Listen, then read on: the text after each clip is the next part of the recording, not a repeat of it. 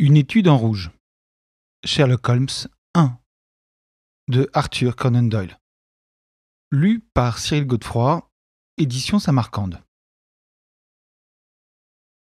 Préface par Cyril Godefroy. Comme de nombreux adolescents, j'ai découvert Sherlock Holmes dans le mauvais ordre.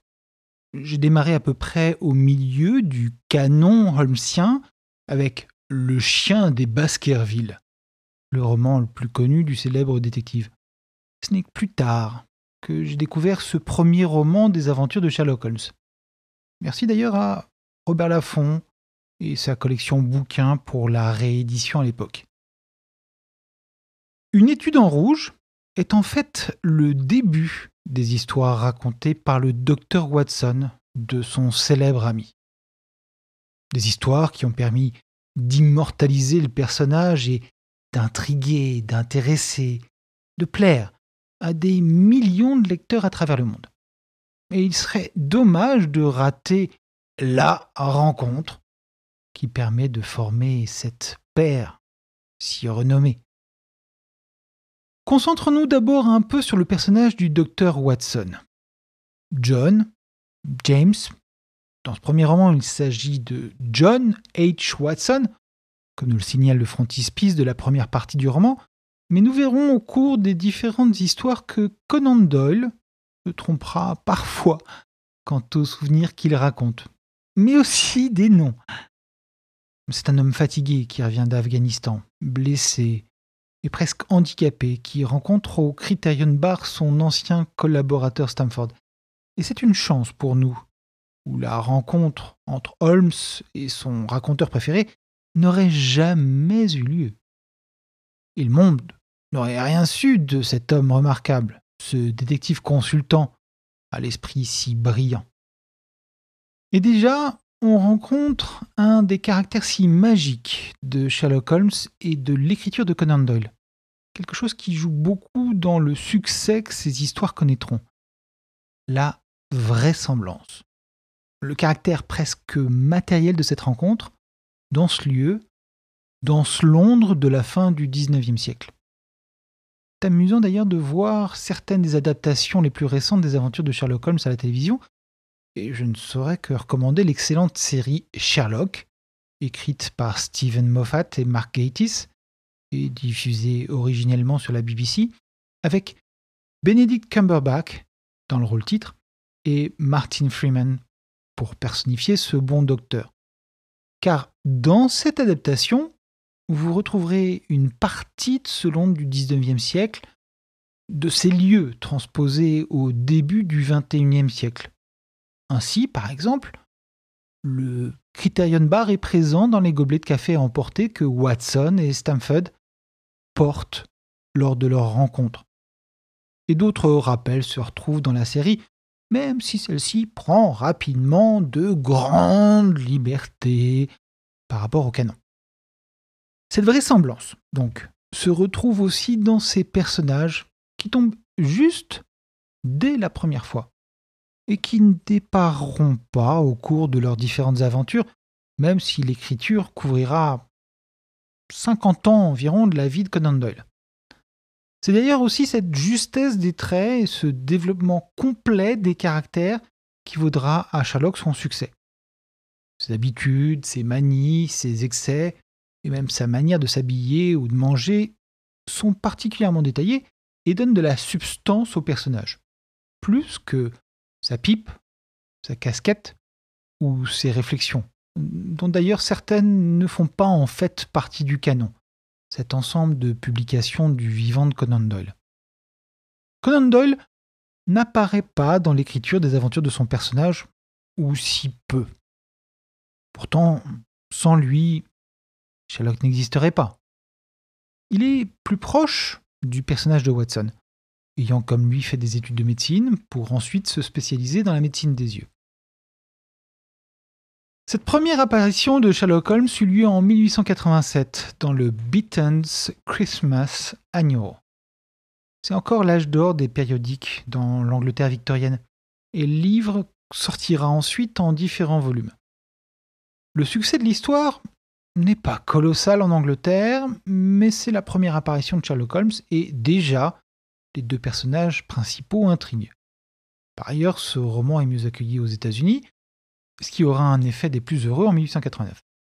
On retrouve aussi dans ce roman le goût de Conan Doyle pour l'exotisme et le voyage, même si son personnage voyagera finalement peu. Sans dévoiler l'intrigue, on découvre presque un Far West dans l'histoire des groupuscules les plus extrémistes des Mormons, ce groupe religieux qui s'établit dans l'Utah au cours du XIXe siècle, et dont certains membres se firent plus connaître pour leurs activités criminelles que pour leur spiritualité.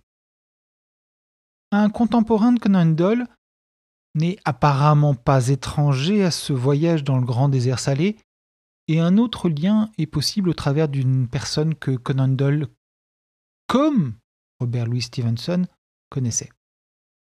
Car non seulement Conan Doyle prend inspiration d'une nouvelle de Stevenson qu'il fréquentait pour la seconde partie du roman, mais tous deux eurent un professeur à l'université dont certains traits de caractère firent dire à Stevenson Mes compliments pour vos ingénieuses et intéressantes aventures de Sherlock Holmes.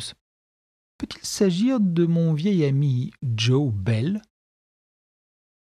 Si le genre policier est devenu depuis un genre fréquent, débordant sur les autres médias et se transposant ensuite en fiction audio, cinéma, téléfilm et séries vidéo, Sherlock Holmes est l'archétype du détective et du policier en tant que genre.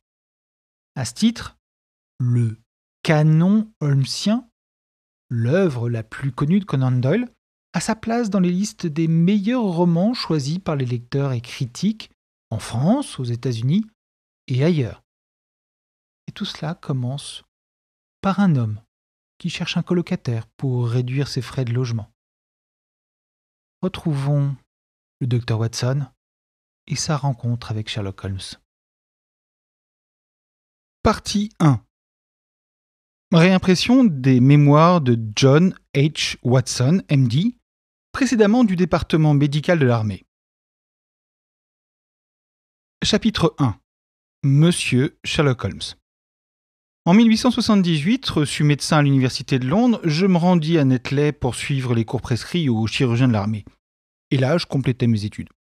On me désigna ensuite comme aide-major pour le 5e régiment de fusiliers de Northumberland en garnison aux Indes.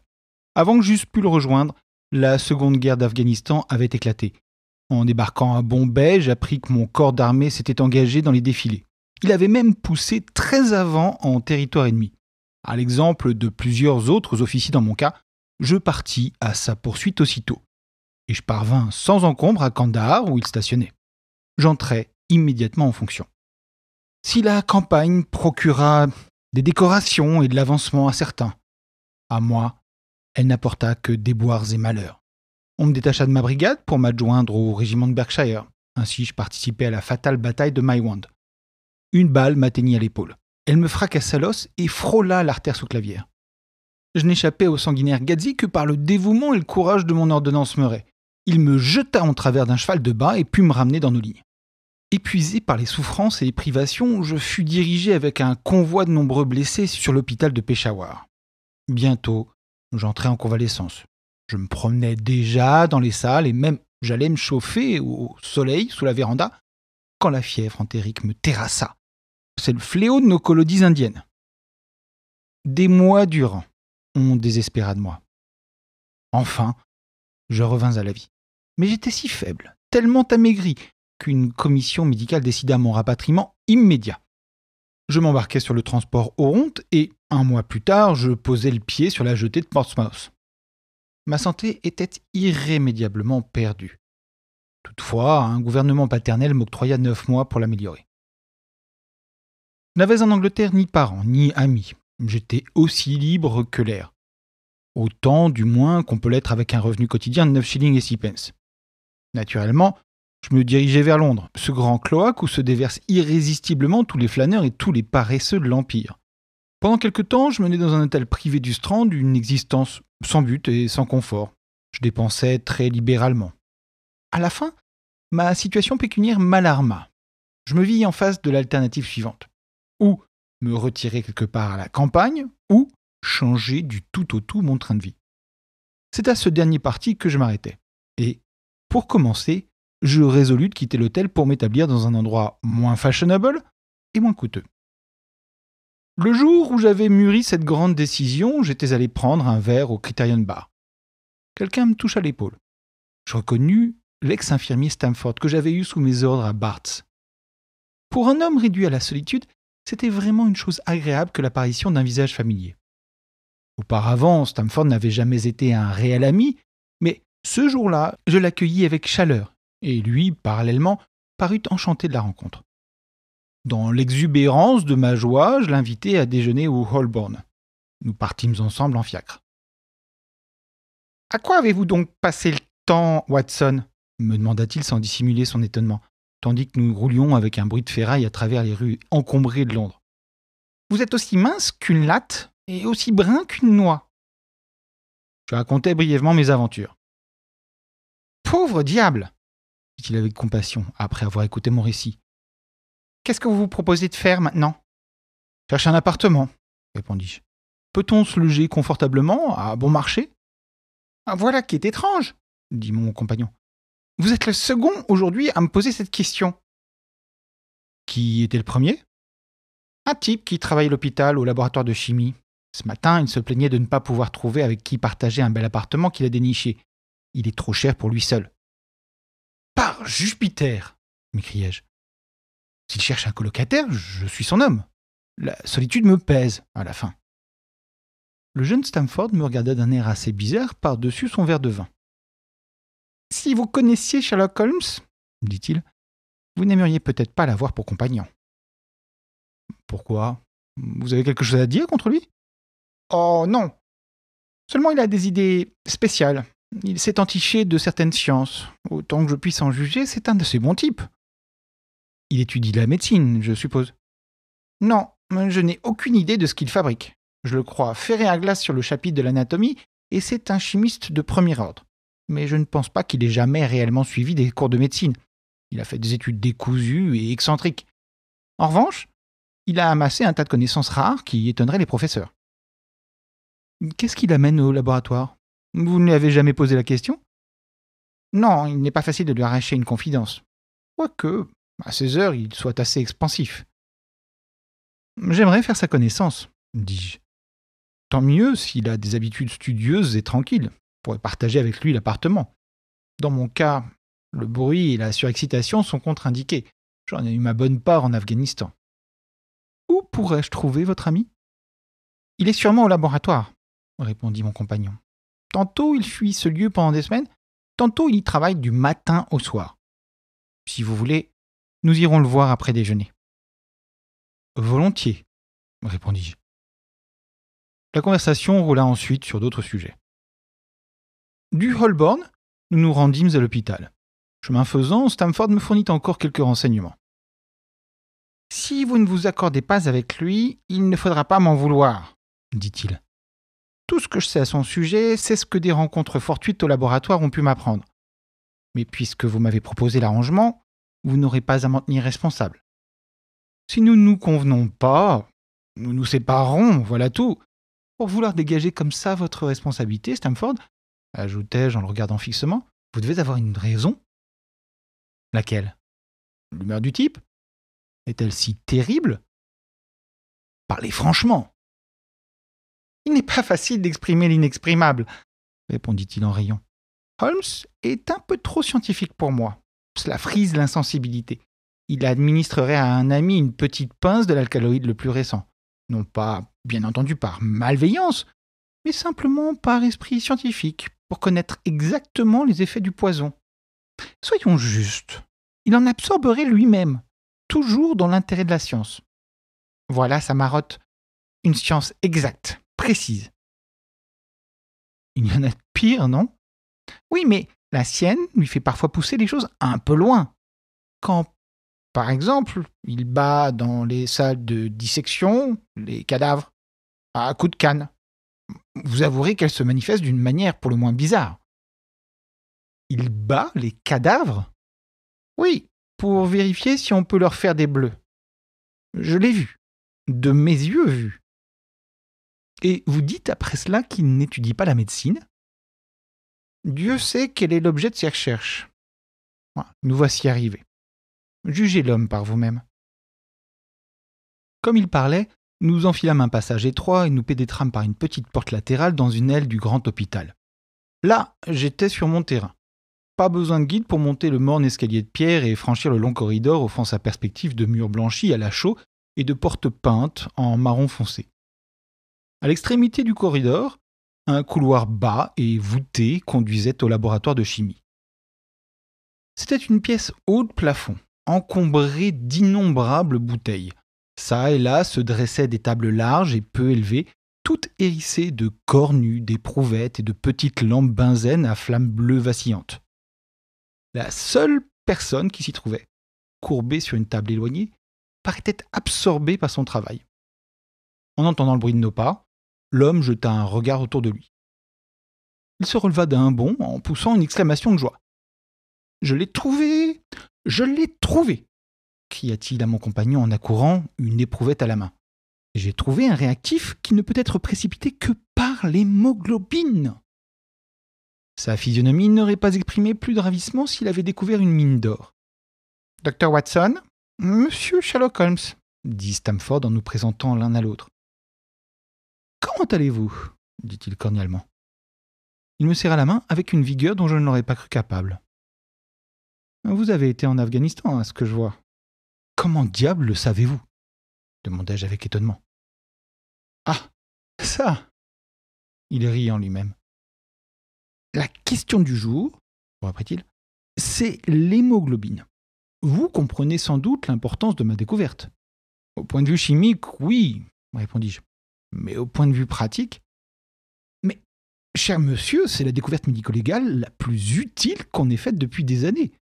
Ne croyez-vous pas qu'elle nous permettra de déceler infailliblement les taches de sang? Venez par ici. Dans son ardeur, il me prit par la manche et m'entraîna vers sa table de travail. Prenons un peu de sang frais, dit-il. Il planta dans son doigt un long poinçon et recueillit au moyen d'une pipette le sang de la piqûre. Maintenant, j'ajoute cette petite quantité de sang à un litre d'eau. Le mélange qui en résulte a, comme vous voyez, l'apparence de l'eau pure. La proportion du sang ne doit pas être de plus d'un millionième. Je ne doute pas, cependant, d'obtenir la réaction caractéristique. Tout en parlant, il jeta quelques cristaux blancs, puis il versa quelques gouttes d'un liquide incolore. Aussitôt, le composé prit une teinte d'acajou sombre. En même temps, une poussière brunâtre se déposa. Ah ah s'exclama-t-il en battant des mains, heureux comme un enfant avec un nouveau jouet. Que pensez-vous de cela? Cela me semble une expérience délicate, répondis-je. Magnifique, magnifique L'ancienne expérience par le Gaïacol était grossière et peu sûre. De même, l'examen au microscope des globules du sang. Il ne sert à rien si les taches de sang sont vieilles de quelques heures. Or, que le sang soit vieux ou non, mon procédé s'applique. Si on l'avait inventé plus tôt, des centaines d'hommes actuellement en liberté de par le monde auraient depuis longtemps subi le châtiment de leurs crimes. En effet, murmurai-je, toutes les causes criminelles roulent là-dessus. Mettons que l'on soupçonne un homme d'un crime commis il y a plusieurs mois. On examine son linge et ses vêtements et on y décèle des taches brunâtres. Mais voilà. Est-ce qu'il s'agit de sang, de boue, de rouille ou de fruits? Cette question a embarrassé plus d'un expert. Et pour cause. Avec le procédé Sherlock Holmes, plus de problème. Au cours de cette tirade, ses yeux avaient jeté des étincelles. Il termina, la main sur le cœur, et s'inclina, comme pour répondre aux applaudissements d'une foule imaginaire. Mes félicitations, dis-je, étonné de son enthousiasme. Prenez le procès de von Bischoff à Francfort l'année dernière, reprit-il. À coup sûr, il aurait été pendu si l'on avait connu ce réactif. Il y a eu aussi Mason de Bradford et le fameux Muller, et Lefebvre de Montpellier, et, Sanson de la Nouvelle-Orléans. Je pourrais citer 20 cas où mon test aurait été probant. Vous êtes les annales ambulantes du crime lança Stamford en éclatant de rire. Vous devriez fonder un journal, Les Nouvelles policières du passé. Cela serait d'une lecture très profitable, dit Sherlock Holmes en collant un petit morceau de taffetas gommé sur la piqûre de son doigt. Se tournant vers moi avec un sourire, il ajouta Il faut que je prenne des précautions car je tripote pas mal de poison.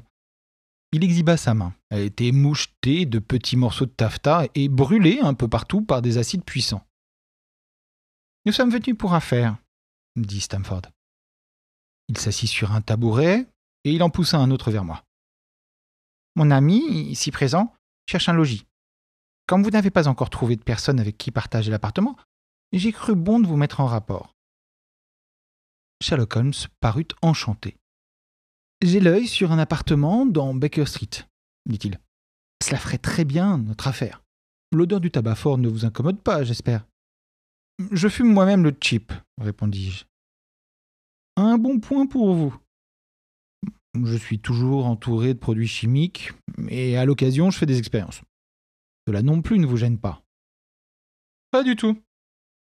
Voyons. Quels sont mes autres défauts? Ah oui. De temps à autre, j'ai le cafard. Je reste plusieurs jours de suite sans ouvrir la bouche. Il ne faudra pas croire alors que je vous boude. Cela passera si vous me laissez tranquille. À votre tour maintenant. Qu'est-ce que vous avez avoué? Il vaut mieux que deux types qui envisagent de vivre en commun connaissent d'avance le pire l'un de l'autre. L'idée d'être à mon tour sur la sellette m'amusa. Je dispose d'une arme, dis-je. Je suis anti-bruit parce que mes nerfs sont ébranlés. Je me lève à des heures impossibles et je suis très paresseux. En bonne santé, j'ai bien d'autres vices, mais pour le moment, ceux que je viens d'énumérer sont les principaux. Faites-vous entrer le violon dans la catégorie des bruits fâcheux demanda-t-il avec anxiété. Cela dépend de l'exécutant, répondis-je. Un morceau bien exécuté est un régal divin, mais s'il l'est mal. Allons, ça ira, s'écria-t-il en riant de bon cœur. C'est une affaire faite. Si bien sûr l'appartement vous plaît. Quand le visiterons-nous? Venez me prendre demain midi. Nous irons tout régler ensemble. C'est entendu, dis-je en lui serrant la main. À midi précis. Stamford et moi, nous le laissâmes au milieu de ses produits chimiques et nous marchâmes vers mon hôtel. Je m'arrêtai soudain et, tourné vers lui, À propos, demandai-je, à quoi diable a-t-il vu que je revenais de l'Afghanistan? Mon compagnon eut un sourire énigmatique. Voilà justement sa petite originalité, dit-il. Il a un don de divination extraordinaire. Plusieurs ont cherché sans succès à se l'expliquer. Ah, un mystère, à la bonne heure, dis-je en me frottant les mains. C'est très piquant. Je vous sais gré de nous avoir mis en rapport. L'étude de l'homme est, comme vous le savez, le propre de l'homme. Alors, étudiez-le, dit Stamford en prenant congé de moi. Mais vous trouverez le problème épineux. Je parie qu'il en apprendra plus sur vous que vous n'en apprendrez sur lui. Au plaisir, Watson. Au plaisir, répondis-je. Je déambulai vers mon hôtel, fort intrigué par ma nouvelle relation. Chapitre 2 La science de la déduction. Nous nous sommes retrouvés le lendemain, comme il avait été convenu, et nous avons inspecté l'appartement au 221 Baker Street, dont il avait parlé lors de notre rencontre. Le logis se composait de deux confortables chambres à coucher et d'un seul studio, grand, bien aéré, gaiement meublé et éclairé par deux larges fenêtres. L'appartement nous parut si agréable, et le prix, à deux, nous sembla si modéré que le marché fut conclu sur le champ et que nous en prîmes possession immédiatement. Le soir même, je déménageais de l'hôtel tout ce que je possédais et le lendemain matin, Sherlock Holmes me suivait avec plusieurs malles et valises. Un jour ou deux, nous nous sommes occupés à déballer et à arranger nos affaires du mieux possible. Cela fait, nous nous sommes installés tout doucement et nous nous sommes accoutumés à notre nouveau milieu. Holmes n'était certes pas un homme avec qui il était difficile de vivre. Il avait des manières paisibles et des habitudes régulières. Il était rare qu'il fût encore debout après dix heures du soir, et invariablement il avait déjeuné et était déjà sorti avant que je ne me lève, le matin.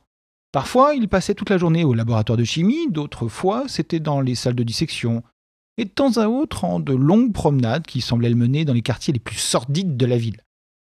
Rien ne pouvait dépasser son énergie quand une crise de travail le prenait. Mais, à l'occasion, une forme de léthargie s'emparait de lui et pendant plusieurs jours de suite, il restait couché sur le canapé du studio, prononçant à peine un mot, bougeant à peine un muscle du matin jusqu'au soir. Dans ces circonstances, j'ai remarqué dans ses yeux une expression si vide, si rêveuse, que j'aurais pu le soupçonner de s'adonner à l'usage de quelques narcotiques, si la sobriété et la rectitude de toute sa vie n'eussent interdit une telle supposition. À mesure que les semaines s'écoulaient, l'intérêt et la curiosité avec lesquels je me demandais quel but il poursuivait devinrent peu à peu plus grands et plus profonds. Sa personne même et son aspect étaient tels qu'il ne pouvait pas ne pas attirer l'attention de l'observateur le plus fortuit. Il mesurait un peu plus d'un mètre quatre-vingts, mais il était si maigre qu'il paraissait bien plus grand. Ses yeux étaient aigus et perçants, excepté pendant ces intervalles de torpeur auxquels j'ai fait allusion, et son mince nez aquilin donnait à toute son expression un air de vivacité et de décision. Son menton proéminent et carré indiquait l'homme résolu. Ses mains étaient constamment tachées d'encre et de produits chimiques, et pourtant il avait une délicatesse extraordinaire du toucher, ainsi que j'avais eu fréquemment l'occasion de le constater en le regardant manipuler ses fragiles instruments. Il se peut que le lecteur me considère comme incorrigiblement indiscret quand j'avoue à quel point cet homme excitait ma curiosité et combien de fois j'ai tenté de percer le silence qu'il observait à l'égard de tout ce qu'il concernait. Avant de me juger, pourtant, on se rappelle à quel point ma vie était alors sans objet et combien de peu de choses étaient capables de retenir mon attention. Ma santé m'empêchait de m'aventurer au dehors, à moins que le temps ne fût exceptionnellement beau. Je n'avais aucun ami qui vint me rendre visite et rompre la monotonie de mon existence quotidienne. Dans ces conditions, j'accueillais avec empressement le petit mystère qui entourait mon compagnon et je passais une grande partie de mon temps à m'efforcer de le résoudre. Il n'étudiait pas la médecine. Lui-même, en réponse à une question, m'avait confirmé l'opinion de Stamford à ce sujet. Il semblait n'avoir suivi aucune série de cours qui fussent de nature à lui valoir un diplôme dans une science quelconque ou à lui ouvrir l'accès des milieux scientifiques. Et pourtant, son zèle pour certaines études était remarquable. Et, dans certaines limites, ses connaissances étaient si extraordinairement vastes et minutieuses que ses observations m'ont bel et bien étonné. À coup sûr, nul homme ne voudrait travailler avec tant d'acharnement pour acquérir des informations si précises s'il n'avait en vue un but bien défini. Les gens qui s'instruisent à bâton rompu se font rarement remarquer par l'exactitude de leur savoir. Personne ne s'encombre l'esprit de petites choses sans avoir à cela de bonnes raisons. Son ignorance était aussi remarquable que sa science. De la littérature contemporaine, de la philosophie, de la politique, il paraissait ne savoir presque rien. Un jour, que je citais Carlyle, il me demanda de la façon la plus candide qui ça pouvait être et ce qu'il avait fait. Ma surprise fut à son comble pourtant quand je découvrais qu'il ignorait la théorie de Copernic et la composition du système solaire. Qu'un être humain civilisé au XIXe siècle ne sut pas que la Terre tourna autour du Soleil me parut être une chose si extraordinaire que je pouvais à peine le croire. Vous paraissez étonné, me dit-il, en soupirant de ma stupéfaction. Mais maintenant que je le sais, je ferai de mon mieux pour l'oublier. Pour l'oublier? Voyez-vous, je considère que le cerveau de l'homme est à l'origine comme une petite mansarde vide, et que vous devez y entasser tel meuble qu'il vous plaît. Un seau y entasse tous les fatras de toutes sortes qu'il rencontre, de sorte que le savoir qui pourrait lui être utile se trouve écrasé, ou, en mettant les choses au mieux, mêlé à un tas d'autres choses, si bien qu'il est difficile de mettre la main dessus. L'ouvrier adroit, au contraire, prend grand soin de ce qu'il met dans la mansarde, dans son cerveau. Il ne veut y voir que les outils qui peuvent l'aider dans son travail, mais il en possède un grand assortiment et tous sont rangés dans un ordre parfait. C'est une erreur de croire que cette petite chambre a des murs élastiques et qu'elle peut s'étendre indéfiniment. Soyez-en sûrs, il vient un moment où, pour chaque nouvelle connaissance que nous acquérons, nous oublions quelque chose que nous savons. Il est donc de la plus haute importance de ne pas acquérir des notions inutiles qui chassent les faits utiles. Mais le système solaire protestai-je. En quoi diable m'importe-t-il? Sa voix était impatiente. Vous dites que nous tournons autour du Soleil. Si nous tournions autour de la Lune, ça ne ferait pas deux liards de différence pour moi ou pour mon travail. J'étais sur le point de lui demander ce que ce travail pouvait être, mais quelque chose dans sa manière me montra que la question ne serait pas bien accueillie. Je réfléchis toutefois à notre courte conversation et m'efforçai d'en tirer mes déductions. Il m'avait dit qu'il ne voulait pas acquérir des connaissances qui soient sans rapport avec son travail. Par conséquent, toute la science qu'il possédait était susceptible de lui servir. J'énumérais en pensée les domaines divers dans lesquels il m'avait laissé voir qu'il était bien informé. Je pris même un crayon et les notais sur le papier. Quand j'eus terminé mon bilan, je ne pus m'empêcher d'en sourire. Le voici. Sherlock Holmes, ses limites. Connaissance en littérature? Néant. Connaissance en philosophie? Néant. Connaissance en astronomie? Néant. Connaissance en politique? Faible. Connaissance en botanique Médiocre. Connaît bien la belladone, l'opium et les poisons en général. Ignore tout du jardinage. Connaissance en géologie Pratique, mais limitée. Dit au premier coup d'œil les différentes espèces de sol. Après certaines promenades, a montré des taches sur son pantalon, il m'a dit, en raison de leur couleur et de leur consistance, de quelle partie de Londres elles provenaient. Connaissance en chimie, très fort.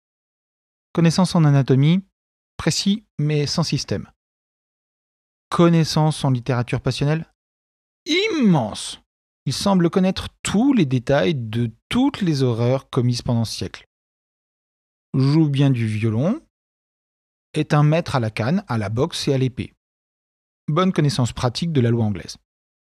Quand j'en fus arrivé là de ma liste, de désespoir, je la jetai au feu. Si je ne puis trouver ce que cet homme a en vue en faisant aller de front toutes ses qualités, et si je suis incapable de découvrir une profession qui les requiert toutes, me dis-je, autant y renoncer tout de suite. Je vois que j'ai fait allusion plus haut à ses talents de violoniste. Son don, sous ce rapport, était très grand, mais aussi excentrique que tous les autres.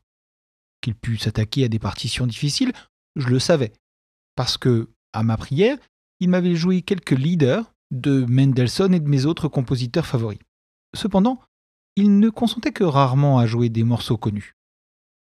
Le soir, renversé dans son fauteuil, il fermait les yeux et, comme en pensant à autre chose, grattait son violon qu'il avait posé sur ses genoux.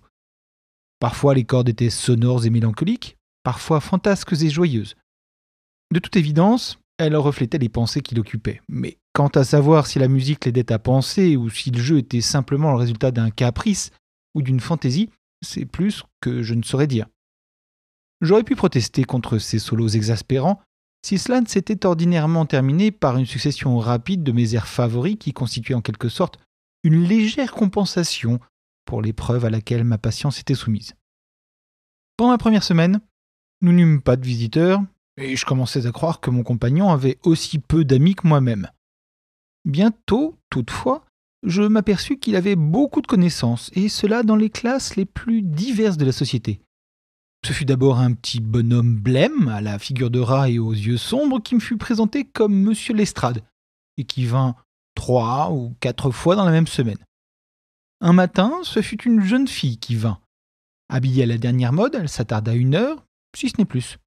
L'après-midi du même jour amena un visiteur assez pauvrement vêtu. Il était grisonnant et ressemblait à un colporteur juif. Il me parut fort excité et il fut suivi de très près par une femme déjà avancée en âge et tout à fait négligée. En une autre occasion, un monsieur à cheveux blancs eut avec lui une entrevue. Un autre jour vint un porteur de garde dans son uniforme de velours. Quand l'un de ces indéfinissables visiteurs se présentait, Holmes me priait de le laisser disposer du studio et je me retirais dans ma chambre. Il ne manquait jamais de s'excuser de me déranger ainsi. Il faut, disait-il, que cette pièce me serve de cabinet d'affaires. Ces gens sont mes clients. C'était une nouvelle occasion de lui demander de but en blanc de quelles affaires il s'agissait, mais mes scrupules m'empêchaient de forcer un homme à se confier à moi. Je m'imaginais alors qu'il avait de graves raisons de ne pas y faire allusion. Toutefois, il dissipa bientôt cette idée en abordant lui-même ce sujet. C'était, j'ai de bonnes raisons de m'en souvenir, le 4 mars. Ce jour-là, je m'étais levé un peu plus tôt que d'habitude et j'avais constaté que Sherlock Holmes n'avait pas encore achevé son petit déjeuner. Notre hôtesse était tellement habituée à mes heures tardives qu'elle n'avait pas mis mon couvert ou préparé mon café. Avec une vivacité irréfléchie, j'agitai la sonnette et, assez sèchement, lui déclarai que j'étais prêt. Là-dessus, je pris sur la table une revue et essayai de lire pour passer le temps pendant que mon compagnon mangeait en silence ses rôtis. Le titre d'un des articles de la revue avait été marqué d'un coup de crayon. Naturellement, je me mis à le parcourir. Sous un titre plutôt prétentieux, Le livre de la vie, il essayait de montrer tout ce qu'un observateur pouvait apprendre d'un examen minutieux et systématique de tout ce qui se présentait à lui. Le tout me parut un remarquable mélange de finesse et d'absurdité. Le raisonnement était serré, mais les déductions me paraissaient tirées par les cheveux et exagérées. L'auteur prétendait pénétrer les pensées les plus intimes d'un homme par une expression momentanée de sa figure, par le mouvement d'un muscle, par un regard fugitif. Pour une personne rompue à observer et à analyser, l'erreur devenait chose impossible. Ses conclusions étaient aussi infaillibles qu'autant de propositions d'Euclide. Ses résultats apparaissaient si étourdissants aux non-initiés que, tant qu'ils ne connaissaient pas la méthode pour les obtenir, ils pouvaient soupçonner leur auteur d'être sorcier. En partant d'une goutte d'eau, disait l'auteur, un logicien pourrait déduire la possibilité d'un océan Atlantique ou d'un Niagara, sans avoir vu l'un ou l'autre, sans même en avoir jamais entendu parler. Ainsi, toute la vie est une vaste chaîne dont la nature nous devient connue chaque fois qu'on nous en montre un seul anneau. Comme tous les autres arts, la science de la déduction et de l'analyse est un art que l'on ne peut acquérir que par une longue et patiente étude. Et la vie n'est pas assez longue pour permettre à un homme, quel qu'il soit, d'atteindre la plus haute perfection possible en cet art. Avant de s'appliquer aux aspects moraux et mentaux de ce sujet qui sont ceux qui présentent les plus grandes difficultés, le chercheur fera bien de commencer par résoudre des problèmes plus élémentaires. Quand il rencontre un homme, qu'il apprenne, rien qu'en le regardant, à connaître l'histoire de cet homme, la profession, son métier. Tout puéril que cet exercice puisse paraître, il aiguise les facultés d'observation et il vous apprend où l'on doit regarder et ce que l'on doit chercher les ongles d'un homme, les manches de son vêtement, les genoux de son pantalon, les callosités de son index et de son pouce, ses manchettes, son attitude, toutes ces choses révèlent nettement le métier d'un individu. Il est presque inconcevable que, si tous ces éléments sont réunis, ils ne suffisent pas pour éclairer le chercheur expérimenté. Quel impossible fatras criai-je en rejetant la revue sur la table. Je n'ai de ma vie lu de telles sornettes. Qu'est-ce que c'est? Dit Sherlock Holmes. Eh, eh bien, cet article. Je vois que vous l'avez lu puisque vous l'avez marqué. Je ne nie point qu'il soit bien écrit, mais il mérite tout de même. Il est évident que c'est là une théorie bâtie par un oisif qui, dans son fauteuil de son cabinet de travail, déroule gentiment tous ces petits paradoxes. J'aimerais le coincer dans un wagon de seconde classe du métro pour lui demander de me dire les métiers de tous les voyageurs. J'engagerai avec lui un pari à mille contre un. Vous perdriez votre argent. Quant à l'article, j'en suis l'auteur. Vous? Oui. L'observation et la déduction, j'ai un faible pour ces deux choses-là. Les théories que j'ai formulées là et qui vous semblent si chimériques sont, en réalité, extrêmement pratiques. Si pratiques que j'en dépends pour mon pain et mon sel. En quoi? dis-je involontairement. Eh bien, j'ai un métier qui m'est propre. Je suppose que je suis son seul adepte au monde. Je suis détective consultant, puis vous pouvez comprendre ce que c'est. Ici à Londres, nous avons des quantités de détectives officiels, des quantités de détectives privés. Quand ces gens-là se trouvent en défaut, ils viennent à moi et je m'arrange pour les remettre sur la bonne piste. Ils m'exposent les faits, les témoignages et je peux, en général, grâce à la connaissance de l'histoire criminelle, leur indiquer la bonne voie. Il y a une forte ressemblance de famille entre tous les méfaits et si l'on possède sur le bout des doigts les détails d'un millier de crimes, il est bien extraordinaire que l'on ne puisse débrouiller le mille et unième. Lestrade est un détective bien connu. Dernièrement, il s'est fourvoyé à propos d'une histoire de faux, et c'est ce qui l'a amené ici. Et les autres? Ils me viennent pour la plupart d'agences de recherche privées. Ce sont des gens qui se trouvent dans l'embarras pour une chose ou une autre et qui ont besoin d'être renseignés, d'y voir plus clair. J'écoute leur histoire, ils écoutent mes conseils, et j'empoche mes honoraires. Mais vous ne prétendez pas que, sans quitter votre chambre, vous pouvez résoudre ces difficultés à quoi d'autres n'ont pu rien comprendre, alors qu'eux ont tout vu? Exactement. J'ai sous ce rapport une sorte d'intuition. De temps en temps, il se présente un cas plus compliqué. Alors il faut que je me démène un peu et que je vois les choses de mes propres yeux. Vous comprenez? J'ai énormément de connaissances spéciales que j'applique aux problèmes et qui me facilitent étonnamment les choses. Les règles de déduction exposées dans l'article, qui vient de provoquer votre mépris, me sont d'une valeur inestimable dans la pratique. L'observation, chez moi, est une seconde nature. Vous m'avez paru surpris quand, à notre première rencontre, je vous ai dit que vous reveniez de l'Afghanistan. On vous l'avait dit, sans doute. Pas du tout. Je savais que vous reveniez de l'Afghanistan. Par suite d'une longue habitude, toute une série de pensées m'a si rapidement traversé l'esprit que je suis arrivé à cette conclusion sans avoir eu de conscience des étapes intermédiaires. Ces étapes existent pourtant. Mon raisonnement coordonné, le voici. Ce gentleman est du type médecin, mais il a l'air d'un militaire. Sûrement un major. Il revient des tropiques, car son visage est très brun, mais ce n'est pas la couleur naturelle de sa peau, puisque ses poignets sont blancs. Il a enduré des privations, il a été malade. Son visage l'indique clairement. Il a été blessé au bras, à en juger par la raideur peu naturelle de celui-ci. Dans quelle partie des tropiques un major de l'armée anglaise peut-il avoir subi tant de privations et avoir été blessé au bras? Évidemment en Afghanistan. Tout cet enchaînement de pensées n'a pas pris une seconde et je vous ai fait cette remarque que vous veniez de l'Afghanistan, dont vous avez été étonné. Expliquer ainsi, c'est assez simple, dis-je en souriant. Vous me rappelez du pain de peau. Je ne supposais pas qu'un type de ce genre existait en dehors des romans. Sherlock Holmes se leva et alluma sa pipe. Sans doute croyez-vous me faire un compliment en me comparant à Dupin. Or, à mon avis, Dupin était un être très inférieur. Cette façon qu'il avait de deviner les pensées de ses amis après un quart d'heure de silence était très prétentieuse et superficielle. Il avait, sans doute, un certain génie de l'analyse, mais il n'était nullement un phénomène comme Poe semblait l'imaginer. Avez-vous lu les ouvrages de Gaboriau Le coq approche-t-il de votre idée d'un détective? Sherlock Holmes eut un mouvement ironique. Le coq dit-il d'un ton irrité. Le coq était un gaffeur. Il n'avait qu'une chose en sa faveur, son énergie. Ce livre m'a positivement rendu malade. Il s'agissait d'identifier un prisonnier inconnu. Je l'aurais fait, moi, en 24 heures. Le coq y a mis un mois, ou presque. Cet ouvrage pourrait constituer à l'usage des détectives un livre élémentaire destiné à leur apprendre ce qu'il faut éviter. Je ressentais quelque indignation de voir ainsi maltraiter deux personnages que j'avais admirés. Je m'avançai jusqu'à la fenêtre et restai là à regarder la rue affairée, en pensant Ce garçon-là est peut-être très fort, mais il est certainement très fat. Il n'y a pas de crime et il n'y a pas de criminel de nos jours, dit-il d'un ton de regret.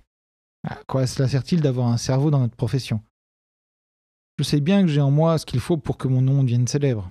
Il n'y a aucun homme, il n'y en a jamais eu qui ait apporté une telle somme d'études et de talents naturels à la déduction du crime. Et quel en est le résultat? Il n'y a pas de crime à découvrir. Tout au plus quelques maladroites crapuleries ayant des motifs si transparents que même un agent de Scotland Yard y voit clair tout de suite. Sa manière prétentieuse continuait de m'ennuyer. Je crus qu'il valait mieux changer le sujet de la conversation. Euh, je me demande ce que cherche ce type là-bas, demandai-je, désignant un grand individu habillé simplement qui suivait l'autre côté de la rue, en examinant anxieusement les numéros. Il tenait à la main une grande enveloppe bleue et, de toute évidence, portait un message. Vous parlez de ce sergent d'infanterie de marine? dit Sherlock Holmes.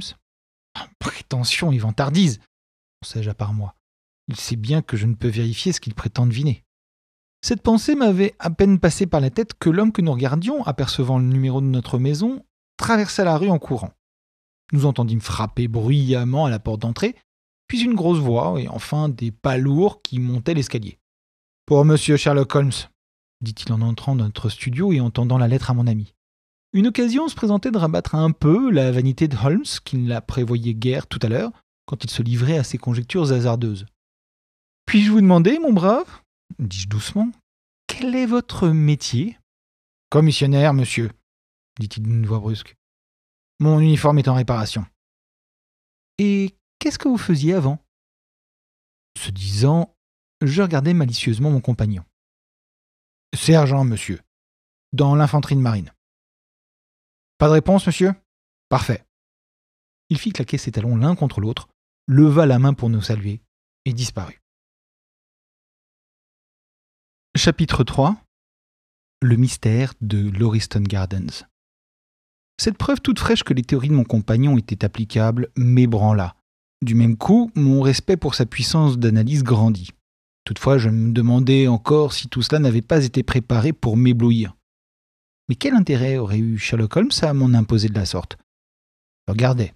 Il avait fini de lire la lettre et ses yeux avaient pris une expression vague, terne, qui marquait chez lui la préoccupation.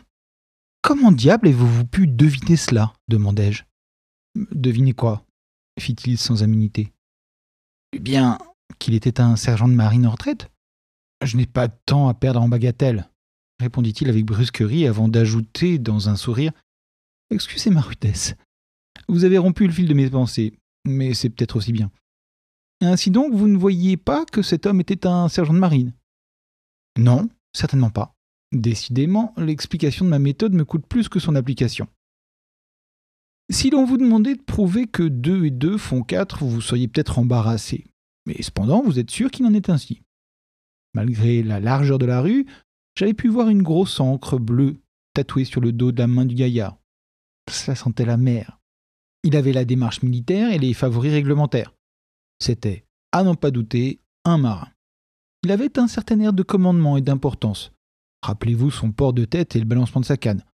En outre, son visage annonçait un homme d'âge moyen, sérieux, respectable. Tous ces détails m'ont amené à penser qu'il était sergent. C'est merveilleux, m'écriai-je. Peu. L'enfance de l'art, dit Holmes, mais d'un air qui me parut trahir sa satisfaction devant ma surprise et mon admiration manifeste. Tout à l'heure, j'ai dit qu'il n'y avait plus de criminels. J'avais tort à ce qu'il paraît. Voyez plutôt. Il me lança la lettre apportée par le commissionnaire. C'est épouvantable m'écriai-je après avoir parcouru quelques lignes. Voilà qui semble en effet sortir de l'ordinaire, me dit-il avec sang-froid. Auriez-vous l'obligeance de me la lire à haute voix? Voici la lettre. Cher monsieur Sherlock Holmes, il y a eu une triste affaire au numéro 3 de Lauriston Gardens qui aboutit à Brixton Road. Vers deux heures du matin, notre agent de service vit une lumière dans la maison. Ce fait éveilla ses soupçons car il s'agit d'une maison inhabitée. Il trouva la porte ouverte et, dans la pièce de devant, qui est sans meubles, il découvrit la dépouille mortelle d'un individu bien mis, ayant dans sa poche des cartes au nom d'Enoch J. Dreber, Cleveland, Ohio, USA. Il n'y a pas eu de vol et il n'y a pas non plus d'indice qui nous révèle la façon dont cet homme a trouvé la mort. On a relevé des traces de sang dans la pièce, mais le cadavre ne porte aucune blessure. Nous ne nous expliquons pas sa présence dans cette maison vide. En fait, cette affaire est un casse-tête. Si vous pouvez venir sur les lieux avant midi, vous m'y trouverez. En attendant votre réponse, j'ai laissé tout comme c'était. Si vous ne pouvez pas venir, je vous communiquerai de plus de détails. Vous m'obligeriez beaucoup en me réservant la faveur de me dire votre opinion. Agréé, cher monsieur, etc. Tobias Gregson. Gregson est le meilleur limier de Scotland Yard, dit mon ami. Lui et l'estrade sont le dessus du panier, ce qui ne veut pas dire qu'ils valent grand-chose. Rapides et énergiques, ils sont en revanche routiniers de façon scandaleuse. Par-dessus le marché, ils travaillent à couteau tiré, jaloux l'un de l'autre comme des vedettes. L'affaire ne manquera pas de piquant si on les lance tous les deux sur la piste. Sa tranquillité me renversait. Je m'écriai. Vous n'avez pas un moment à perdre. Faut-il aller vous chercher un fiacre? Je ne sais pas encore si j'irai là-bas. Il n'y a pas plus paresseux que moi, du moins quand la flamme me prend. D'autres fois, je suis assez allant. Mais c'est la chance de votre vie, Holmes. Bah. En supposant que je tire la chose au clair, vous pouvez être sûr que Gregson, Lestrade et consorts s'en attribueront tout le mérite. C'est l'inconvénient de ne pas être un personnage officiel. Gregson m'en dit votre aide. En effet, il reconnaît que je lui suis supérieur. Il me l'avoue bien dans le tête-à-tête, mais il s'arracherait la langue plutôt que d'en convenir en présence d'un tiers. allons quand même voir. Je ferai ma petite enquête personnelle. Si je n'y trouve pas mon compte, du moins, je m'amuserai aux dépens de mes collègues. En route. Chez lui succéda soudain à sa flemme un accès d'activité. Il sauta sur son par-dessus, puis Prenez votre chapeau, dit-il. Vous voulez bien de moi? Oui, si vous n'avez rien de mieux à faire. L'instant d'après, nous roulions ensemble à une allure vertigineuse vers Brixton Road. La matinée était brumeuse, nuageuse. Le voile brun foncé qui enveloppait le toit des maisons semblait le reflet des rues pleines de boue. Mon compagnon était en verve. Il discourait sur les violons de Crémone, sur les mérites relatifs du Stradivarius et de l'Amati. Quant à moi, Je restais silencieux, déprimé par le temps maussade comme par la lugubre affaire où nous nous engagions. À la fin, j'interrompis Holmes au beau milieu de sa dissertation. Vous ne semblez pas beaucoup penser à l'affaire. Faute de données, répondit-il. Chercher une explication avant de connaître tous les faits est une erreur capitale. Le jugement s'en trouve faussé. Vous aurez bientôt vos données, dis-je. Car nous arrivons à Brixton Road. Voici la maison, si je ne me trompe. En effet. Conducteur, arrêtez-nous. Nous en avions encore pour une centaine de mètres, mais il insista pour descendre tout de suite. Nous fîmes à pied le reste du chemin. Le numéro 3 de Lauriston Gardens offrait un aspect sinistre et menaçant. C'était une des quatre maisons qui se dressaient en retrait à quelque distance de la rue. Deux d'entre elles étaient habitées, les deux autres étaient vides. La dernière avait trois rangées de fenêtres sans rideaux, mélancoliques, nues, désolées. Ici et là, sur les vitres sales, s'étalait un écriteau. Un petit jardin parsemé de touffes de plantes malingres séparait chaque maison de la rue. Il était traversé par une allée étroite de couleur jaunâtre, mélange d'argile et de gravier. La pluie tombée pendant la nuit avait tout détrempé. Le jardin était bordé par un mur de briques, haut d'un mètre et muni d'une balustrade en bois. À ce mur était adossé un robuste agent de police entouré d'un petit groupe de badauds qui allongeaient le cou et écarquillaient les yeux dans le vain espoir de surprendre quelque chose de l'enquête menée à l'intérieur. Je m'étais imaginé que Sherlock Holmes s'engouffrerait dans la maison pour se plonger aussitôt en plein mystère. Au contraire, il prit un air insouciant qui, en la circonstance, frisait l'affectation. Nonchalamment, il arpenta le trottoir, effleurant du regard le sol, le ciel, les maisons d'en face, la balustrade. Puis il descendit l'allée, ou plutôt la bordure d'herbe qui longeait l'allée, les yeux rivés au gazon. Il s'arrêta à deux reprises. Une fois, je l'entendis pousser un cri de joie. Le sol humide et argileux avait conservé les empreintes de plusieurs pas. Mais, comme les policiers, dans leurs allées et venues, l'avaient foulé tant et plus, je ne pouvais m'expliquer que mon compagnon pût encore en espérer quelques révélations. Toutefois, savais que là où, moi, je n'apercevais rien, lui distinguait une foule de choses. Il m'avait déjà donné une preuve extraordinaire de l'acuité de son regard. À la porte d'entrée, un homme de haute taille nous accueillit. Il avait un visage blafard et des cheveux couleur de lin. Il se précipita et serra avec reconnaissance la main de mon compagnon. C'est vraiment chic à vous d'être venu, dit-il. J'ai laissé tout intact. À part le jardin, répondit mon ami en désignant l'allée. Un troupeau de bisons n'aurait pas fait plus de dégâts. J'espère que vous avez pris la précaution d'examiner le terrain avant d'autoriser vos hommes à le piétiner. C'est que j'ai eu beaucoup de choses à faire là-dedans, répondit évasivement le détective. Mon collègue, M. Lestrade, est sur les lieux. J'avais pensé qu'il s'en chargerait. Holmes me jeta un coup d'œil, puis, relevant les sourcils, quand deux hommes tels que vous, Lestrade, sont sur le même terrain, dit-il ironiquement, que reste-t-il à faire à un troisième? Gregson se frotta les mains, comptant lui-même. J'estime que nous avons fait tout ce qui était en notre pouvoir, répondit-il. Mais c'est un cas étrange et je connais votre goût pour ce genre d'affaires. Vous n'êtes pas venu en fiacre? demanda Sherlock Holmes. Et l'estrade? Non plus. Alors, allons voir la chambre. Sur cette conclusion inattendue, il pénétra à grands pas dans la maison, suivi de Gregson, étonné. Un petit corridor au plancher nu et poussiéreux conduisait à la cuisine et à l'office. À gauche et à droite, il y avait deux portes. L'une était apparemment fermée depuis plusieurs semaines. L'autre donnait sur la salle à manger, la pièce même où s'était accompli le crime. Holmes y pénétra et je le suivis, non sans appréhension. C'était une grande chambre carrée que l'absence de tout meuble agrandissait encore. Un papier vulgaire tendait les murs, souillés de taches d'humidité. Par place, il pendait en longues déchirures qui laissaient à découvert le plâtre jaune. En face de la porte était une cheminée prétentieuse. À un bout de la tablette en faux marbre blanc, on avait planté une bougie rouge. L'unique fenêtre, très sale, filtrait une lueur trouble et incertaine qui faisait apparaître gris foncé toutes les choses, du reste enseveli sous une épaisse couche de poussière. Ces détails, je les observai un peu plus tard.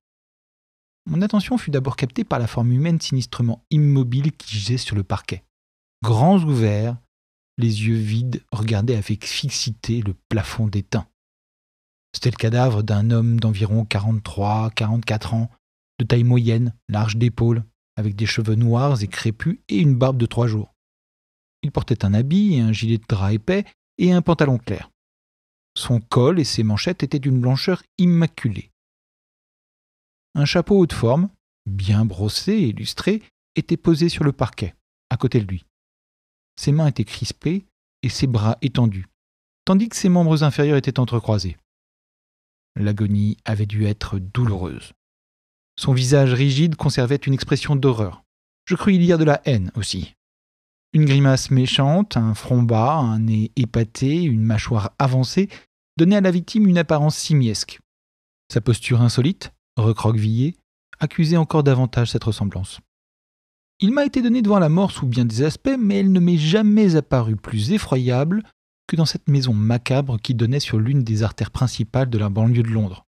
L'estrade, mince de taille, la mine chafouine, se tenait près de la porte. Il nous salua. Cette affaire fera sensation, dit-il. Elle passe tout ce que j'ai vu, et pourtant je ne suis plus un nouveau-né. Toujours pas d'indice? S'enquit Gregson? Toujours pas, répondit Lestrade en écho. Sherlock Holmes s'approcha du corps. Il s'agenouilla et l'examina attentivement. Vous êtes sûr qu'il n'a pas été blessé? demanda-t-il en montrant du doigt alentour des cailloux et des éclaboussures de sang. Absolument s'exclamèrent ensemble les deux détectives. Il faut donc que ce sang appartienne à un autre individu, ou meurtrier si meurtre il y a. Cela me rappelle les circonstances qui ont accompagné la mort de Van Johnson à Utrecht en 1834. Vous souvenez-vous de cette affaire, Gregson? Non, je ne m'en souviens pas. Eh bien, informez-vous. Vous ne perdrez pas votre temps. Il n'y a rien de nouveau sous le soleil. Tout ce qui est a déjà été. Tandis que Sherlock Holmes parlait, ses doigts agiles voltigeaient ici, là, partout. Il palpait, pressait, déboutonnait, fouillait. Entre-temps, ses yeux avaient l'air lointains que j'avais déjà marqués. L'examen fut fait avec une minutie qu'on n'aurait pas soupçonnée tant il avait été rapide. Pour finir, il flaira les lèvres du mort, puis jeta un coup d'œil sur les semelles de ses chaussures vernies. On ne l'a pas changé de place demanda-t-il. On l'a remué seulement pour l'examiner. Vous pouvez le porter à la morgue, dit Sherlock Holmes. Il ne peut plus rien m'apprendre. Gregson avait à sa disposition une civière et quatre hommes. Ceux-ci arrivèrent à son appel. Ils soulevèrent le cadavre et l'emportèrent. Au moment où on l'enlevait, une bague tomba avec un son clair et roula sur le parquet. Lestrade s'en saisit et l'examina, l'air perplexe. Il y a une femme ici, s'exclama-t-il. C'est l'alliance d'une femme. Pour nous faire voir l'objet, tout en parlant, il l'avait posé sur la paume de sa main. Nous fîmes cercle autour de lui, tout yeux. Ce petit anneau en or avait, à n'en pas douter, orné jadis le doigt d'une mariée. Ceci complique les choses, dit Gregson. Elles étaient pourtant assez compliquées comme ça. N'en sont-elles pas plutôt simplifiées dit Holmes. Rien ne sert de rester les yeux fixés sur la bague. Qu'est-ce que vous avez trouvé dans les poches de la victime? Tout est là, répondit Rexon, pointant du doigt des objets en tas sur la dernière marche de l'escalier. Une montre en or, numéro 97163 par Barrow, de Londres. Une chaîne giletière en or très lourde et très solide. Une bague d'or avec une devise maçonnique. Une épingle d'or à tête de bulldog avec des yeux en rubis. Un porte-carte en cuir de Russie contenant des cartes d'Enoch J. Draper de Cleveland auxquelles correspondent les initiales EJD du linge. Pas de bourse, mais de l'argent 7 livres, 13 shillings. Il y a encore une édition de poche du Décaméron portant sur la feuille de garde le nom de Joseph Stangerson. Et enfin deux lettres. L'une est adressée à A.J. Draper et l'autre à ce Joseph Stangerson. À quelle adresse? American Exchange, Strand, poste restante. Les deux lettres proviennent de la compagnie de navigation à vapeur Guillon et il est question du départ de leur bateau de Liverpool. Il est clair que ce malheureux disposait à repartir pour New York. Avez-vous fait des recherches au sujet de ce Stangerson? Immédiatement, dit Gregson. J'ai envoyé des avis à tous les journaux et l'un de mes hommes est allé à l'American Exchange. Il n'est pas encore revenu. Avez-vous câblé à Cleveland? Ce matin même. Comment avez-vous rédigé votre demande? Nous avons tout simplement exposé les circonstances et dit que nous accueillerions avec reconnaissance tout renseignement pouvant nous être utile. Vous n'avez pas insisté sur un renseignement capital. Stangerson J'ai demandé qui il est. C'est tout, N'est-il pas un fait sur lequel repose toute l'affaire? Ne câblerez-vous pas de nouveau? J'ai dit tout ce que j'avais à dire, répondit Gregson, prenant un air offensé. Sherlock Holmes rit sous cap. Il s'apprêtait à faire une observation quand Lestrade, il était rentré dans la chambre tandis que nous causions dans le vestibule, réapparut sur la scène en se frottant les mains avec suffisance. Monsieur Gregson, dit-il, je viens de découvrir une chose de la plus grande importance. Elle serait passée inaperçue si je n'avais pas examiné soigneusement les murs. Les yeux du petit homme jetaient des étincelles. Il contenait à peine sa joie de damer le pion à un collègue. Venez, fit-il en retournant avec empressement dans la chambre dont l'atmosphère semblait purifiée depuis l'enlèvement du cadavre. Bon. Maintenant, restez là. Il frotta une allumette contre sa semelle et l'éleva vers le mur. Regardez s'écria-t-il triomphalement. J'avais remarqué que le papier s'était décollé par endroits. Dans ce coin de la chambre, un grand morceau décollé laissait à découvert un carré de plâtre jaune. En travers de cet espace nu, on avait griffonné en lettres de sang ce seul mot. Qu'est-ce que vous pensez de ça? s'écria le détective. Nous ne l'avions pas vu parce que c'était dans le coin le plus sombre. Personne n'a pensé à regarder par là. L'assassin a écrit avec son propre sang. Voyez cette traînée qui a dégouliné le long du mur. En tout cas, toute hypothèse de suicide se trouve écartée désormais. Et pourquoi avoir choisi ce coin? Je vais vous le dire. Vous voyez cette bougie sur la cheminée? Elle était allumée. Ce coin, qui est maintenant dans la partie la plus obscure, se trouvait alors dans la plus éclairée. Et quel sens prêtez-vous à votre trouvaille? demanda Gregson d'un ton dédaigneux. Quel sens? Eh bien, on allait écrire Rachel, mais on a été dérangé. Retenez ce que je vous dis. Quand on aura éclairci cette affaire, on saura qu'une femme, prénommée Rachel, était dans le coup. Oh, riez, riez, monsieur Sherlock Holmes. Vous pouvez être brillant et astucieux, mais à la fin, on s'apercevra que le vieux limier est encore le meilleur. Je vous demande bien pardon, dit mon compagnon qui avait irrité le petit homme en pouffant de rire. Sans conteste, le mérite de cette découverte vous revient, comme vous le dites. Tout prouve que l'inscription a été faite par l'autre acteur du crime. Je n'ai pas encore eu le temps d'examiner cette chambre. Mais si vous m'y autorisez, je vais le faire à présent. Tout en parlant, il sortit brusquement de sa poche un mètre en ruban et une grosse loupe ronde. Muni de ces deux instruments, il trotta sans bruit dans la pièce. Il s'arrêtait, il repartait. De temps à autre, il s'agenouillait. Et même une fois, il se coucha à plat ventre. Il semblait avoir oublié notre présence. Il monologuait sans cesse à mi-voix. C'était un feu roulant ininterrompu d'exclamations, de murmures, de sifflements et de petits cris d'encouragement et d'espoir.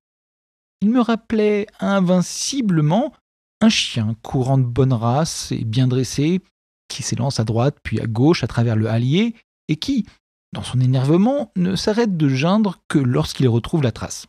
Pendant plus de vingt minutes, Holmes poursuivit ses recherches.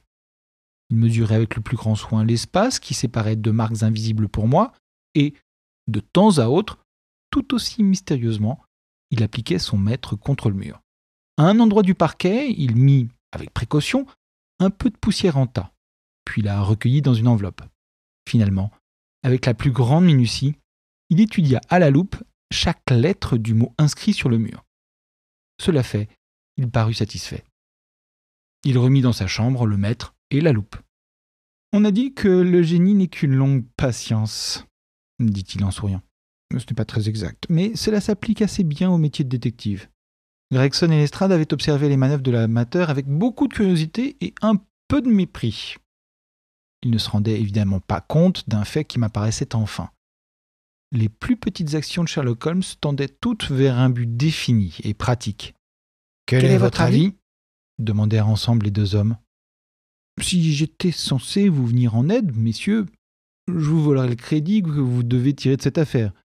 N'importe qui serait malvenu d'intervenir dans une enquête que vous avez si bien menée jusqu'à présent. Ces paroles sentaient le sarcasme d'une lieu. Si vous voulez me tenir au courant de vos recherches, ajouta-t-il, je serai heureux de vous apporter toute l'aide possible.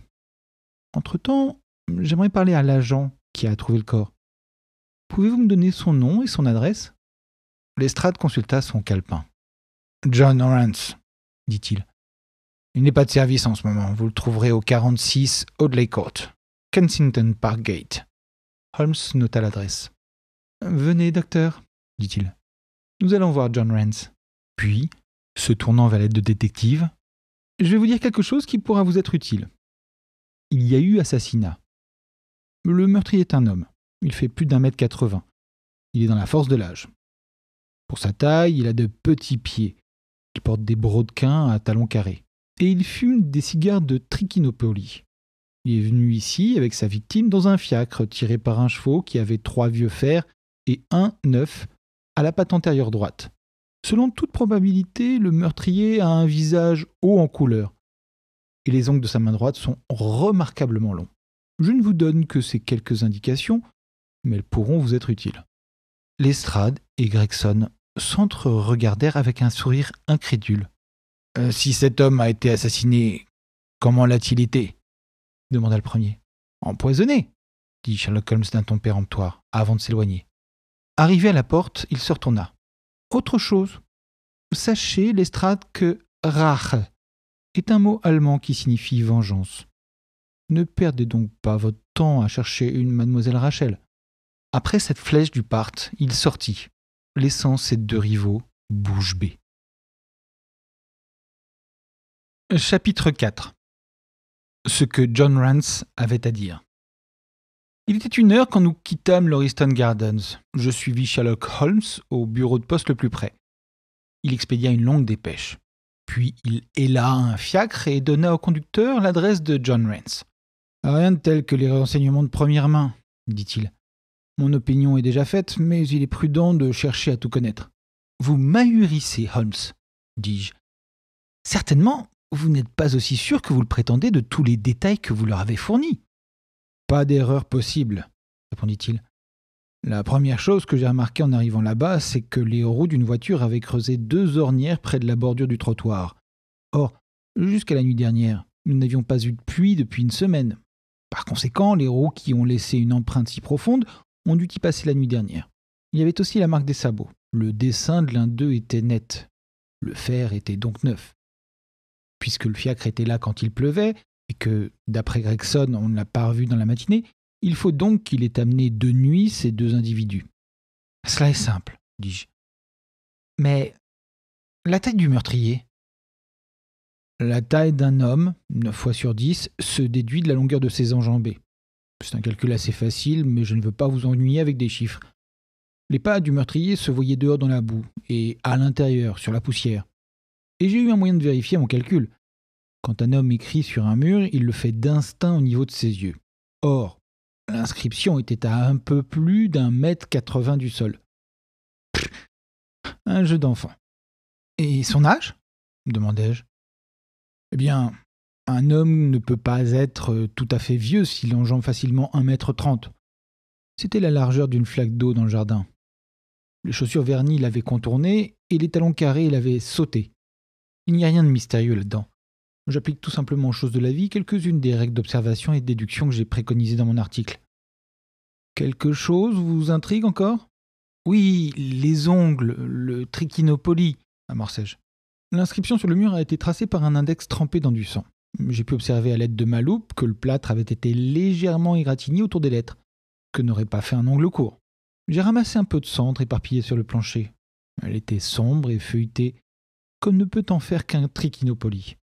Je me suis livré à une étude spéciale sur la cendre des cigares. J'ai même écrit une monographie sur le sujet. Je me flatte de pouvoir reconnaître, d'un coup d'œil, la cendre de n'importe quelle marque connue de cigares ou de tabac. C'est justement dans ces détails qu'un détective compétent se distingue d'un Gregson ou d'un Lestrade. Et la figure haute en couleur demandai-je. Oh, ça, c'est beaucoup plus hardi. Mais je suis quand même sûr d'avoir raison. Ne me demandez pas d'explication pour le moment. Je passai la main sur mon front. J'ai le vertige. Plus on pense à cette affaire, plus elle devient mystérieuse. Pourquoi ces deux hommes, s'ils étaient deux, sont-ils venus dans une maison vide? Qu'est devenu le cocher qui les a amenés Comment l'un a-t-il pu forcer l'autre à prendre du poison? D'où provenait le poison? Quel était le mobile du crime puisque ce n'est pas le vol? Comment une bague de femme est-elle arrivée là? Et pourquoi avoir écrit le mot rach avant de décamper?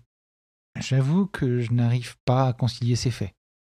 Mon compagnon eut un sourire approbateur. Vous avez résumé avec clarté et concision toutes les difficultés, dit-il. Il y a encore bien des points obscurs. Cependant, sur les principaux faits, j'ai mon idée. Quant à la découverte du pauvre Lestrade, c'était tout simplement une feinte. Suggérant par là les sociétés secrètes, on a voulu lancer la police sur une fausse piste. L'inscription n'a pas été tracée par un Allemand. La lettre A, si vous avez remarqué, était écrite en gothique. Or, un Allemand écrit toujours ses A en caractère latin. Nous pouvons donc affirmer à coup sûr que l'inscription a été faite non par un Allemand, mais par un imitateur trop appliqué. C'est simplement une ruse pour engager l'enquête sur une mauvaise voie. Je ne m'étendrai pas davantage sur cette affaire, docteur. Vous savez qu'un magicien perd son prestige en expliquant ses tours. Si je vous révélais toute ma méthode, vous penseriez qu'après tout, je suis un type très ordinaire. Je ne penserais jamais une chose semblable, répondis-je. Jamais personne ne saurait mieux que vous ériger en science exacte la recherche des criminels. Mon compagnon rougit de plaisir, autant de mes paroles que de l'enthousiasme avec lequel je les avais prononcées. J'avais déjà remarqué qu'il était aussi sensible à un compliment sur son art qu'une jeune fille peut l'être à une flatterie touchant à sa beauté. Je vous dirai encore une chose, dit-il. L'homme aux chaussures vernies et l'homme aux talons carrés sont arrivés dans le même fiacre. Ils ont franchi ensemble l'allée, sans doute bras dessus, bras dessous. Une fois dans la chambre de devant, ils l'ont arpenté. Plus précisément, les talons carrés allaient et venaient, tandis que les chaussures vernies se tenaient tranquilles. J'ai lu tout cela dans la poussière. La longueur de plus en plus grande des enjambées indiquait aussi une surexcitation croissante. Je suppose que l'homme aux talons carrés parlait tout le temps et qu'il s'est monté jusqu'à une rage folle. C'est alors que le drame a eu lieu. Je vous ai dit tout ce que je sais de science certaine. Le reste, hypothèse et conjecture. Nous avons un bon point de départ, il faudra faire vite. Je vais aller au concert de Halley cet après-midi pour entendre Norman Neruda. Notre fiacre avait filé à travers une longue suite de rues enfumées et de ruelles misérables. Dans la plus enfumée et la plus misérable, soudain, il s'arrêta. Audley courte, annonça le cocher en indiquant une étroite faille dans l'alignement des maisons de briques ternes. Je vous attendrai ici. Audley courte n'était pas un lieu attrayant. Un passage exigu nous conduisit à un quadrilatère bordé de maisons sordides. Nous avançâmes avec précaution parmi des groupes d'enfants sales et à travers des rangées de linge déteint, jusqu'au numéro 46. La porte était ornée d'une petite plaque de cuivre sur laquelle était gravé le nom de Rance. On nous dit que l'agent était au lit et on nous fit entrer, pour l'attendre, dans un petit salon sur le devant. Il apparut bientôt, l'air un peu fâché d'avoir été dérangé dans son sommeil. J'ai fait mon rapport au poste, grommela-t-il. Holmes tira de sa poche un demi-souverain et, d'un air pensif, il le fit sauter dans sa main. Nous aimerions que vous nous en parliez. À votre disposition, monsieur, répondit l'agent les yeux fixés sur le petit disque en or. Racontez-nous donc à votre manière ce qui s'est passé. Rance s'installa sur le canapé de crin et joignit les sourcils. Il paraissait bien résolu à ne rien passer sous silence. Je vais tout vous conter à partir du commencement. Je suis de service de 10 heures du soir à 6 heures du matin. À 11 heures, il y a eu de la bagarre au cerf blanc. Mais à part ça, tout était tranquille dans mon secteur. À une heure, il se mit à pleuvoir. J'ai rencontré Harry Murcher, celui qui a la ronde de Holland Grove. On a causé un peu ensemble au coin de la rue Henrietta. Puis, à deux heures, peut-être un petit peu plus tard, j'allais voir si tout était dans l'ordre du côté de Brixton Road. Il faisait joliment mauvais. Je ne voyais pas un chat. J'ai vu passer un fiacre ou deux, je dois dire. Chemin faisant, je pensais, entre nous soit dit, qu'un jean chaud ferait bien mon affaire, quand tout à coup j'ai vu briller une lumière à la fenêtre de la maison. Pourtant, c'était une des deux maisons inhabitées de Lauriston Gardens. Le tout dernier qui a vécu là-dedans est mort de la fièvre typhoïde, rapport que le propriétaire n'a pas voulu faire assainir les fosses. Alors vous pensez si ça m'épatait de voir la fenêtre éclairée? Tout de suite, j'ai pensé qu'il se passait quelque chose là. Arrivé à la porte, vous êtes arrêté, puis vous avez regagné la grille du jardin, interrompit mon compagnon. Pourquoi? Rance fit un sursaut violent et ouvrit de grands yeux. Eh bien, c'est la vérité, monsieur. Mais comment vous savez ça? Euh, Dieu seul le sait. Voyez-vous, quand je suis arrivé seul devant la porte, tout était si tranquille et si désert que je me suis dit que ce serait tout aussi bien si j'avais quelqu'un avec moi. Je ne crains rien de ce côté-ci de la tombe, mais j'ai pensé que c'était peut-être le type qui est mort de la typhoïde qui revenait examiner les fosses. Cette idée-là m'a collé la trouille. Alors j'ai rebroussé chemin pour voir si je ne verrais pas la lanterne de Murcher. Mais de lui ni de personne, pas de trace. Il n'y avait personne dans la rue. Pas un qui vive, monsieur. Pas même un chien. J'ai pris sur moi et je suis retourné à la maison. J'ai poussé la porte. Tout était silencieux là-dedans. Alors je suis entré dans la chambre où il y avait de la lumière. Une bougie brûlait sur la cheminée, une bougie de cire rouge. Et à la lueur de cette bougie, qu'est-ce que j'aperçois? Cela, je le sais. Vous avez fait plusieurs fois le tour de la chambre et vous vous êtes agenouillé près du corps. Puis vous êtes allé au fond du corridor. Et vous avez essayé d'ouvrir la porte de la cuisine. Ensuite, Rance se releva d'un bond à la fois effrayé et soupçonneux. Où étiez-vous caché pour voir tout ça? s'écria-t-il. Vous m'avez tout l'air d'en savoir trop, vous. Holmes se mit à rire. Il lui jeta sa carte par-dessus la table. Ne me faites pas arrêter sous inculpation de meurtre, dit-il. Je suis un chien de chasse. Je ne suis pas loup. Monsieur Gregson et Monsieur Lestrade répondent de moi. Mais continuez. Qu'est-ce que vous avez fait ensuite? Rance se rassit. Il ne paraissait pas trop rassuré. J'ai regardé la grille, j'ai sifflé. Murcher est arrivé avec deux autres. La rue était toujours déserte? Pour ainsi dire. Comment cela? Un large sourire épanouit le visage de l'agent. J'ai déjà vu bien des types sous, dit-il. Mais des pafs comme ce gaillard-là, ma foi. Non, jamais. Quand je suis sorti, il était à la grille, appuyé contre les barreaux. Il chantait à ses poumonnets. Il ne pouvait pas se tenir debout. Nous aider Encore moins. Quelle sorte d'homme était-ce? John Rance parut ennoyé de revenir sur ce sujet à côté de la question. Un homme sous comme il n'est pas permis d'être, répondit-il. Il se serait retrouvé en tôle si nous n'avions pas été si occupés. Mais son visage, ses vêtements, ne les avez-vous pas remarqués? interrompit Holmes avec impatience. Pour sûr que je les ai remarqués parce que j'ai soutenu le type avec Mercher. C'était un grand gaillard qui avait la face toute rouge. Un cache-nez lui enveloppait la moitié de la figure. Suffit s'écria Holmes. Qu'avez-vous fait de lui? On en avait assez à faire sans nous en charger dit l'agent en se cabrant sous le reproche. Je parierais qu'il a fini par rentrer chez lui. Comment était-il vêtu? Il avait un pas dessus brun. Un fouet à la main? Un fouet? Non. Il l'avait sans doute laissé, murmura mon compagnon. Ensuite, vous n'avez pas par hasard vu et entendu un fiacre Non. Bon, prenez ce demi-souverain, dit Holmes en se levant. Je crains fort, John Rance, que vous n'ayez jamais d'avancement dans la police. Votre tête ne devrait pas vous servir seulement d'ornement. Vous auriez pu gagner les galons de sergent la nuit dernière. L'homme que vous avez tenu entre vos mains est celui que nous recherchons. C'est lui qui tient la clé du mystère. Inutile de discuter. C'est ainsi. Partons, docteur. Nous laissâmes notre informateur incrédule, mais évidemment mal à l'aise. L'imbécile, dit Holmes avec amertume pendant que le fiacre nous ramenait chez nous. Dire qu'il a eu une pareille chance et qu'il n'en a pas profité. Hum, je ne vois pas encore clair, dis-je. Le signalement de l'Ivogne concorde bien avec l'idée que vous faisiez du meurtrier. Mais pourquoi serait-il retourné sur les lieux de son crime? Ce n'est pas l'habitude des criminels. La bague, mon ami, la bague. Voilà ce qu'il revenait chercher. S'il n'y a pas d'autre moyen de l'attraper, nous pourrons toujours appâter notre hameçon avec la bague. Je tiens mon homme, docteur. Parierait deux contre un que je le tiens. Il faut que je vous remercie. Sans vous, je ne me serais peut-être pas dérangé et j'aurais manqué la plus belle étude de ma vie. Une étude en rouge, n'est-ce pas? Pourquoi n'utiliserions-nous pas un peu l'argot d'atelier? Le fil rouge du meurtre se mêle à l'écheveau incolore de la vie. Notre affaire est de le débrouiller, de l'isoler et de l'exposer dans toutes ses parties. Maintenant à table.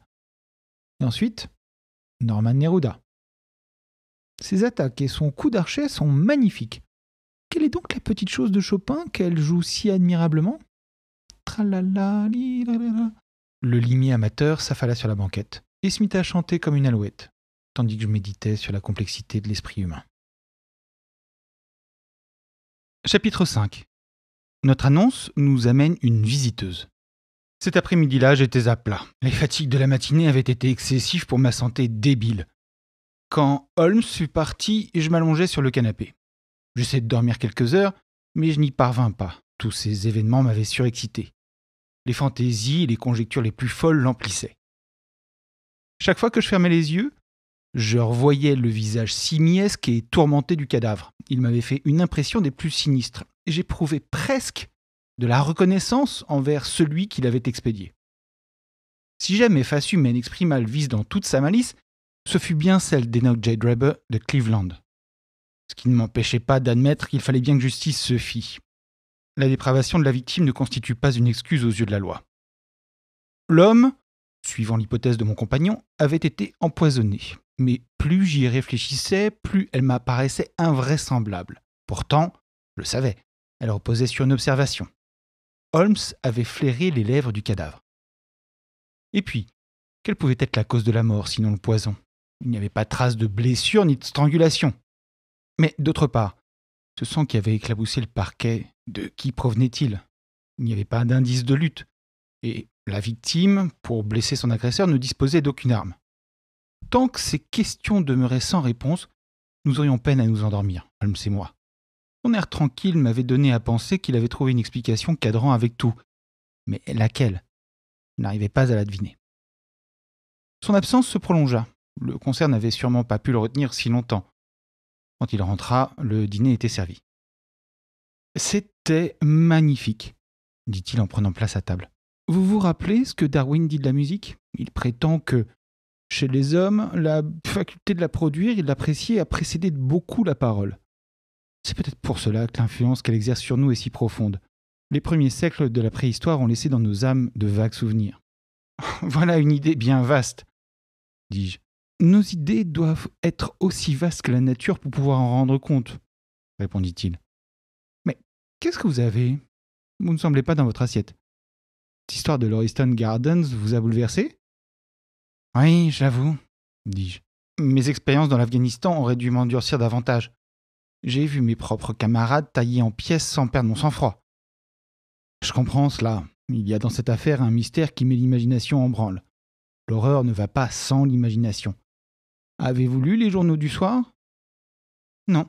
Ils rendent assez bien compte de l'affaire, mais tous omettent de parler de la bague.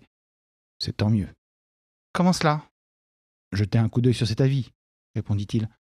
Je l'ai envoyé à tous les journaux ce matin. Il me passa le journaux par-dessus la table et je regardai à la place indiquée. C'était la première annonce dans la colonne Objet trouvé. Elle était conçue en ces termes. Ce matin, à Brixton Road, on a trouvé une alliance en or uni sur la chaussée entre la taverne du Cerf Blanc et Holland Grove. S'adressait au docteur Watson, 221B Baker Street, entre 8h et 9h du soir. Je m'excuse de m'être servi de votre nom, dit-il. Si je l'avais donné le mien, quelques-uns de ces lourdeaux l'auraient reconnu et ils auraient voulu se mêler de mes affaires. Vous avez bien fait, répondis-je.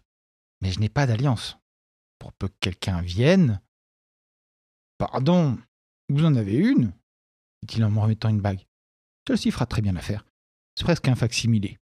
Et qui cet avis nous amènera-t-il? Parbleu, l'homme aux vêtements bruns, notre ami aux joues rubicondes et aux talons carrés, s'il ne se présente pas en personne, il enverra un complice. Cette démarche ne lui semblera-t-elle pas trop compromettante? À mon avis, pas. Si mes suppositions sont justes, et j'ai tout lieu de le croire, cet homme risquera tout pour récupérer la bague. Pour moi, il l'a perdue en se penchant sur le cadavre de Dreber. Sur le coup, il ne s'en est pas aperçu. C'est après avoir quitté la maison qu'il a constaté sa disparition. Alors, il est revenu sur ses pas en toute hâte. Mais par sa propre faute, parce qu'il avait laissé la bougie allumée, la police était déjà sur les lieux. Il simula l'ivresse pour écarter les soupçons qu'aurait pu faire naître son apparition à la grille. Maintenant, mettez-vous à la place de cet homme. Après réflexion, il doit s'être dit qu'il a peut-être perdu la bague dehors, sur la route. Alors que faire? Parcourir avec empressement les journaux du soir pour voir si la bague se trouve au nombre des objets trouvés. Naturellement, mon avis lui saute aux yeux. Il exulte pourquoi soupçonnerait-il un piège? Il ne peut imaginer que le docteur Watson établisse un rapport entre la bague et le meurtre. Il viendra. Il vient. Vous le verrez dans une heure. Et alors? demandai-je. Je peux me charger de lui tout seul. Avez-vous des armes? Mon vieux revolver d'ordonnance et quelques cartouches. Vous feriez bien de le nettoyer et de le charger. Il se débattra avec l'énergie du désespoir. Je compte le prendre par surprise, mais il vaut mieux nous prémunir contre tout. J'allai dans ma chambre et je fis ce qu'il m'avait conseillé. Quand je revins avec mon pistolet, on avait enlevé le couvert. Holmes grattait son violon. Cela se corse, dit-il, tout en continuant à se livrer à son occupation favorite. Je reçois à l'instant une réponse d'Amérique. Je ne me suis pas trompé. C'est-à-dire? demandai-je avec curiosité. Si mon violon avait des cordes neuves, il n'en vaudrait que mieux, dit-il. Mettez votre pistolet dans votre poche. Quand le type sera là, parlez-lui d'un ton naturel. Je me charge du reste. Ne l'effrayez pas en le regardant avec trop d'insistance. Il est maintenant vingt heures, dis-je en consultant ma montre. Oui, quelques minutes encore. Entr'ouvrez la porte. Hum, c'est bien comme ça. Maintenant, mettez la clé à l'intérieur. Merci. Voilà un curieux vieil ouvrage que j'ai trouvé hier chez un bouquiniste. De Jure Intergentes. Publié en latin à Liège, dans les Pays-Bas, en 1642. La tête de Charles Ier était encore solide sur ses épaules quand le papier de ce petit volume à dos brun fut tranché. Quel est le nom de l'imprimeur? Un Philippe de Croix quelconque. Sur la feuille de garde se trouvent ces mots d'une encre jaunie. Ex libris Guglielmi White. Je me demande ce qu'était ce William White. Quelque imposant homme de loi du XVIIe siècle, je suppose. Son écriture a la tournure du droit. Je crois que voici notre homme. Au même instant retentit un bref coup de sonnette. Doucement, Sherlock Holmes se leva et rapprocha sa chaise de la porte. Les pas de la servante résonnèrent dans le vestibule. D'un bruit sec, elle fit sauter le loquet. C'est ici qu'habite le docteur Watson? Demanda une voix distincte mais un peu éraillée. La réponse ne parvint pas à nos oreilles. La servante referma la porte. Quelqu'un se mit à monter l'escalier d'un pas incertain et traînant qui surprit mon compagnon, puis avança avec lenteur dans le corridor et frappa doucement. Entrez criai-je. Au lieu de l'homme robuste et violent que nous attendions, nous vîmes entrer, traînant la jambe, une très vieille femme au visage tout ridé. Elle fit une révérence, se mit à fouiller dans sa poche. Elle avait des doigts nerveux, fébriles. Ébloui par l'éclat soudain de la lumière, ses yeux larmoyants, tournés vers nous, clignotaient. Je regardais mon compagnon et manquais d'éclater de rire. Il avait l'air si désappointé. La vieille finit par trouver un journal du soir et, montrant du doigt notre annonce, C'est ça qui m'a amené ici, mes bons messieurs, dit-elle avec une seconde révérence. La bague en or, Brixton Road, elle appartient à ma fille Sarah, qui était mariée seulement depuis un an à son mari, qui est garçon de cabine à bord d'un bateau de l'Union. Et qu'est-ce qu'il dira s'il vient et la trouve sans sa bague? Je n'ose pas y penser. Lui qui est déjà brutal dans ses meilleurs moments, mais quand il a bu. Si vous voulez savoir, Sarah est allée au cirque la nuit dernière en compagnie de. En compagnie de. Cette bague est-elle la sienne? demandai-je. Dieu soit loué cria la vieille. C'est Sarah qui va être contente cette nuit. C'est bien là sa bague. Et quelle est votre adresse? demandai-je en prenant un crayon. 13 rue Duncan, Houndsditch. Un fichu bout d'ici. Il n'y a pas de cirque entre Brixton Road et Houndsditch, fit sèchement Sherlock Holmes. La vieille femme tourna vers lui ses petits yeux bordés de rouge. C'est mon adresse que le monsieur m'a demandé, dit-elle. Sarah, elle, vit en garni au numéro 3, Mayfield Place, Peckham. Et votre nom est? Mon nom est Sawyer, et le nom de ma fille est Dennis, et Tom Dennis est son mari. Un bon gars, au fond, et intelligent avec ça. Tant qu'il est en mer, pas de garçon de cabine plus considéré. Mais d'homme, à terre, ce qu'avec les femmes et ce qu'avec les débits de boissons. Emportez la bague, Madame Sawyer, interrompis-je sur un signe de mon compagnon. Il est clair qu'elle appartient à votre fille, et je suis heureux de pouvoir la restituer à sa légitime propriétaire. Tout en marmottant des bénédictions et des protestations de reconnaissance, la vieille taupe empêcha la bague et elle descendit l'escalier en traînant le pied. Sitôt qu'elle fut partie, Sherlock Holmes se précipita dans sa chambre. L'instant d'après, il en sortait emmitouflé dans un holster et un cache-nez. Je vais la filer, dit-il vivement. Ce doit être un complice. Elle me conduira chez l'assassin. Attendez-moi. La porte d'entrée venait à peine de se refermer sur la visiteuse que Holmes dégringola l'escalier. La fenêtre, je le vis suivre de près la vieille femme clopinant de l'autre côté de la rue. Ou toute sa théorie est fausse, pensais-je, ou il va être conduit au cœur du mystère. Il m'avait prié bien inutilement de l'attendre. Je sentais qu'il me serait impossible de dormir avant de connaître le résultat de sa démarche. Il était environ 9 heures quand il sortit. J'ignorais à quelle heure il rentrerait. Je m'installais stoïquement avec ma pipe et la vie de bohème de Murger. Je tirais des bouffées et je sautais des pages. Dix heures sonnèrent. J'entendis le trottinement de la bonne qui allait se coucher. Onze heures. Le pas plus majestueux de la logeuse la conduisit à la même destination. Vers minuit, le bruit sec d'une clé m'avertit du retour de mon ami. Dès la porte, je vis à son air qu'il revenait bredouille. L'amusement et le dépit semblaient se disputer sa figure. Mais finalement, Sherlock Holmes partit d'un franc éclat de rire. Je ne voudrais pas pour tout l'ordre du monde que Scotland Yard apprit mon histoire, s'écria-t-il en tombant sur une chaise. Ces hommes m'en rebattraient à jamais les oreilles pour se venger de tous mes sarcasmes. Je peux me permettre de rire, parce que je sais que, tôt ou tard, je prendrai ma revanche. Qu'est-ce qui s'est passé? demandai-je. Je vous fais rire à mes dépens, mais peu importe. La vieille a traîné la jambe un bout de chemin, puis elle a fait semblant d'avoir mal à un pied. Elle s'est arrêtée et elle a hélé un fiacre qui se trouvait à passer. Je me suis arrangé pour être à portée de sa voix, mais c'était une précaution tout à fait inutile. Elle a crié son adresse de manière à être entendue de l'autre côté de la rue. Conduisez-moi au numéro 13 de la rue Duncan, Houndsditch. Cela prenait tournure de vérité. Quand je l'ai vu bien installé à l'intérieur, je me suis perché à l'arrière. C'est un art dans lequel tout détective devrait exceller. Puis nous avons roulé sans arrêt jusqu'à la maison en question. Avant d'arriver devant la porte, j'ai sauté et j'ai fait à pied le reste du chemin, nonchalamment. Le fiacre s'est arrêté. Le cocher est descendu. Il a ouvert la portière et il a attendu. Quand je me rapprochais de lui, il fouillait avec furie sa voiture vide en dévidant tout un chapelet de blasphème. De la voyageuse, plus signe, ni trace. Je crains qu'il ne touche pas de sitôt le prix de sa course. Au numéro 13, nous avons appris que la maison appartient à un honnête colleur de papier peint qui s'appelle Keswick et qui n'a jamais entendu parler ni de Sawyer ni de Dennis. Vous ne voulez pas dire, m'écriai-je au comble de l'étonnement, que cette faible vieillarde soit sortie à votre insu du fiacre en marche? Le diable soit fait de la vieille femme, dit Sherlock Holmes. C'est nous qui nous sommes laissés berner comme des vieilles femmes. C'était sûrement un homme jeune et actif, mais de plus un excellent comédien. Le déguisement était impayable. Il s'en est servi pour me semer. Ceci prouve que l'homme que nous recherchons n'est pas si isolé que je me l'imaginais. Il a des amis prêts à s'exposer pour lui. Docteur, vous avez l'air vanné. Allez vous coucher si vous m'en croyez. J'obéis de bonne grâce à cette injonction. Je me sentais à bout de force. Holmes resta assis devant le feu qui couvait sous la cendre.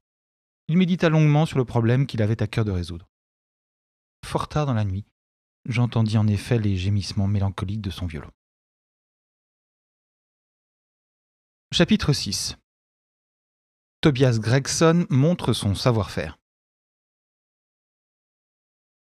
Les journaux du lendemain ne parlaient que du mystère de Brixton. Tous en donnaient un compte-rendu détaillé. Certains y consacraient même leur article de tête. Il contenait quelques renseignements nouveaux. J'ai gardé dans mes archives plusieurs coupures se rapportant à cette affaire. En voici un résumé.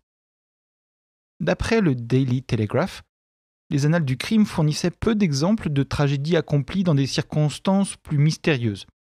Le nom allemand de la victime, l'absence de tout mobile, la sinistre inscription sur le mur, tout dénonçait la main de réfugiés politiques et de révolutionnaires. Les socialistes comptaient aux États-Unis de nombreux adeptes. C'était ceux-ci qui, de toute évidence, avaient expédié Dreber pour une infraction quelconque à leur loi non écrite. Après une brève allusion à la Wemgericht, au Carbonari, à la marquise de Brinvilliers, aux assassinats de la Grande Route de Radcliffe, l'article s'achevait sur une remontrance au gouvernement. Il préconisait une surveillance plus étroite des étrangers en Angleterre. Les commentaires du Standard roulaient sur le fait que de tels outrages à la morale publique avaient généralement lieu sous un gouvernement libéral. Ils étaient en effet l'ébranlement des convictions dans les masses populaires et l'affaiblissement subséquent de toute autorité. La victime était un Américain qui séjournait à Londres depuis quelques semaines. Il avait pris pension chez Madame Charpentier à Torquay Terrace, Camberwell. Il avait pour compagnon de voyage son secrétaire particulier, Monsieur Joseph Stangerson. Tous deux avaient pris congé de leur hôtesse le mardi 4 courant, et ils étaient partis pour la gare d'Euston avec l'intention déclarée de prendre l'express de Liverpool. On les avait vus ensuite sur le quai.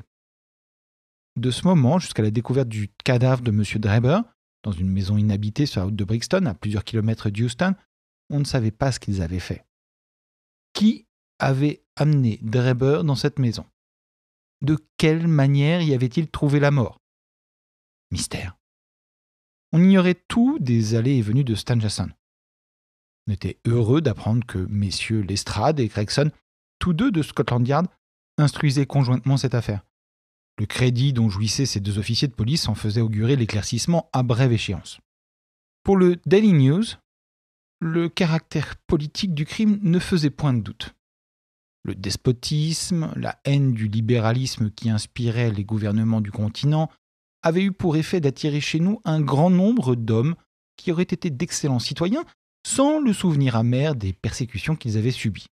Toute infraction au code d'honneur qui régissait ces hommes était punie de mort. Il ne fallait rien négliger pour trouver le secrétaire, Stangerson, et pour connaître certaines particularités des habitudes de Dreber. On avait fait un grand pas en découvrant l'adresse de la maison où il avait pris pension. Le résultat en était entièrement dû à la finesse et à la ténacité de M. Gregson de Scotland Yard. Sherlock Holmes et moi, nous lûmes ces articles en prenant le petit déjeuner. Sherlock Holmes s'en amusa beaucoup. Qu'est-ce que je vous avais dit? De toute façon, Lestrade et Gregson triompheront. Cela dépendra de la tournure des événements. Mais non, pas du tout. Si l'homme est pincé, ce sera grâce à leurs efforts. S'il échappe, ce sera en dépit de leurs efforts.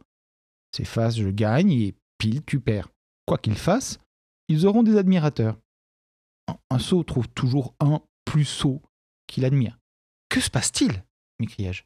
Tout à coup, le trépignement de pas nombreux dans le vestibule puis dans l'escalier s'était fait entendre, mêlé à de très sonores expressions de dégoût de notre logeuse. C'est la section de la police secrète de Baker Street, dit gravement mon compagnon. Au même instant firent irruption dans notre pièce une demi-douzaine de gamins des rues, les plus sales et les plus déguenillés que j'eusse jamais vus. Garde-vous cria Holmes d'une voix de stentor. Aussitôt, les six petits drôles se mirent en rang comme autant de statuettes minables. À l'avenir, dit mon compagnon, Wiggins seul me présentera votre rapport. Vous l'attendrez dans la rue. Vous l'avez découvert, Wiggins? Non, monsieur, pas encore, dit un des enfants. Je ne m'attendais pas à ce que vous réussissiez du premier coup. Poursuivez vos recherches. Voici votre salaire. Il remit à chacun d'eux un shilling. Maintenant, filez. Faites-moi un meilleur rapport la prochaine fois. Il fit un signe.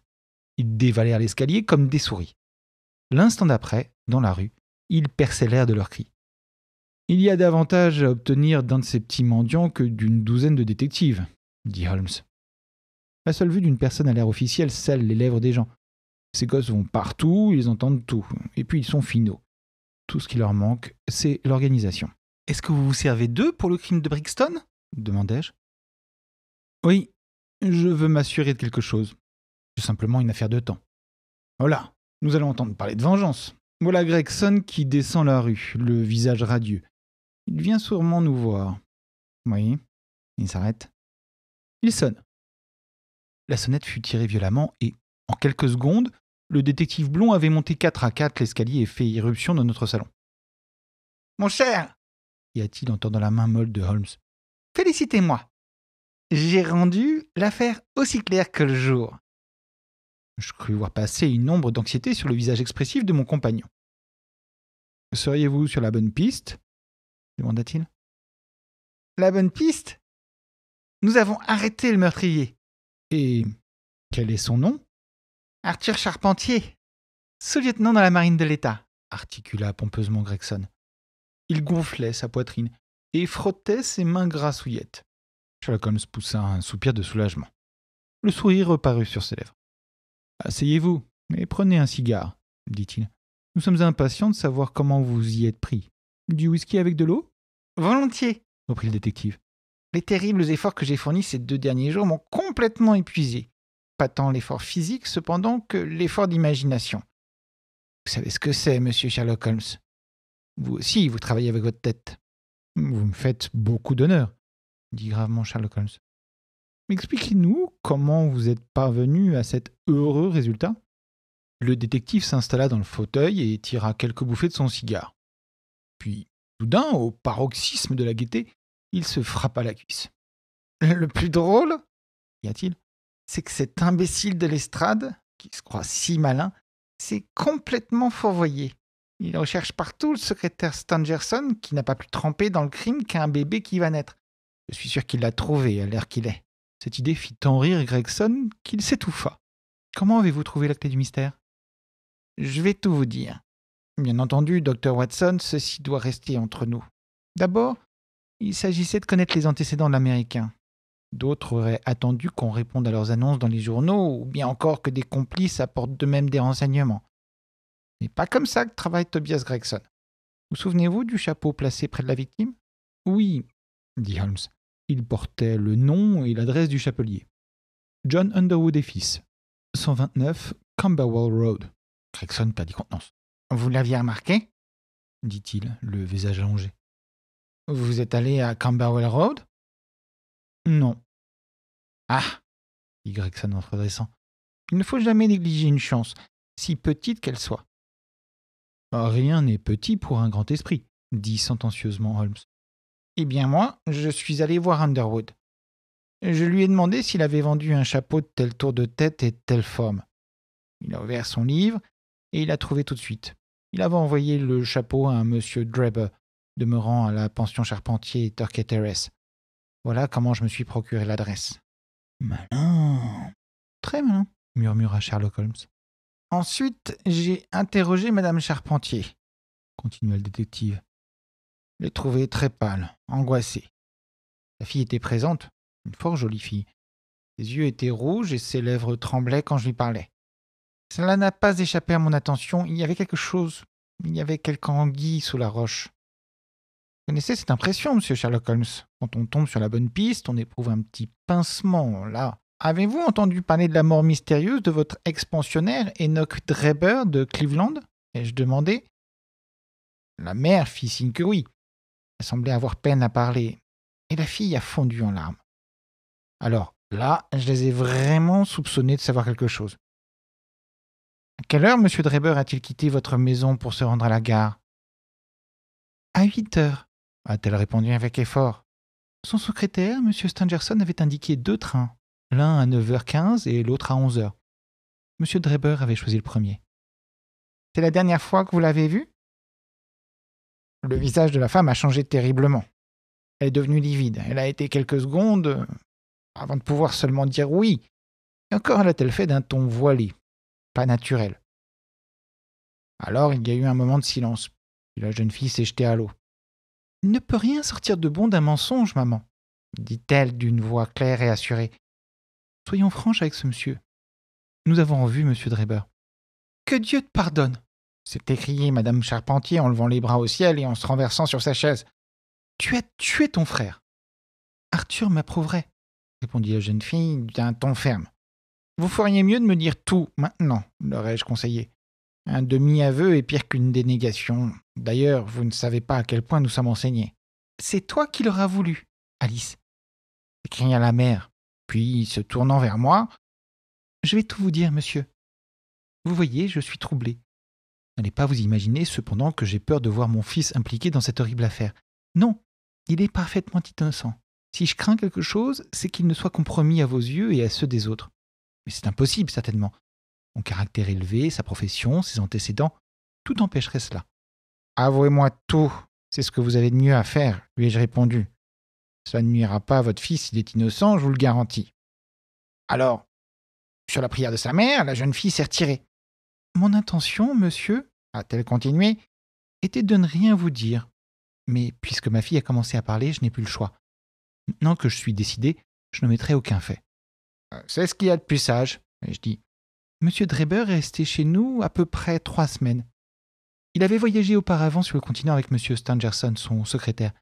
Le dernier endroit où ils avaient séjourné, c'était Copenhague. J'avais remarqué que chacune de leurs malles emportait l'étiquette. Stangerson était un homme calme, réservé. Mais son patron, je regrette de le dire, était tout le contraire. Des habitudes grossières, des manières brutales. La nuit même de son arrivée, il s'est enivré. En fait, chaque jour, à partir de midi, il était ivre. Il se permettait avec les bonnes des libertés et des familiarités dégoûtantes. Le pire de tout, c'est qu'il n'a pas respecté non plus ma fille Alice. Il lui a tenu des propos qu'elle est heureusement trop innocente pour comprendre. Une fois, il l'a prise dans ses bras et il l'a embrassée. Alors, son propre secrétaire lui a reproché sa conduite malhonnête. Mais pourquoi avez-vous supporté tout cela? Je demandais. Vous pouvez renvoyer vos pensionnaires quand bon vous semble, j'imagine. Madame Charpentier rougit. J'aurais dû lui donner son congé dès le premier jour, soupira-t-elle. Mais c'était une tentation cruelle. Chacun d'eux payait une livre par jour, soit quatorze livres par semaine. Et c'est la mort de saison. Je suis veuve. Mon fils, dans la marine, m'a coûté cher. J'hésitais à perdre cet argent. J'ai patienté. Mais l'insulte faite à ma fille s'en était trop. Je lui ai enfin donné son congé. Voilà pourquoi il est parti. Et alors? Quel soulagement ça a été pour moi quand j'ai vu s'en aller. Mon fils est en ce moment en permission. Je ne lui ai rien dit de tout cela parce qu'il est emporté et qu'il adore sa sœur. Quand j'ai refermé la porte aux Américains, ça m'a ôté un poids de dessus la poitrine. Hélas, moins d'une heure après, ce Dreber était de retour, plus ivre que jamais. Il a pénétré de force dans le salon, je me trouvais avec Alice, et il a dit en bredouillant qu'il avait manqué le train, ce que du moins j'ai pu comprendre. Puis il s'est retourné vers ma fille et, à mon nez, il lui a proposé de s'enfuir avec lui. Vous avez le droit, disait-il. Vous êtes majeur. J'ai de l'argent en quantité plus qu'il ne m'en faut. Ne tenez pas compte de la vieille. Venez tout de suite. Vous serez comme une princesse. Pauvre petite était terrifiée. Elle a reculé, mais lui l'a saisie au poignet et l'a traînée vers la porte. Alors j'ai crié. Arthur est arrivé. Ce qui s'est passé ensuite, je ne peux pas vous le dire. Je n'osais pas regarder tellement j'avais peur. Ça a été des jurons, puis des coups. À la fin, quand j'ai relevé la tête, j'ai vu Arthur qui riait devant la porte, sa canne à la main. Je ne pense pas que ce joli monsieur revienne nous embêter, a-t-il dit. Je vais le suivre un peu pour m'en assurer. Il a mis son chapeau et il est sorti. C'est le lendemain que nous avons appris la mort mystérieuse de M. Dreber. Sa déposition avait été coupée de soupirs et de sanglots.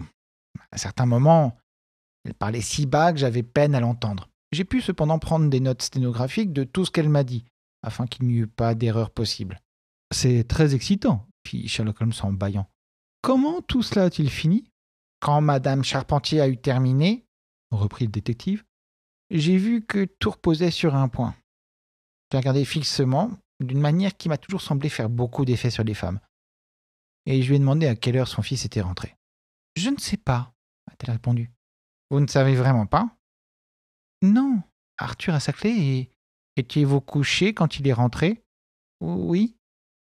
À quelle heure vous êtes-vous couché? Vers 23 heures. Par conséquent, votre fils a été absent pendant deux heures au moins Oui. Peut-être pendant quatre ou cinq heures oui. Que faisait-il pendant ce temps-là? Je ne sais pas. Elle était devenue pâle jusqu'aux lèvres.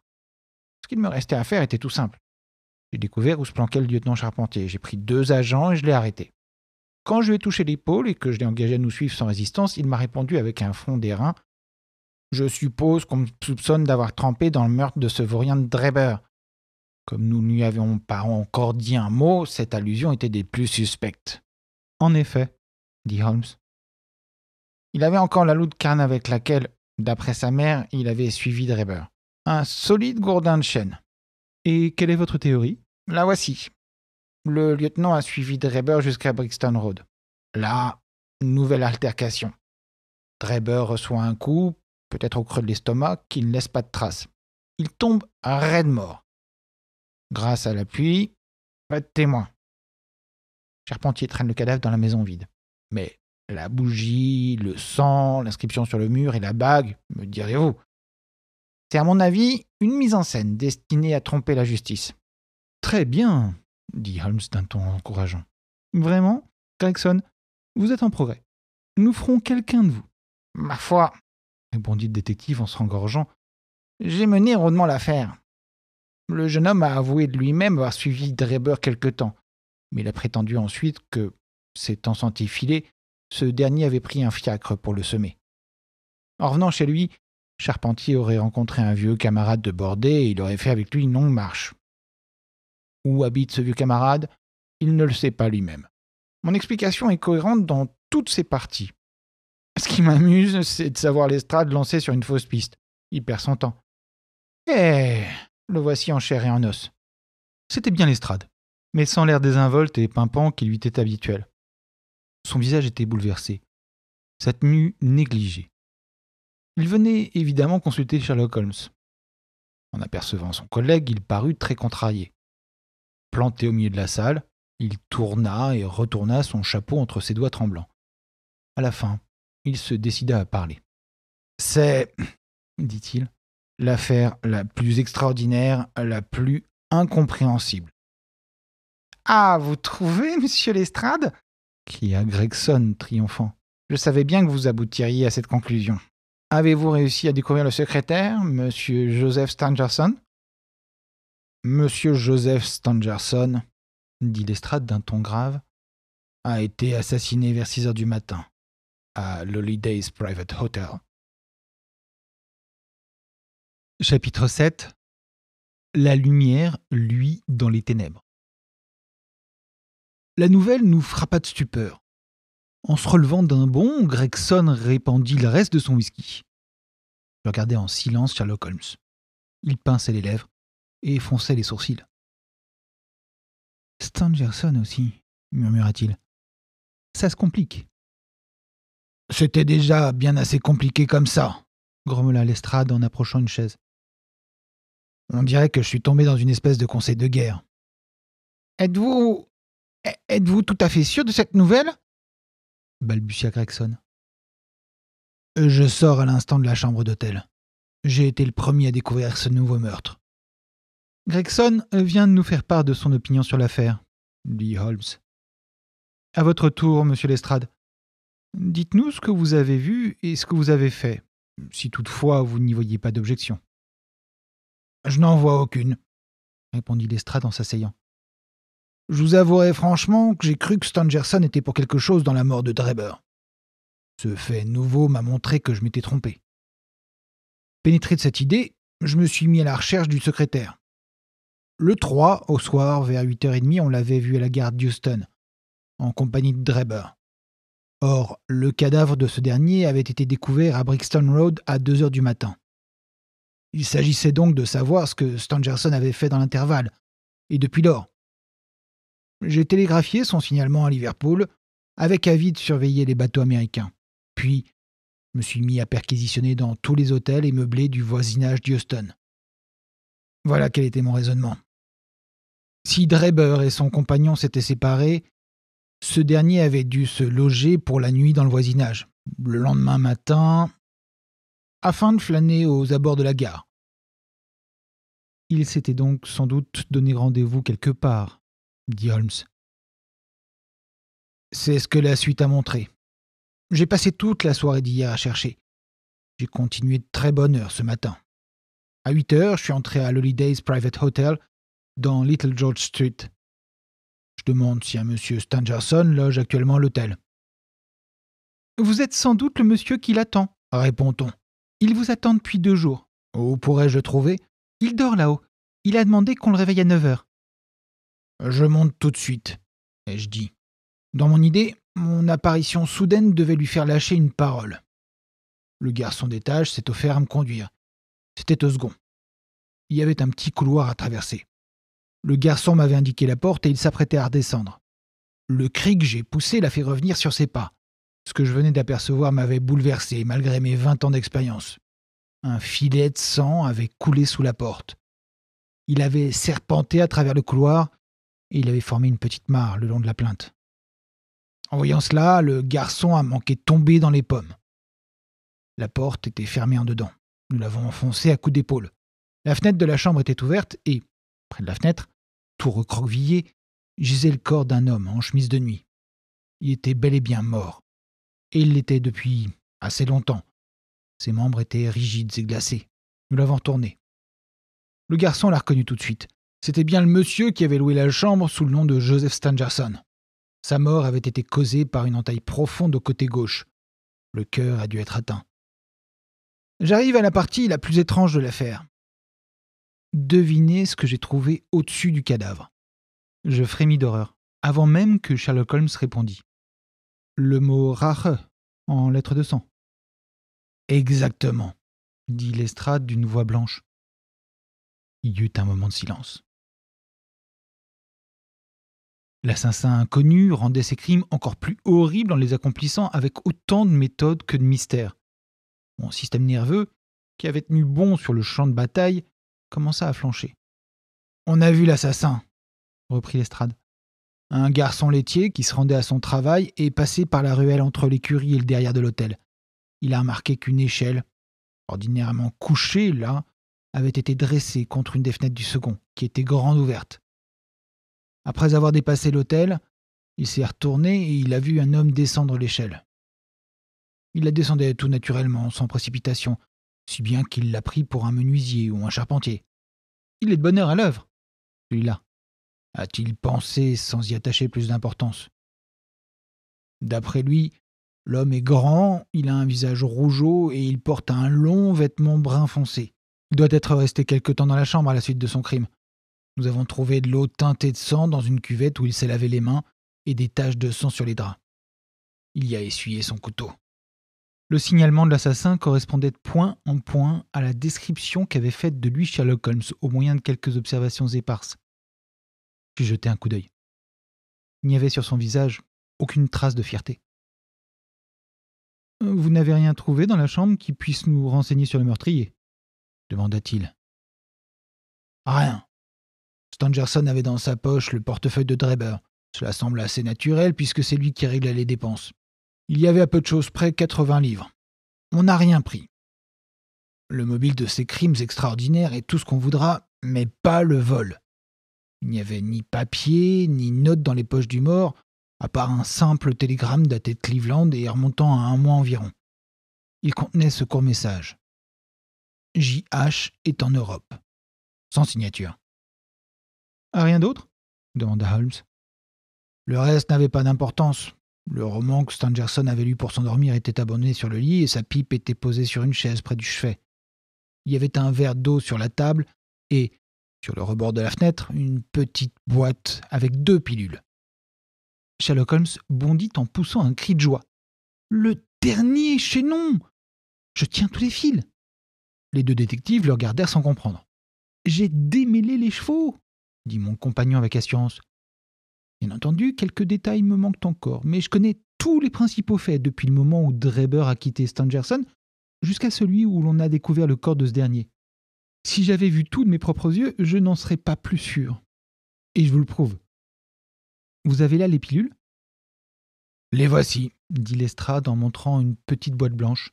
Je les ai emportées avec le portefeuille et le télégramme pour les déposer en sûreté au commissariat. Si je les ai prises, je dois dire, c'est pas le plus grand des hasards. Je n'y attache aucune importance.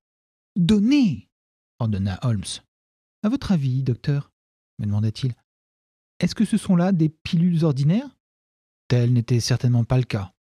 Ces pilules étaient gris-perle, petites, rondes, presque transparentes à la lumière. D'après leur légèreté et leur quasi-transparence, dis-je, ces pilules doivent être solubles dans l'eau. Exact, fit Holmes.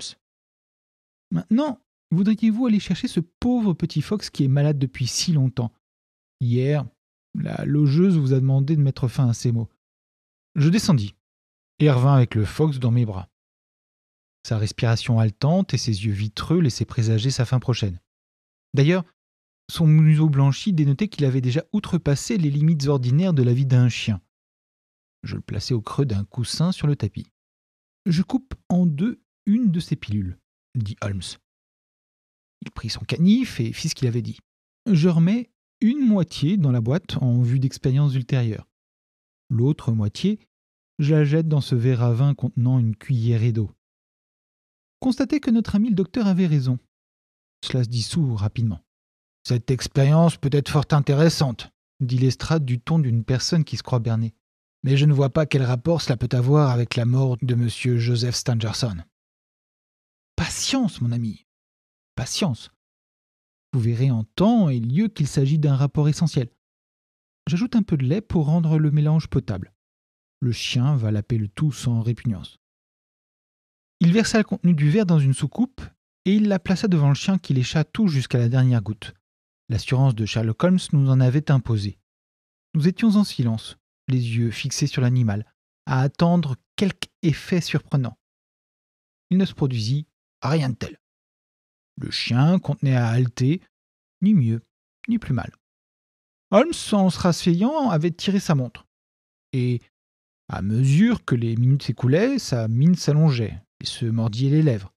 Il tambourinait des doigts sur la table. Il montrait tous les signes de l'anxiété. Son émotion intense me faisait mal. Ravi de l'échec qu'essuyait mon compagnon, les deux détectives sourirent. Il ne peut pas s'agir d'une coïncidence, s'écria-t-il à la fin en se levant. Il se prit à arpenter la salle d'un pas déchaîné. Il est impossible que ce soit une simple coïncidence. Ces pilules, j'en avais soupçonné l'emploi dans l'affaire Dreber. On les découvre après la mort de Stangerson. Et voilà qu'elles sont anodines. Comment cela se fait-il? Pourtant, mon raisonnement est juste. Alors, mais ce chien qui ne se porte pas plus mal. Ah J'y suis Avec un cri de joie, il se précipita vers la boîte. Il partagea en deux l'autre pilule. Il en fit fondre une moitié. Il ajouta du lait. Il présenta de nouveau la soucoupe au fox. À peine la malheureuse bête y avait-elle trempé sa langue qu'elle frissonna de tous ses membres et tomba sur le coussin, raide et inanimée, comme frappée par la foudre. Sherlock Holmes poussa un long soupir et essuya la sueur de son front. J'aurais dû être plus confiant, dit-il. Lorsqu'un fait semble contredire une longue suite de déductions, c'est qu'on l'interprète mal. Une des deux pilules contenait un poison violent, tandis que l'autre était inoffensive. J'aurais dû le savoir avant même de voir la boîte. Cette dernière déclaration me sembla si extravagante que je me demandais s'il avait tout son bon sens. Pourtant, j'avais là, sous les yeux, le chien mort. Le bien fondé de son hypothèse ne faisait aucun doute. Peu à peu, les brouillards de mon esprit se dissipèrent. La vérité m'apparut confusément. Tout cela vous semble étrange, continua Holmes, parce que vous n'avez pas saisi l'importance du seul indice véritable qui s'est présenté à vous dès le début. J'ai eu la chance de mettre le doigt dessus. Depuis lors, tout ce qui est arrivé n'a fait que confirmer ma première supposition. Tout, en fait, en a découlé logiquement. Les choses qui vous ont semblé des complications embarrassantes m'ont éclairé et confirmé mes conclusions. L'extraordinaire est une chose, le mystère en est une autre. Le crime le plus banal est souvent le plus mystérieux. Il ne présente aucun caractère dont on puisse tirer des déductions. Si, au lieu de découvrir le corps de la victime dans les circonstances sensationnelles qui ont révélé l'affaire, on l'avait trouvé tout simplement étendu sur la chaussée, l'enquête aurait été beaucoup plus difficile tous ces détails extraordinaires, loin de compliquer les choses, les ont, au contraire, simplifiés. Monsieur Gregson, qui avait écouté avec impatience, fut incapable de se contenir plus longtemps. Ah, voyons, monsieur Sherlock Holmes, dit-il. Nous sommes tous disposés à reconnaître votre perspicacité et l'originalité de votre méthode de travail, mais à présent, nous désirons autre chose que de la théorie et du prêche. Il s'agit de capturer un assassin.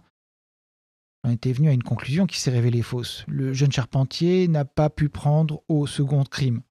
Lestrade a couru après Stangerson. Il se trompait lui aussi. Avec toutes les allusions que vous avez lancées par-ci, par-là, vous nous avez donné l'impression d'en savoir plus que nous. Dites-nous donc clairement ce que vous savez. Pouvez-vous nous révéler le nom du coupable? Je ne peux que donner raison à Gregson, dit Lestrade. Nous avons chacun de notre côté essayé d'éclaircir l'affaire et nous avons échoué tous les deux. Depuis mon arrivée ici, vous nous avez laissé entendre à plusieurs reprises que vous saviez parfaitement à quoi vous en tenir. J'espère que vous ne nous ferez pas languir plus longtemps. Tout délai apporté à l'arrestation de l'assassin pourrait lui laisser le temps de commettre un nouveau crime, ajoutai-je. Pressé par nous trois, Holmes parut hésiter. Il n'en continua pas moins à marcher de long en large, la tête basse et les sourcils foncés. Tout à coup, il s'arrêta et nous regarda bien en face. Il ne commettra plus de crime, dit-il. Là-dessus, vous pouvez être tranquille. Vous m'avez demandé si je connaissais le nom de l'assassin? Oui, je le connais. Mais quelle importance Ce qui compte, c'est de le capturer. Or, j'ai bon espoir d'y arriver par mes propres moyens. Encore faudra-t-il du doigté. L'homme est rusé, désespéré. De plus, et cela je le sais par expérience personnelle, il a un complice qui est aussi habile que lui. Tant qu'il ne se sait pas découvert, il y a des chances de lui mettre la main au collet. Mais au moindre soupçon, il changera de nom et disparaîtra parmi les 4 millions d'habitants de Londres. Sans vouloir vous froisser ni l'un ni l'autre, je dois dire qu'à mon avis, la police n'est pas de taille à lutter contre ces deux hommes-là. C'est pourquoi je n'ai pas fait appel à votre aide. Bien entendu, si à mon tour j'échoue, je serais blâmé d'avoir agi seul. Bah, je joue gagnant. Dès maintenant, je vous promets ceci. Quand je pourrai me mettre en rapport avec vous sans nuire à mes plans, je le ferai. Apparemment, cette promesse, précédée de l'allusion méprisante à la police, ne satisfit guère Gregson, ni l'estrade. Le premier avait rougi jusqu'à la racine de ses cheveux couleur de lin, tandis que les yeux en boutons de chaussures de l'autre avaient brillé de curiosité, puis de rancune. Ils n'eurent pas le temps de répliquer. On frappa. Le porte-parole des Gavroches, Wiggins, montra sa frimousse. Pardon, monsieur, dit-il en relevant sa mèche de cheveux. Le fiacre est en bas. Parfait, mon garçon, dit Holmes avec satisfaction. Pourquoi n'adoptez-vous pas ce modèle à Scotland Yard? ajouta-t-il en sortant d'un tiroir une paire de menottes en acier. Voyez comme le ressort fonctionne bien. Elles se referment en un rien de temps. Nos vieilles menottes suffiront, dit Lestrade, si nous attrapons jamais l'assassin. Fort bien, fort bien, fit Holmes en souriant. Au fait, le cocher pourrait m'aider à transporter mes bagages? Demandez-lui de monter, Wiggins. Je fus surpris d'apprendre que mon compagnon partait en voyage. Il ne m'en avait rien dit. Il y avait une petite valise dans la pièce. Holmes alla la chercher et Smith alla sangler. Sur ces entrefaites, le cocher entra. Sans le regarder, Holmes lui dit en s'agenouillant Aidez-moi à attacher cette courroie, cocher. L'homme s'avança, l'air hargneux, un peu méfiant. Il se pencha et tendit les mains. Coup sec, bruit métallique, Holmes se releva. Messieurs, cria-t-il les yeux brillants, je vous présente Monsieur Jefferson Hope, l'assassin d'Enoch Dreber et de Monsieur Joseph Stangerson. Tout s'était passé en un tour de main si rapidement que je n'avais pas eu le temps d'en prendre conscience.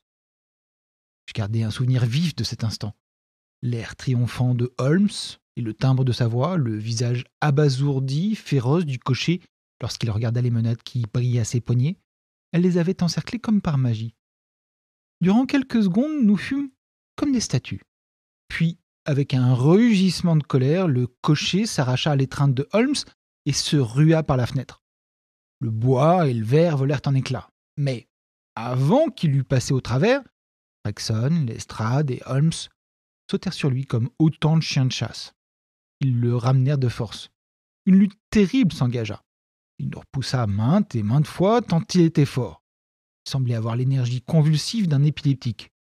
Le verre avait affreusement taillé dès son visage, mais il avait beau perdre du sang, il n'en résistait pas moins. Lestrade réussit à empoigner la cravate. Il l'étrangla presque. Le cocher comprit enfin l'inutilité de ses efforts. Nous ne respirâmes cependant qu'après lui avoir lié les pieds et les mains. Sa voiture est en bas, dit Sherlock Holmes. Elle nous servira pour le conduire à Scotland Yard. Et maintenant, messieurs, continua-t-il avec un sourire aimable, nous voilà arrivés à la fin de ce petit mystère. Posez-moi toutes les questions que vous voudrez, j'y répondrai très volontiers. Partie 2 Le pays des saints. Chapitre 8 La grande plaine salée. Au nord-ouest des États-Unis, de la Sierra Nevada, du Nebraska et du fleuve Yellowstone au nord, jusqu'au Colorado au sud, s'étend un désert aride qui a, pendant de longues années, barré la route à la civilisation. Dans cette région désolée et silencieuse, la nature s'est plus à réunir de hautes montagnes aux pics neigeux avec des vallées sombres et mélancoliques, des rivières rapides qui s'engouffrent dans des canyons déchiquetés avec d'immenses plaines blanches en hiver, grises en été d'une poussière d'alcali salin. Mais tous ces paysages offrent au regard le même aspect dénudé, inhospitalier et misérable. Personne n'habite là. De temps à autre, une bande de ponis ou de pieds noirs en quête de nouveaux terrains de chasse traverse les plaines. Mais elles sont si terrifiantes que les plus braves d'entre eux sont heureux de les perdre de vue et de se retrouver dans leur prairie. Le coyote se faufile parmi les broussailles. Le busard rôde dans l'air qu'il bat mollement de ses ailes. Et dans les ravins, à pas lents, le lourdeau grizzly cherche la maigre pitance que lui fournissent les rochers. Tels sont les seuls habitants de ce lieu sauvage. Le panorama qu'on peut contempler de la pente septentrionale de la Sierra Blanco est, du monde entier, le plus morne. À perte de vue s'étale une vaste plaine, toute recouverte de plaques de sel et parsemée de massifs de chaparral nains. Et dans tout cet espace, il n'y a aucun signe de vie. Nul oiseau dans le ciel bleu acier, nul mouvement sur le sol terne. Il y règne un silence absolu. Pas un bruit du silence, rien que du silence. Silence total, écrasant. Il a été dit que là, rien de vivant n'apparaissait. C'est à peu près exact. Du haut de la Sierra Blanco, on voit une piste qui serpente dans le désert et se perd dans le lointain. Des roues y ont creusé des ornières et de nombreux aventuriers y ont laissé l'empreinte de leurs pas. Ici et là, tranchant sur le fond sombre du dépôt de sel, des objets blancs brillent au soleil. Ce sont des ossements, les uns de grande dimension et grossièrement taillés, les autres plus petits et plus délicats. Les premiers ont appartenu à des bœufs, les seconds à des hommes. Sur une étendue de 2000 km, on peut retracer le chemin d'une caravane macabre au moyen de vestiges éparpillés des voyageurs tombés en route. Tel est le spectacle que, le 4 mai 1847, contemplait un homme solitaire. Son apparition aurait pu le faire passer pour le génie ou le démon de la région. Il aurait été difficile de dire s'il était plus près de 60 ans que de 40. Il avait l'air hagard et le visage décharné.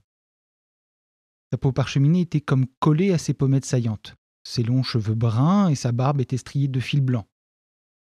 Ses yeux enfoncés dans leur orbite brillaient d'un feu étrange, et la main qui serrait son fusil était d'une maigreur squelettique. Il s'arc-boutait sur son arme, mais sa haute taille et la charpente de ses os dénotaient une constitution robuste et nerveuse. Seul son visage hâve et ses vêtements flottants lui donnaient un air de décrépitude. Péniblement, il avait descendu le ravin et gravi ce monticule dans le vain espoir de trouver de l'eau. Il voyait maintenant la grande plaine salée se dérouler jusqu'aux montagnes, à l'horizon, sans un arbre ou une plante qui pût indiquer quelque humidité. L'étendue du paysage ne permettait aucun espoir. Il regarda au nord, à l'est et à l'ouest, avec des yeux farouches, scrutateurs. Alors il comprit que son voyage touchait à sa fin. Il allait mourir sur ce roc sans végétation. Pourquoi pas ici plutôt que sur un lit de plumes dans une vingtaine d'années, murmura-t-il en s'asseyant à l'ombre d'une grosse pierre. Avant de s'asseoir, il avait déposé sur le sol son fusil devenu inutile et un gros paquet enveloppé dans un châle gris qu'il avait porté en bandoulière. Le fardeau était apparemment trop lourd pour lui car, en le posant, il le laissa retomber un peu vite. Aussitôt, une plainte s'en exhala. Il en sortit un petit visage apeuré, aux yeux bruns très brillants, et deux petits poings potelés. m'a fait mal, dit une voix d'enfant sur un ton de reproche. C'est vrai, répondit l'homme avec regret. N'ai pas fait exprès. Tout en parlant, il déroula le châle gris qui enveloppait une jolie petite fille d'environ cinq ans. Les souliers coquets, l'élégante robe rose, le tablier de toile indiquaient des soins maternels attentifs. L'enfant était pâle et fatigué, mais ses bras et ses jambes fermes montraient qu'elle avait moins souffert que son compagnon. Ça va mieux? demanda l'homme avec appréhension en la voyant se frotter derrière la tête sous ses boucles dorées. Embrasse mon bobo pour le guérir, dit-elle en lui indiquant avec gravité la place meurtrie. Maman faisait toujours comme ça. Oui, maman. Maman est partie. Je pense que tu la reverras bientôt. Partie? Dit la petite fille. Elle ne m'a pas dit au revoir, c'est curieux. Elle me disait toujours au revoir quand elle allait chez tante pour prendre le thé. Ça fait trois jours qu'elle n'est plus là. Dis, comme tout est sec. Peux avoir un peu d'eau et quelque chose à manger? Non, chérie, je n'ai plus rien. Prends patience. Appuie ta tête contre moi, comme ça tu te sentiras plus vaillante. Il n'est pas facile de parler avec des lèvres comme du cuir, mais il faut que je te dise ce qu'il en est. Qu'est-ce que tu ramasses? Les jolies choses? cria la fillette, enthousiasmée par deux étincelants fragments de mica. Quand nous retournerons à la maison, je les donnerai à mon frère Bob. Tu verras bientôt de plus jolies choses, dit l'homme avec conviction. Attends un peu. Mais j'allais te dire. Tu te souviens quand nous avons quitté le fleuve? Oh oui. Eh bien, tu comprends, nous comptions en atteindre un autre. Mais on s'est trompé, à cause de la boussole, ou de la carte, ou d'autre chose. Il n'y aura plus de fleuve. Il ne nous restait plus d'eau, sauf une goutte pour toi et. Tu n'as pas pu te laver? Interrompit sa compagne en voyant le visage barbouillé. Non, ni me laver ni boire. Monsieur Bender, il a été le premier à partir. Puis Pete l'Indien, puis Madame McGregor, puis ensuite Johnny Holmes. Et enfin, ma chérie, ta mère. Alors maman aussi est morte, s'écria la petite fille. Elle cacha son visage dans son tablier et elle éclata en sanglots. Oui, tout le monde est mort, excepté toi et moi. Alors j'ai pensé que nous trouverions peut-être de l'eau par ici. J'ai pris sur mon épaule et je me suis mise en marche. Mais notre situation ne semble pas s'être améliorée. Il nous reste une bien faible chance. Veux-tu dire que nous aussi nous allons mourir? demanda l'enfant en relevant son visage inondé de larmes. Ça m'en a tout l'air. Fallait le dire tout de suite s'écria-t-elle avec un joyeux sourire. Tu m'as fait une peur. Mais, puisque nous allons mourir, nous allons retrouver maman. Tu la retrouveras. Toi aussi. Je vais lui dire comme tu as été bon. Pareil que maman nous attend à la porte du ciel avec une grosse cruche pleine d'eau et un tas de galettes de sarrasin toutes chaudes et rôties des deux côtés, comme nous les aimons, Bob et moi. Ce sera long encore? Je ne sais pas. Pas trop. Les yeux de l'homme étaient fixés à l'horizon nord. Sous la voûte bleue du ciel avaient apparu trois petites taches. D'instant en instant, elles grossissaient. Bientôt, il put distinguer trois gros oiseaux bruns. Ils décrivirent des cercles au-dessus de leur tête, puis ils se posèrent sur la corniche au-dessus d'eux. C'étaient des busards.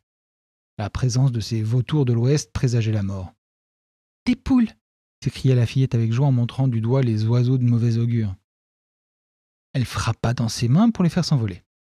Dis, c'est le bon Dieu qui a fait ce pays Bien sûr, répondit son compagnon, surpris par cette question. Il a fait l'Illinois, il a fait le Missouri, mais cette partie-ci, ce doit être un autre qui l'a faite. Ce n'est pas si bien que le reste. On a oublié l'eau et les arbres. Si tu faisais ta prière? proposa timidement l'homme. Ce n'est pas encore la nuit répondit-elle. Ça fait rien.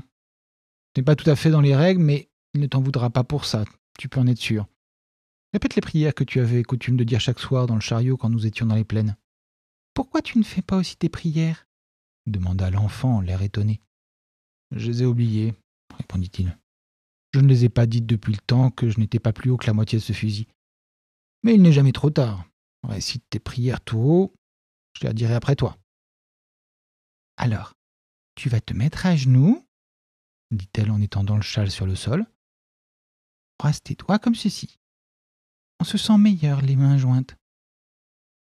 Cette scène n'avait nul besoin d'avoir eu des busards comme témoins pour être extraordinaire.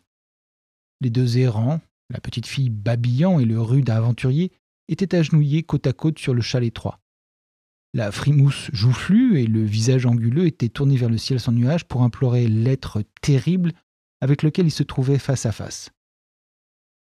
Deux voix, l'une faible et claire, l'autre grave et rauque, s'unissaient pour demander la grâce et le pardon divin. La prière finie, ils reprirent leur place à l'abri de la grosse pierre. La petite fille, blottie contre la large poitrine de son protecteur, s'assoupit. Il veilla sur le sommeil pendant quelque temps. À la fin, la nature reprit ses droits. Il ne s'était accordé ni repos ni sommeil depuis trois jours et trois nuits. Ses paupières descendirent lentement sur ses yeux fatigués et la tête s'inclina de plus en plus sur sa poitrine. La barbe grisonnante se mêla aux cheveux dorés. Il s'endormit à son tour, du même sommeil que sa petite compagne, profond et sans rêve. S'il était resté éveillé une demi-heure de plus, il aurait vu un spectacle inattendu. Au loin, tout à l'extrémité de la plaine salée, à peine distinct du brouillard, un nuage de poussière s'éleva et grandit peu à peu. Seul un grand nombre d'êtres en mouvement pouvait en soulever un semblable. Il aurait pu s'agir d'un de ces énormes troupeaux de bisons qui broutent les prairies, mais le lieu était par trop aride pour qu'il en pût être question. Quand le tourbillon de poussière se rapprocha du rocher solitaire où dormaient nos deux voyageurs égarés, il laissa entrevoir des chariots couverts de toile et des cavaliers armés. C'était une grande caravane en route vers l'ouest. Et quelle caravane Elle se déployait du pied des montagnes jusque par-delà l'horizon. Travers l'immense plaine avançaient en désordre des chariots et des charrettes, des cavaliers, des piétons, d'innombrables femmes qui chancelaient sous leurs fardeaux et des enfants qui trottinaient entre les chariots ou qui regardaient furtivement de dessous les bâches. Ce n'étaient évidemment pas des émigrants ordinaires, bien plutôt qu'un peuple nomade contraint par la force des choses à se chercher une nouvelle patrie. L'air résonnait de bruits de pas, de grondements sourds, de hennissements et de grincements de roues. Tout ce tintamarre ne réussit pas à réveiller nos deux dormeurs. En tête de la colonne chevauchait une vingtaine d'hommes, au visage dur et sévère, vêtus de gros draps et armés de fusils. Parvenus au bas du monticule, ils s'arrêtèrent pour tenir conseil. Les sources se trouvent à droite, mes frères, dit l'un d'eux, un homme grisonnant aux lèvres fermes, au visage imberbe. Prenons la droite de la Sierra Blanco pour atteindre le Rio Grande, dit un autre. Ne craignez-vous pas que l'eau vous manque? cria un troisième. Celui qui a pu la faire jaillir du rocher n'abandonnera pas son peuple élu. Amen. Amen. répondit toute la troupe. Ils allaient se remettre en route quand l'un des plus jeunes à la vue perçante poussa un cri. Il désigna le monticule. Au sommet flottait quelque chose de rose qui ressortait sur un fond de pierre grise. Ils piquèrent des deux, tout en armant leurs fusils. D'autres cavaliers se joignirent à eux.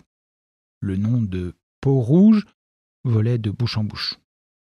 Il ne peut y avoir d'Indiens ici, dit l'homme âgé qui semblait être le chef. Nous avons dépassé les ponis et nous ne rencontrerons pas d'autres tribus avant les grandes montagnes. Je vais voir, frère Stangerson demanda quelqu'un de la bande. J'irai aussi, j'irai aussi s'écrièrent une douzaine de voix. Descendez de cheval, nous vous attendrons, répondit l'homme âgé. Le temps de le dire, et les jeunes gens avaient sauté à terre, attaché leurs chevaux, et ils s'étaient mis à gravir la pente escarpée. Ils avançaient rapidement et sans bruit, avec la confiance et la dextérité d'éclaireurs éclairés. D'en bas, on les vit sauter de roche en roche, puis leurs silhouettes se découpèrent sous le ciel. Le jeune homme qui avait donné l'alarme marchait en tête. Les autres le virent lever les bras en l'air en signe de surprise, et, quand ils le rattrapèrent, ils éprouvèrent la même sensation devant le tableau qui s'offrait à leurs yeux. Sur le petit plateau qui couronnait la colline se dressait une pierre énorme au pied de laquelle gisait un homme de haute taille, à la barbe longue, aux traits durs, d'une excessive maigreur. Son air calme et sa respiration régulière montraient qu'il dormait profondément. Un petit enfant reposait tout contre lui. Ses bras ronds et blancs entouraient le cou musclé. Sa tête blonde s'appuyait sur le veston de velours. Ses lèvres roses entr'ouvertes laissaient voir des dents blanches comme la neige, et un sourire enjoué se jouait sur ses traits puérils. Ses petites jambes dodues, ses chaussettes blanches et ses souliers propres aux boucles brillantes contrastaient étrangement avec les longs membres desséchés de son compagnon. Sur la corniche du rocher qui surplombait ce couple étrange se tenaient trois busards solennels qui, à la vue des nouveaux venus, jetèrent un cri rauque et s'envolèrent de mauvaise grâce. Le cri des oiseaux réveilla les deux dormeurs. Ils regardèrent autour d'eux avec stupéfaction. L'homme se leva en chancelant pour contempler la plaine qu'il avait vue si déserte avant de s'endormir et qui était maintenant traversée par l'énorme défilé de gens et de bêtes. Il eut une expression d'incrédulité et il passa sa main osseuse sur ses yeux. C'est ce qu'on appelle le délire, je pense, murmura-t-il. La petite se serrait contre lui, tenant un pan de son veston. Elle ne disait rien, mais elle regardait autour d'elle avec cet air émerveillé et questionneur des enfants. Ils ne doutèrent bientôt plus de la réalité de leur vision. L'un des sauveteurs avait saisi la petite fille et la hissa sur son épaule. Deux autres soutinrent son compagnon décharné jusqu'au chariot. Je me nomme John Ferrier, expliqua-t-il. Moi et cette petite, nous sommes les seuls survivants d'un groupe de 21 personnes. Tous les autres sont morts de soif et de faim, là-bas, dans le sud. Est-elle à vous? demanda quelqu'un. Maintenant, oui, s'écria Ferrier avec défi. Elle m'appartient parce que je l'ai sauvée. Personne ne pourra me la prendre. À partir d'aujourd'hui, elle s'appelle Lucie Ferrier. Mais qui êtes-vous? S'enquit-il en regardant avec curiosité ces sauveteurs robustes et brunis par le soleil. Vous êtes en nombre? À peu près dix mille, dit l'un des jeunes. Nous sommes les enfants persécutés de Dieu, les élus de l'ange Mérona. Je n'ai jamais entendu parler de lui, dit Ferrier. Mais il a une belle quantité d'élus. Ne plaisantez pas avec les choses sacrées, répliqua l'autre en fronçant les sourcils. Nous sommes de ceux qui croient aux écritures saintes gravées en lettres égyptiennes sur des plaques d'or martelées qui ont été remises au très saint Joseph Smith à Palmyre. Nous venons de Nauvoo, dans l'État de l'Illinois, où nous avions édifié notre temple. Nous cherchons un refuge loin des hommes violents et impies. Et, s'il le faut, nous irons jusqu'au fond du désert. Ben, J'y suis, dit Ferrier. Le nom de Nauvoo lui avait rafraîchi la mémoire. Vous êtes les Mormons. Nous sommes les Mormons, répondirent en chœur ses compagnons. Et où allez-vous? Nous l'ignorons. La main de Dieu nous guide dans la personne de son prophète. Il faut que vous vous présentiez devant lui. Il décidera de votre sort. Ils avaient atteint le pied de la colline. Une troupe de pèlerins les entoura. Des femmes au visage pâle, à l'air soumis, des enfants vigoureux, rieurs, des hommes au regard inquiet mais sérieux. De surprise ou de pitié, ils s'exclamèrent à l'envi en considérant les deux étrangers, l'un si misérable et l'autre si jeune. Leur escorte s'arrêta devant un chariot d'un faste voyant. Il était attelé de six chevaux, alors que les autres n'en avaient que deux, quatre au plus. À côté du conducteur était assis un homme qui ne paraissait pas avoir plus de trente ans. Mais sa tête massive, son air résolu étaient ceux d'un chef.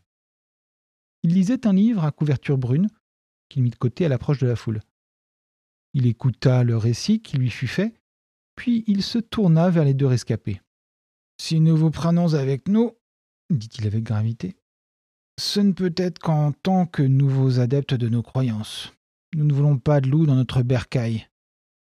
Si vous deviez être parmi nous comme le ver dans le fruit, il vaudrait mieux laisser blanchir vos os dans le désert. Acceptez-vous nos conditions? M'est avis que je vous suivrai à n'importe quelle condition, dit Ferrier avec une telle énergie que les braves anciens ne purent réprimer un sourire. Le chef resta impassible. Emmenez-le, frère Stangerson, dit-il. Donnez-lui à boire et à manger. Occupez-vous de l'enfant. Vous aurez la tâche de lui apprendre notre sainte croyance. Nous avons assez tardé. En route. Action En avant crièrent les Mormons. Ces mots passèrent de bouche en bouche et se perdirent au loin dans un murmure confus. Il y eut des claquements de fouet et des grincements de roues.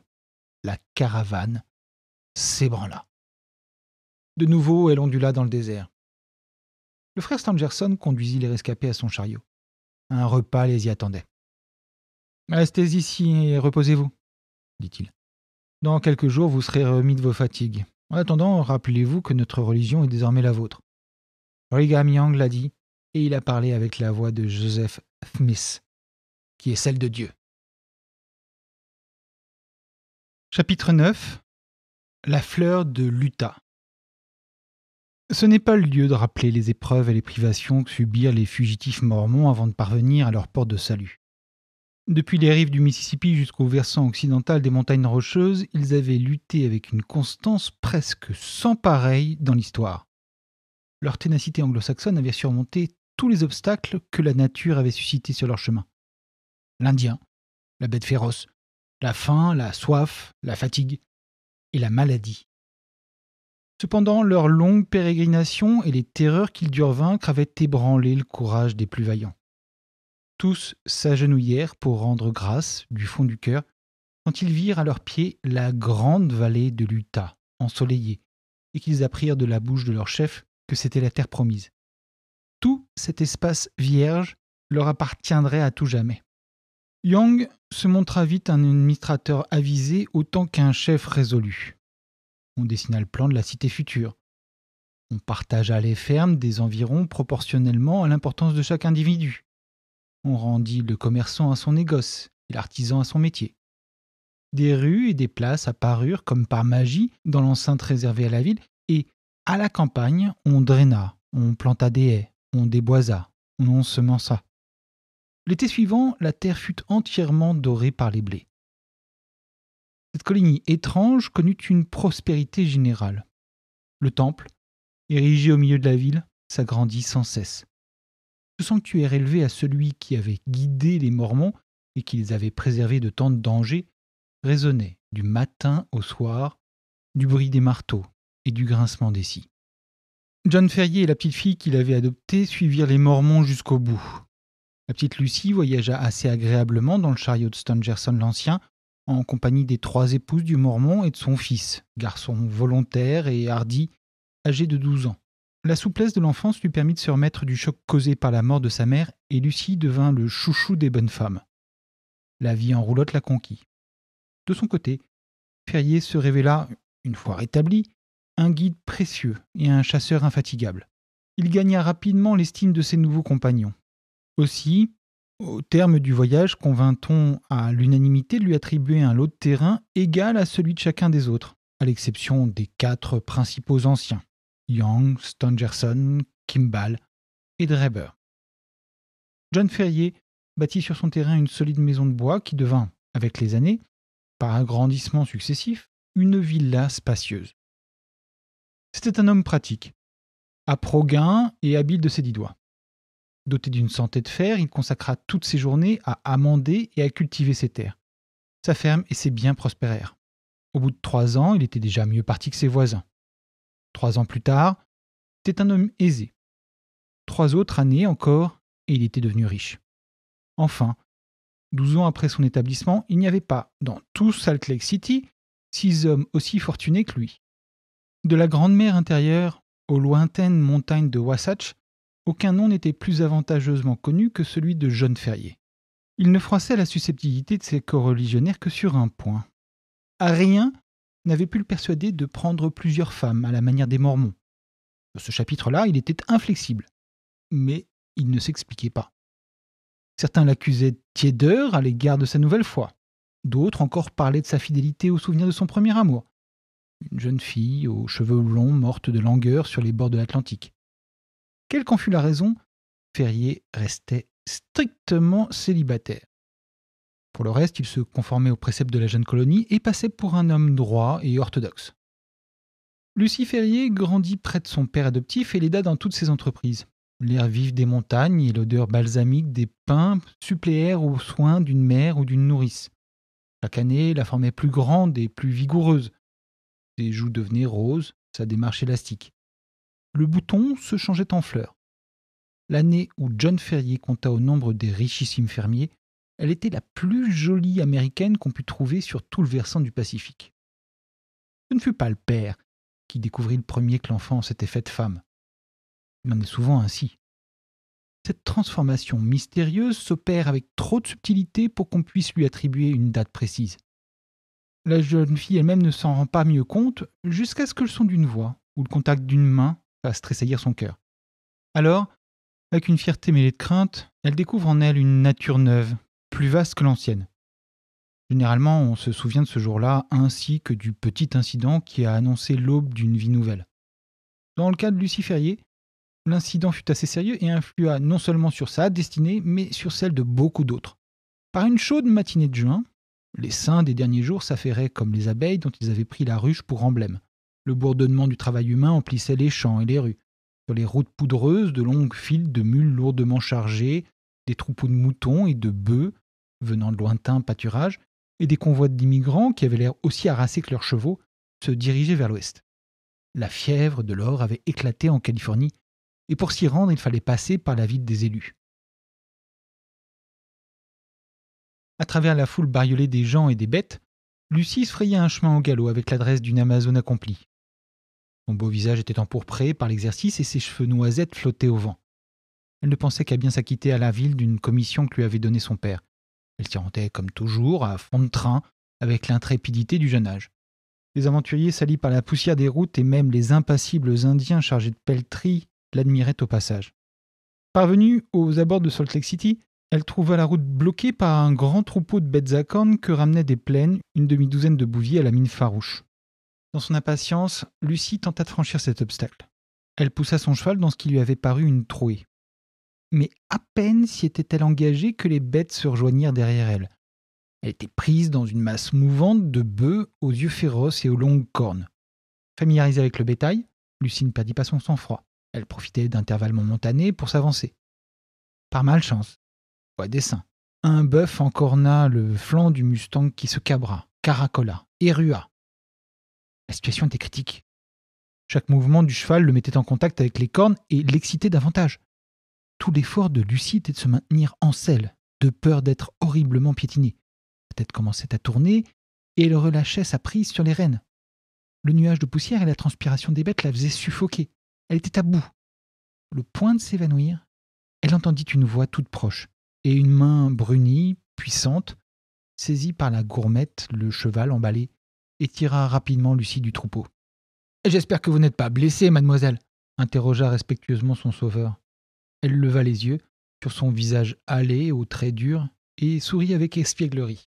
J'ai eu la fausse, dit-elle naïvement. Qui aurait pensé que Poncho serait effarouché par des vaches Dieu merci, vous êtes resté en selle, dit-il. C'était un grand jeune homme à l'air sauvage. Il montait un robuste cheval rouan. Il portait l'habit d'un chasseur avec un fusil en bandoulière. Je suppose que vous êtes la fille de John Ferrier. Je vous ai vu sortir de chez lui. Quand vous le reverrez, demandez-lui s'il se souvient des Jefferson Hope de Saint-Louis. S'il est bien le Ferrier que nous avons connu, lui et mon père étaient très liés. Ne feriez-vous pas aussi bien de venir lui demander vous-même? dit-elle. Cette suggestion sembla plaire au jeune homme. Ses yeux noirs étincelèrent. Soit Mais je viens de passer trois mois dans les montagnes. Je ne suis pas en tenue de visite, il faudra me prendre comme je suis. Papa vous doit des remerciements, et moi aussi, répondit-elle. Il m'aime beaucoup. Si ces vaches m'avaient écrasé, il ne s'en serait jamais consolé. Ni moi, ni vous. Je ne vois pas pourquoi. Vous n'êtes même pas un de nos amis. Le visage du jeune chasseur se rembrunit. Lucie éclata de rire. Je ne voulais pas dire cela, dit-elle. Maintenant, bien entendu, vous êtes notre ami. Il faut venir nous voir. Continue mon chemin, sans quoi papa ne me confierait plus jamais ses affaires. À bientôt. À bientôt, répondit-il. Il souleva son large sombrero et il se pencha sur la petite main de Lucie. Elle fit faire demi-tour à son cheval, lui donna un coup de cravache et partit comme un trait sur la route au milieu d'un nuage de poussière. Taciturne et triste, Jefferson Hope rejoignit ses compagnons. Ils avaient prospecté dans les montagnes du Nevada et ils revenaient à Salt Lake City avec l'espoir d'y réunir assez de fonds pour exploiter des filons d'argent. Ils s'étaient, comme eux, passionnés pour cette affaire. Mais ses idées prenaient maintenant un autre cours. La vue de cette jeune fille, fraîche et saine comme la brise de la Sierra, avait bouleversé son cœur indompté. Quand il la vit disparaître, il se rendit compte de la tempête qui s'était levée en lui. Désormais, les affaires d'argent ne pourraient pas lutter avec son amour, car il ne s'agissait pas d'un caprice de jeune homme, c'était bien de l'amour. L'amour impétueux, violent, d'un homme volontaire et à l'esprit entreprenant. Il avait toujours été heureux dans ses entreprises. Aussi se jura-t-il d'obtenir la main de Lucie. Il rendit visite à Jeune Ferrier le soir même. Il revint ensuite plusieurs fois. Bientôt, il fut un habitué. Au cours des douze dernières années, John, isolé dans la vallée et absorbé par son travail, avait eu peu d'occasion d'apprendre les nouvelles de l'extérieur. Jefferson lui en apportait. Il intéressait Lucie comme son père. Il avait été pionnier en Californie et il connaissait plus d'une histoire de fortunes faites et défaites dans ses jours tantôt terribles, tantôt sereins.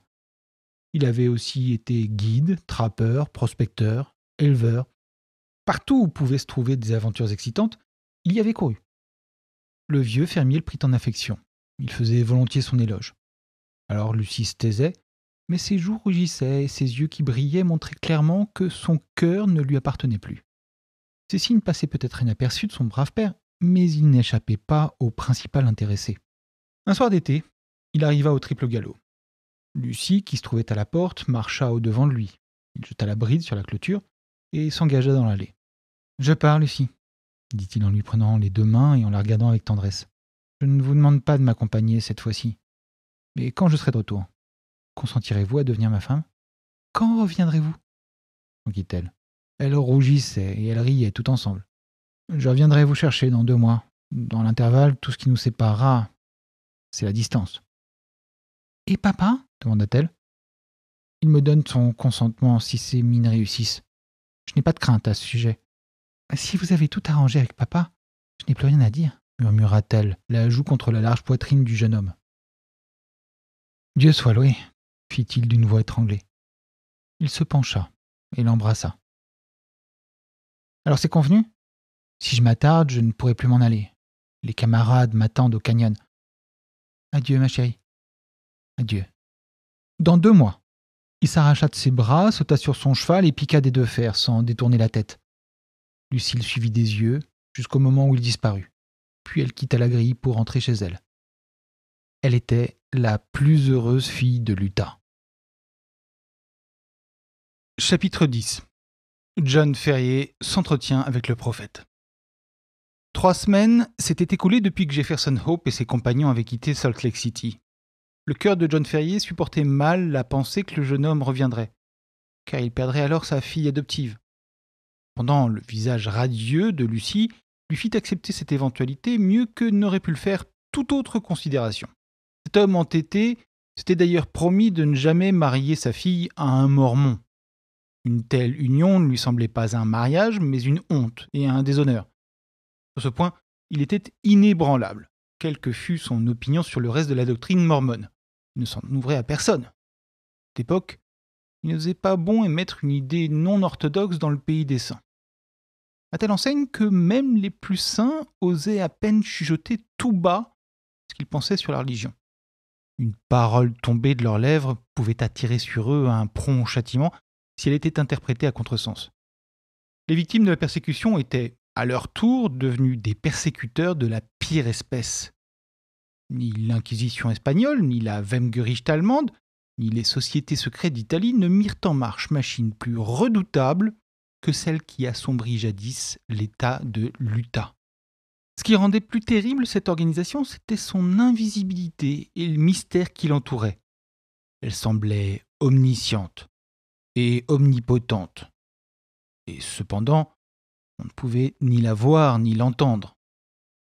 L'homme qui résistait à l'Église disparaissait sans laisser de traces. En vain, sa femme et ses enfants l'attendaient. Il ne revenait pas dire comment ses juges secrets l'avaient traité. Lâchait-on un mot? Commettait-on une imprudence? On était anéanti et les colons ne connaissaient pas la nature de cette puissance terrible dont ils sentaient constamment la menace suspendue sur leur tête. Leur vie n'était que crainte et tremblement. Même isolés au fond du désert, ils n'osaient murmurer les doutes qui les accablaient. Au début, ce pouvoir ne s'exerça que sur les récalcitrants qui, après avoir embrassé la foi des Mormons, tentèrent ensuite de la réformer ou de l'abandonner. Mais bientôt, il étendit le champ de son activité.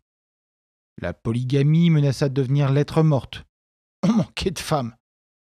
D'étranges rumeurs commencèrent à circuler.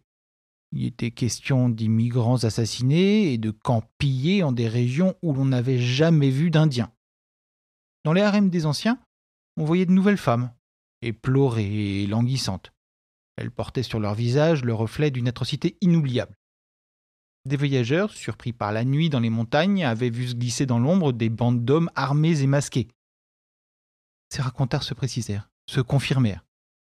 À ce jour, la bande des Danites, ou les anges vengeurs, est encore un nom sinistre et de mauvais augure dans les ranches solitaires de l'Ouest.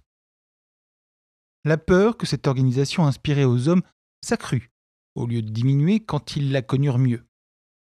On ne savait rien de ses membres les noms de ceux qui, sous prétexte de religion, se livraient à des actes de violence étaient soigneusement tenus secrets.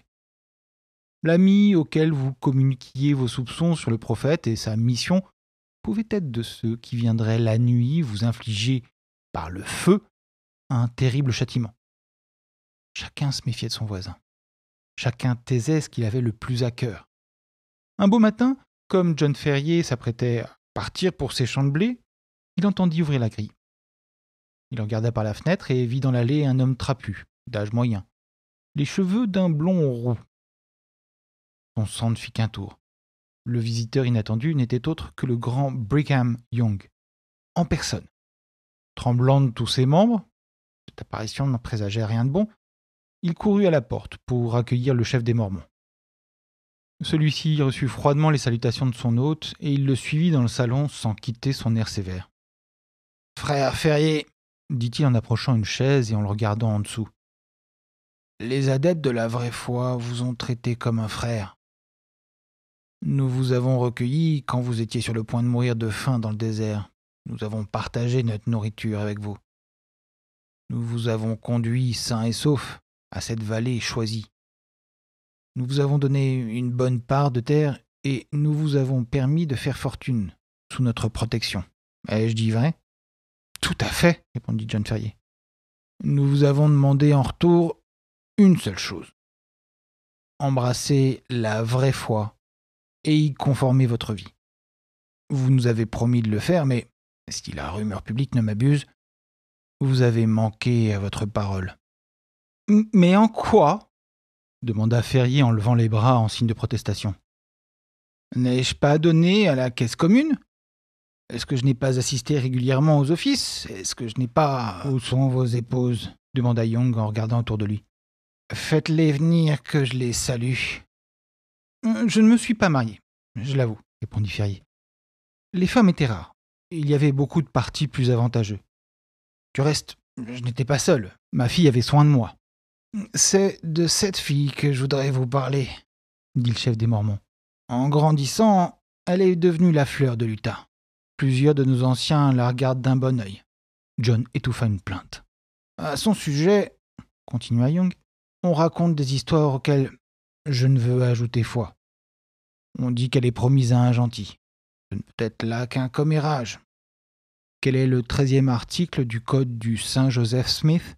Que chaque fille de la vraie foi épouse un des élus, car si elle épouse un gentil, elle commet un péché grave. Vous qui faites profession de notre sainte croyance, vous ne laisseriez pas votre fille agir à l'encontre. John Ferrier ne répondit pas. Il jouait nerveusement avec sa cravache. Sur ce seul point, nous allons éprouver toute votre foi. Il en a été décidé ainsi par le conseil sacré des quatre. La fille est jeune. Nous ne voudrions pas l'avoir épousée un vieil homme. Nous ne voudrions pas non plus lui enlever le droit de choisir. Nous autres, les anciens, nous avons de nombreuses génisses. Mais il faut aussi pourvoir nos enfants. Stangerson et Dreber ont chacun un fils. L'un ou l'autre accueillerait avec joie votre fille chez lui, qu'elle choisisse entre les deux. Ils sont jeunes, ils sont riches, et ils pratiquent la vraie religion. Qu'en dites-vous?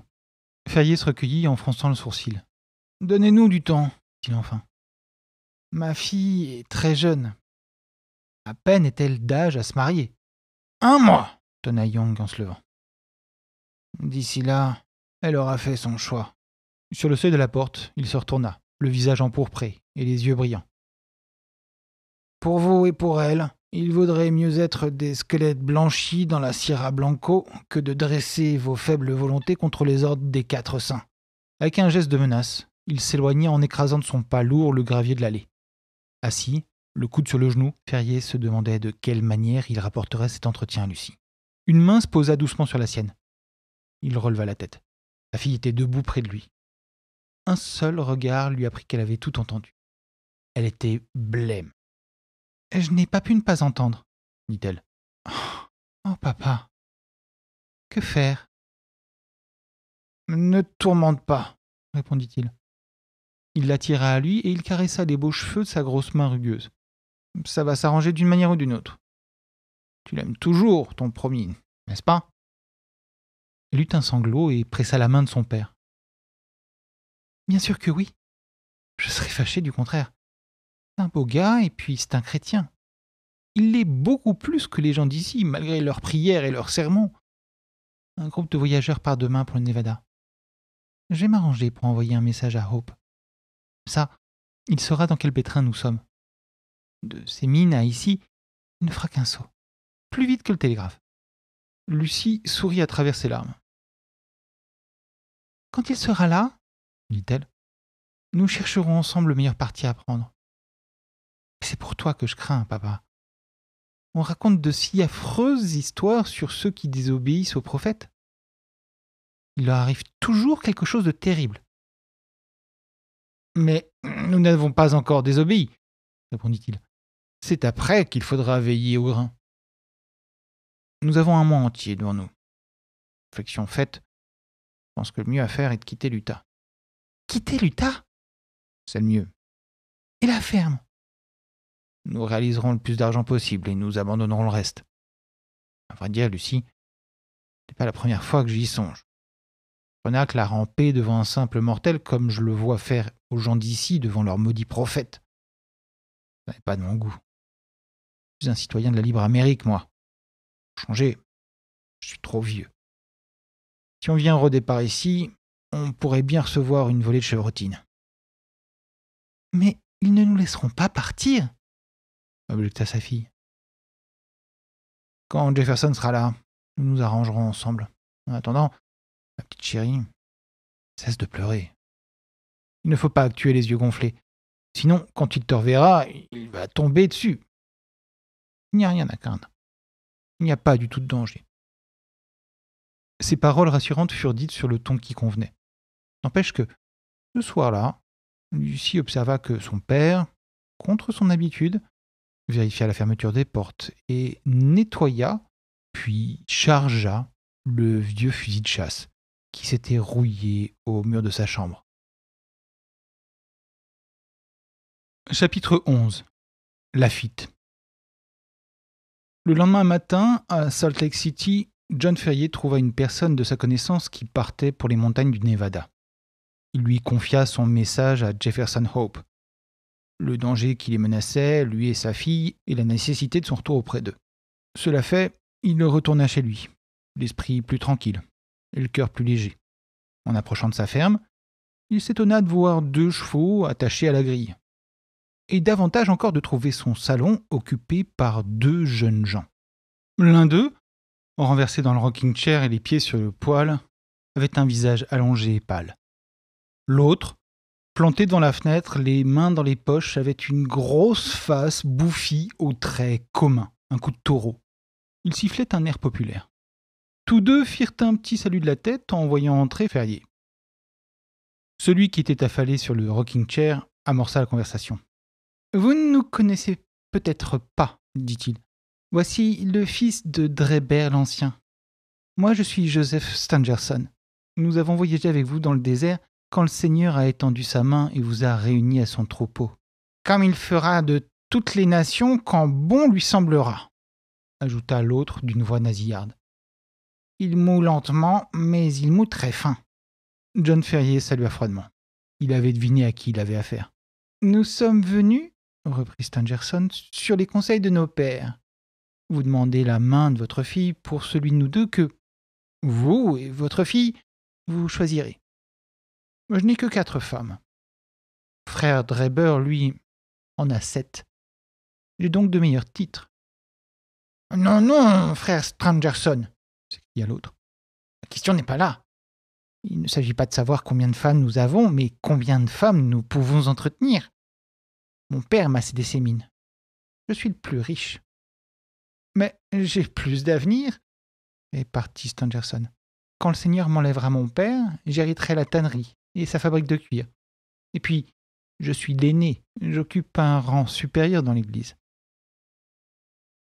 À la jeune fille de décider, répliqua Dreber, souriant à son image reflétée par la glace. Nous nous en remettons à elle. Pendant cet échange, John Ferrier, debout sur le seuil, bouillait de colère. Il avait envie de tomber à coups de cravache sur le dos des deux intrus. Écoutez, dit-il enfin en avançant un grand pas vers eux. Quand ma fille vous convoquera, vous pourrez venir. Mais d'ici là, je ne veux pas revoir vos deux têtes les deux jeunes Mormons tombèrent des nues. Rien n'était à leurs yeux plus honorable pour le père et la jeune fille que leur compétition. Vous pouvez sortir d'ici de deux manières, continua Ferrier en élevant la voix. Voici la porte et voici la fenêtre. Choisissez. Son visage bruni avait pris une expression féroce. Ses mains osseuses firent un geste menaçant. Les deux jeunes gens se levèrent d'un bond et battirent promptement en retraite. Le vieux fermier les suivit jusqu'à la porte. Quand vous vous serez mis d'accord, vous me le ferez savoir, dit-il ironiquement. Il vous en cuira, s'exclama Stangerson, blême de rage. Vous avez bravé le prophète et le conseil des quatre. Vous vous en repentirez jusqu'à la fin de votre vie. La main du Seigneur s'appesantira sur vous, hurla le jeune Dreber. Il se lèvera et vous frappera. Eh bien, moi, je n'attendrai pas, rugit Ferrier en colère. Il montait quatre à quatre chercher son fusil.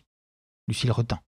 Il se dégagea, mais le galop des chevaux l'avertit qu'ils étaient déjà hors d'atteinte. Hypocrite Gredin lança-t-il en essuyant la sueur de son front. J'aimerais mieux te savoir coucher dans la tombe, ma fille, que dans le lit de l'un d'eux. Moi aussi, je le préférerais, répondit-elle avec énergie. Mais Jefferson ne tardera pas à arriver. Tant mieux, car je me demande ce qu'il nous réserve. Le père et la fille avaient bien besoin de l'aide d'un allié avisé. Une pareille leçon d'atteinte à l'autorité des anciens ne s'était encore jamais vue dans toute l'histoire de la colonie. Or, si la sanction des fautes mineures était si rigoureuse, quel serait le châtiment d'une telle rébellion? Ferrier savait que sa fortune ne le mettrait pas à couvert. On en avait fait disparaître euh, d'aussi riches et d'aussi notables. Et l'Église s'était approprié leurs biens. Il avait beau être courageux, il tremblait devant le danger indéfinissable qu'il menaçait. Braver un danger connu n'était rien, mais cette incertitude ébranlait ses nerfs. Il feignait l'insouciance pour dissimuler ses craintes à Lucie, mais avec la perspicacité de l'amour filial, Lucie devinait facilement son inquiétude. Il prévoyait un message ou une remontrance quelconque de la part de Yang. Il ne se trompait pas, bien que le message lui parvint d'une manière inattendue. Quand il se leva le matin suivant, il trouva, à sa grande surprise, un feuillet épinglé au couvre-lit, à la place de sa poitrine. On y avait écrit en caractères gras, tout de travers, Tu as 29 jours pour t'amender, et ensuite. Les points de suspension étaient plus effrayants que la plus effrayante des menaces. John Ferrier se creusa la tête pour savoir comment cet avertissement était venu. Les domestiques couchaient dans une dépendance. Il avait vérifié la fermeture des portes et des fenêtres. Il froissa le papier et n'en dit mot à sa fille. Mais l'incident lui avait glacé le cœur. Les 29 jours, c'était évidemment ce qui restait du mois de réflexion que Young lui avait octroyé. Que pouvait la force ou le courage contre un ennemi jouissant d'un pouvoir aussi mystérieux? La main qui avait fiché l'épingle aurait tout aussi bien pu le frapper au cœur. Le meurtrier serait demeuré inconnu. Il fut encore tout troublé le lendemain. Il s'apprêtait à prendre son petit déjeuner en compagnie de Lucie quand celle-ci poussa un cri de surprise et leva le doigt. Au milieu du plafond était griffonné comme au charbon le nombre 28. Lucie n'en comprenait pas la signification et son père ne la lui expliqua pas. Cette nuit-là, armé de son fusil, il monta la garde. Il ne vit ni n'entendit rien. Pourtant, au matin suivant, il trouva le nombre 27 en gros chiffres peint sur l'extérieur de sa porte. Chaque matin, il trouva ainsi affiché le nombre de jours qui lui restaient sur le mois de grâce. Ses ennemis invisibles l'inscrivaient à différents endroits bien en vue, tantôt sur un mur, tantôt sur le parquet, d'autres fois sur de petits placards accrochés à la grille du jardin ou à un barreau de la clôture. Malgré sa vigilance, Ferrier ne pouvait découvrir comment ces avertissements quotidiens lui parvenaient. Rien qu'à les voir, une crainte quasi superstitieuse le bouleversait. Il devint hagard, agité. Ses yeux avaient le regard angoissé d'un animal traqué. Il gardait un espoir. Le jeune chasseur du Nevada. Le nombre fatal était tombé de 20 à 15, puis de 15 à 10, sans que Jefferson eût donné de ses nouvelles. Les nombres allèrent diminuant, un par un. Toujours pas de nouvelles. Chaque fois que le vieux fermier entendait passer un cavalier sur la route, ou crier un conducteur après son attelage, il se précipitait à la grille. En vain, quand il vit le nombre tomber de cinq à quatre, puis à trois, le courage et l'espérance désertèrent son cœur. Sans aide, et connaissant mal les montagnes qui entouraient la colonie, comment s'évaderait-il? Les routes étaient surveillées d'une manière stricte. Personne ne pouvait les utiliser sans une permission du conseil. Il avait beau chercher, il ne voyait aucun moyen de détourner le coup qui menaçait sa tête. Jamais, cependant, sa résolution ne faiblit. Les Mormons n'auraient pas sa fille. Il mourrait plutôt. Un soir, il était seul et réfléchissait. Le matin même, on avait inscrit le chiffre 2 sur un mur. Ce serait ensuite le dernier jour du délai accordé. Qu'adviendrait-il? Son imagination était pleine de visions vagues et terribles. Et sa fille? Que ferait-on d'elle quand il ne serait plus là? Comment échapper au filet qui les enveloppait? Il laissa tomber sa tête sur la table et éclata en sanglots. Soudain, il se redressa. Il avait entendu un léger grattement, faible mais distinct dans le silence de la nuit. Ce bruit était venu de l'extérieur. Ferrier se glissa dans le vestibule et tendit l'oreille. Il y eut une brève pause, puis le bruit faible, insidieux, recommença. De toute évidence, quelqu'un frappait tout doucement à la porte. S'agissait-il d'un assassin venant à minuit exécuter la sentence du tribunal secret Ou bien d'un agent marquant le chiffre du dernier jour? Ben, Une prompte mort vaudrait encore mieux que cette attente qui lui figerait le sang. Il prit son élan, tira le verrou et ouvrit toute grande la porte. Dehors, tout était calme et silencieux. La nuit était brillante d'étoiles. Le fermier ne vit personne dans le petit jardin fermé par la clôture et la grille, ni sur la route. Il poussa un soupir de soulagement. Il regarda encore à droite, à gauche, enfin à ses pieds. Quelle ne fut pas sa surprise? Un homme était allongé sur le sol, la face contre terre. Sidéré, Ferrier dut s'appuyer contre le mur et porter la main à sa gorge pour ne pas crier. Sa première pensée fut que l'homme était blessé, peut-être mourant. Mais il le vit ramper sur le sol et entrer dans le vestibule aussi rapidement et silencieusement qu'un serpent. Une fois dans la maison, l'homme se dressa vivement sur ses pieds pour fermer la porte. Il se retourna. Le visage farouche de Jefferson Hope apparut au fermier. Bonté divine balbutia Jeanne Ferrier. Que vous m'avez fait peur Pourquoi diable êtes-vous entré comme ça? Donnez-moi à manger, dit l'autre d'une voix éraillée. J'ai été quarante-huit heures sans boire ni manger. Il se jeta sur le pain et la viande froide qui restait du repas de son hôte. Comment va Lucie? demanda-t-il, sa faim apaisée. Bien, répondit Ferrier, mais elle ne se doute pas du danger que nous courons. Tant mieux. La maison est gardée de tous côtés. Voilà pourquoi je suis venu en rampant. Ils sont peut-être malins, mais pas assez pour pincer un chasseur des montagnes de la Nevada. John Ferrier se sentait un autre homme. Il saisit la main calleuse de l'ami dévoué et la serra avec force. Je suis fier de vous, dit-il. Il n'y en a pas beaucoup qui seraient venus partager notre danger et nos peines.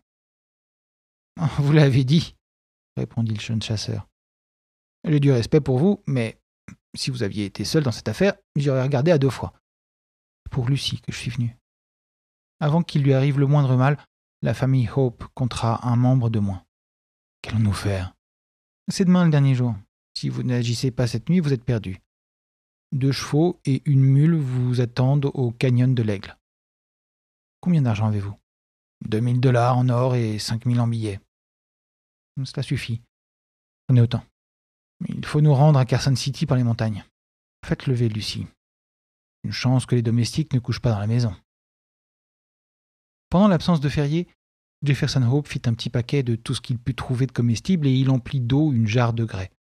Il savait par expérience que, dans les montagnes, les sources sont rares. À peine avait-il terminé ses préparatifs que le fermier revint avec Lucie tout habillée et prête à partir. Les épanchements entre les amoureux furent tendres, et bref, il n'y avait pas une minute à perdre. Partons tout de suite, dit Jefferson Hope, la voix basse mais résolue d'un homme qui a mesuré la grandeur du péril mais qui s'est armé de courage pour l'affronter. Le devant et le derrière de la maison sont surveillés, mais en faisant bien attention, nous devrions pouvoir nous enfuir par une fenêtre sur le côté et de là à travers champs. Une fois sur la route, nous ne serons plus qu'à trois kilomètres du ravin où nos montures attendent. À l'aube, nous devrions être en pleine montagne.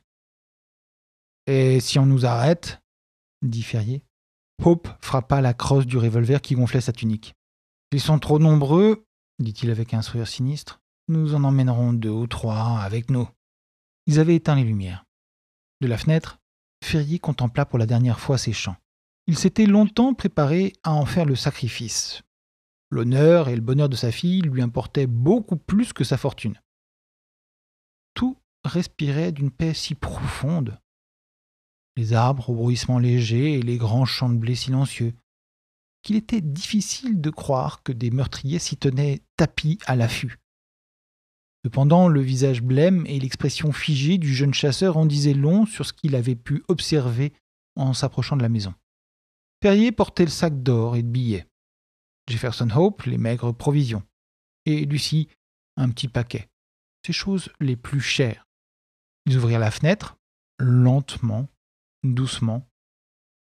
Quand un nuage rendit l'obscurité plus complète, ils se glissèrent dans le jardin, l'un après l'autre. Tout recroquevillés et retenant leur souffle, d'un pas hésitant, ils atteignirent la haie.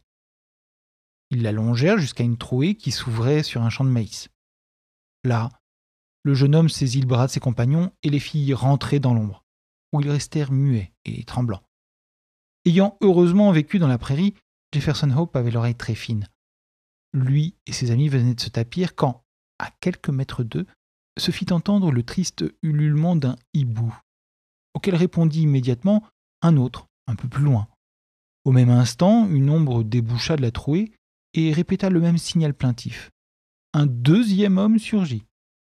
Demain, à minuit, on donna le premier. Quand l'engoulevent aura crié trois fois. Entendu, dit l'autre. Je préviens frère Dreber Transmets-lui l'ordre. Lui, il transmettra aux autres. Neuf à sept Sept à cinq, répondit l'autre. Les deux ombres se séparèrent. Les dernières paroles échangées étaient sans doute des mots de passe. Le bruit des pas se perdit au loin.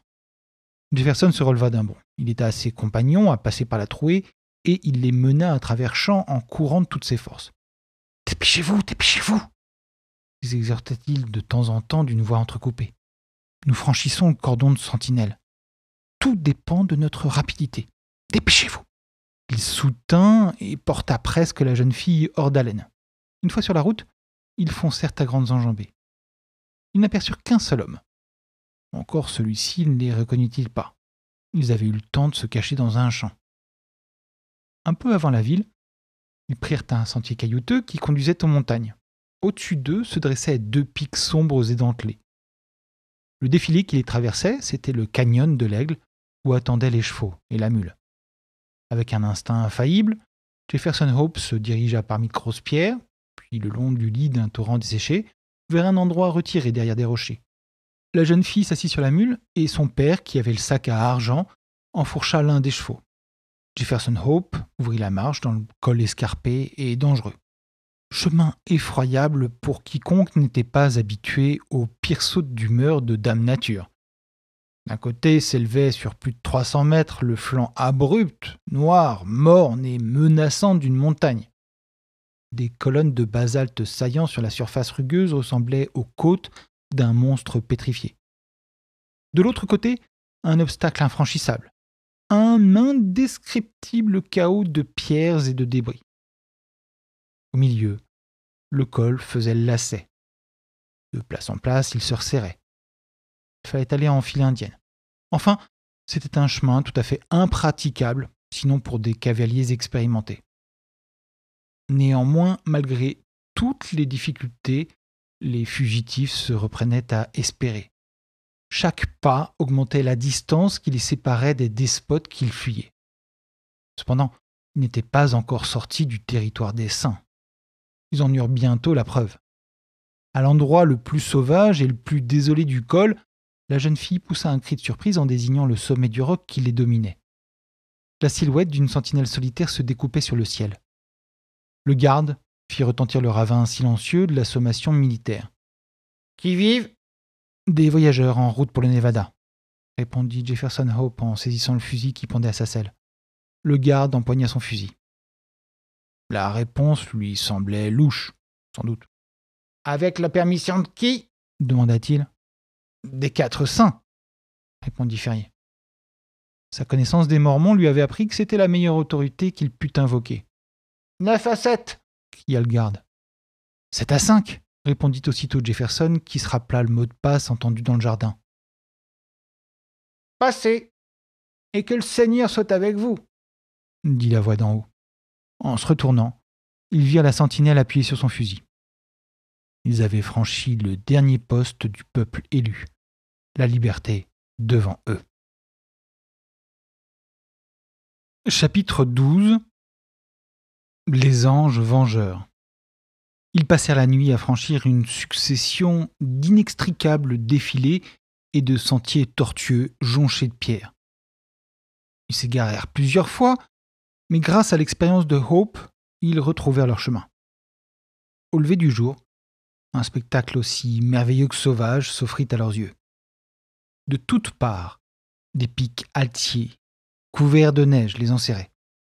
Chacun d'eux regardait comme par-dessus l'épaule d'un autre l'horizon lointain. Les mélèzes et les pins qui poussaient à leurs flancs presque verticaux semblaient suspendus au-dessus du col. Il aurait suffi du moindre souffle de vent pour les y précipiter. Il ne s'agissait d'ailleurs pas d'une pure illusion. L'aride vallée était encombrée d'arbres et de grosses pierres qui y avaient roulé. Une fois, sur leur passage, une énorme roche dégringola avec un bruit de tonnerre qui réveilla les échos dans les gorges silencieuses et fit partir au galop les chevaux harassés. Le soleil se leva lentement à l'orient. Les pics s'allumèrent, l'un après l'autre, comme les lanternes d'une fête. À la fin, ils resplendirent tous. Ce magnifique panorama réchauffa le cœur des trois fugitifs et leur donna une nouvelle énergie. À un torrent fougueux qui dévalait d'un ravin, ils firent une halte. Et tandis que leurs chevaux s'y abreuvaient, ils prirent un repas hâtif. Lucie et son père auraient volontiers prolongé cette pause, mais Jefferson Hope ne l'entendit pas ainsi. En ce moment, dit-il, nos ennemis sont à nos trousses tout dépend encore de notre rapidité. Une fois hors de leur atteinte à Carson, nous pourrons nous reposer le reste de notre vie. Ils poursuivirent leur route. Entre eux et leurs ennemis, d'après le calcul qu'ils firent ce soir-là, ils avaient mis une quarantaine de kilomètres.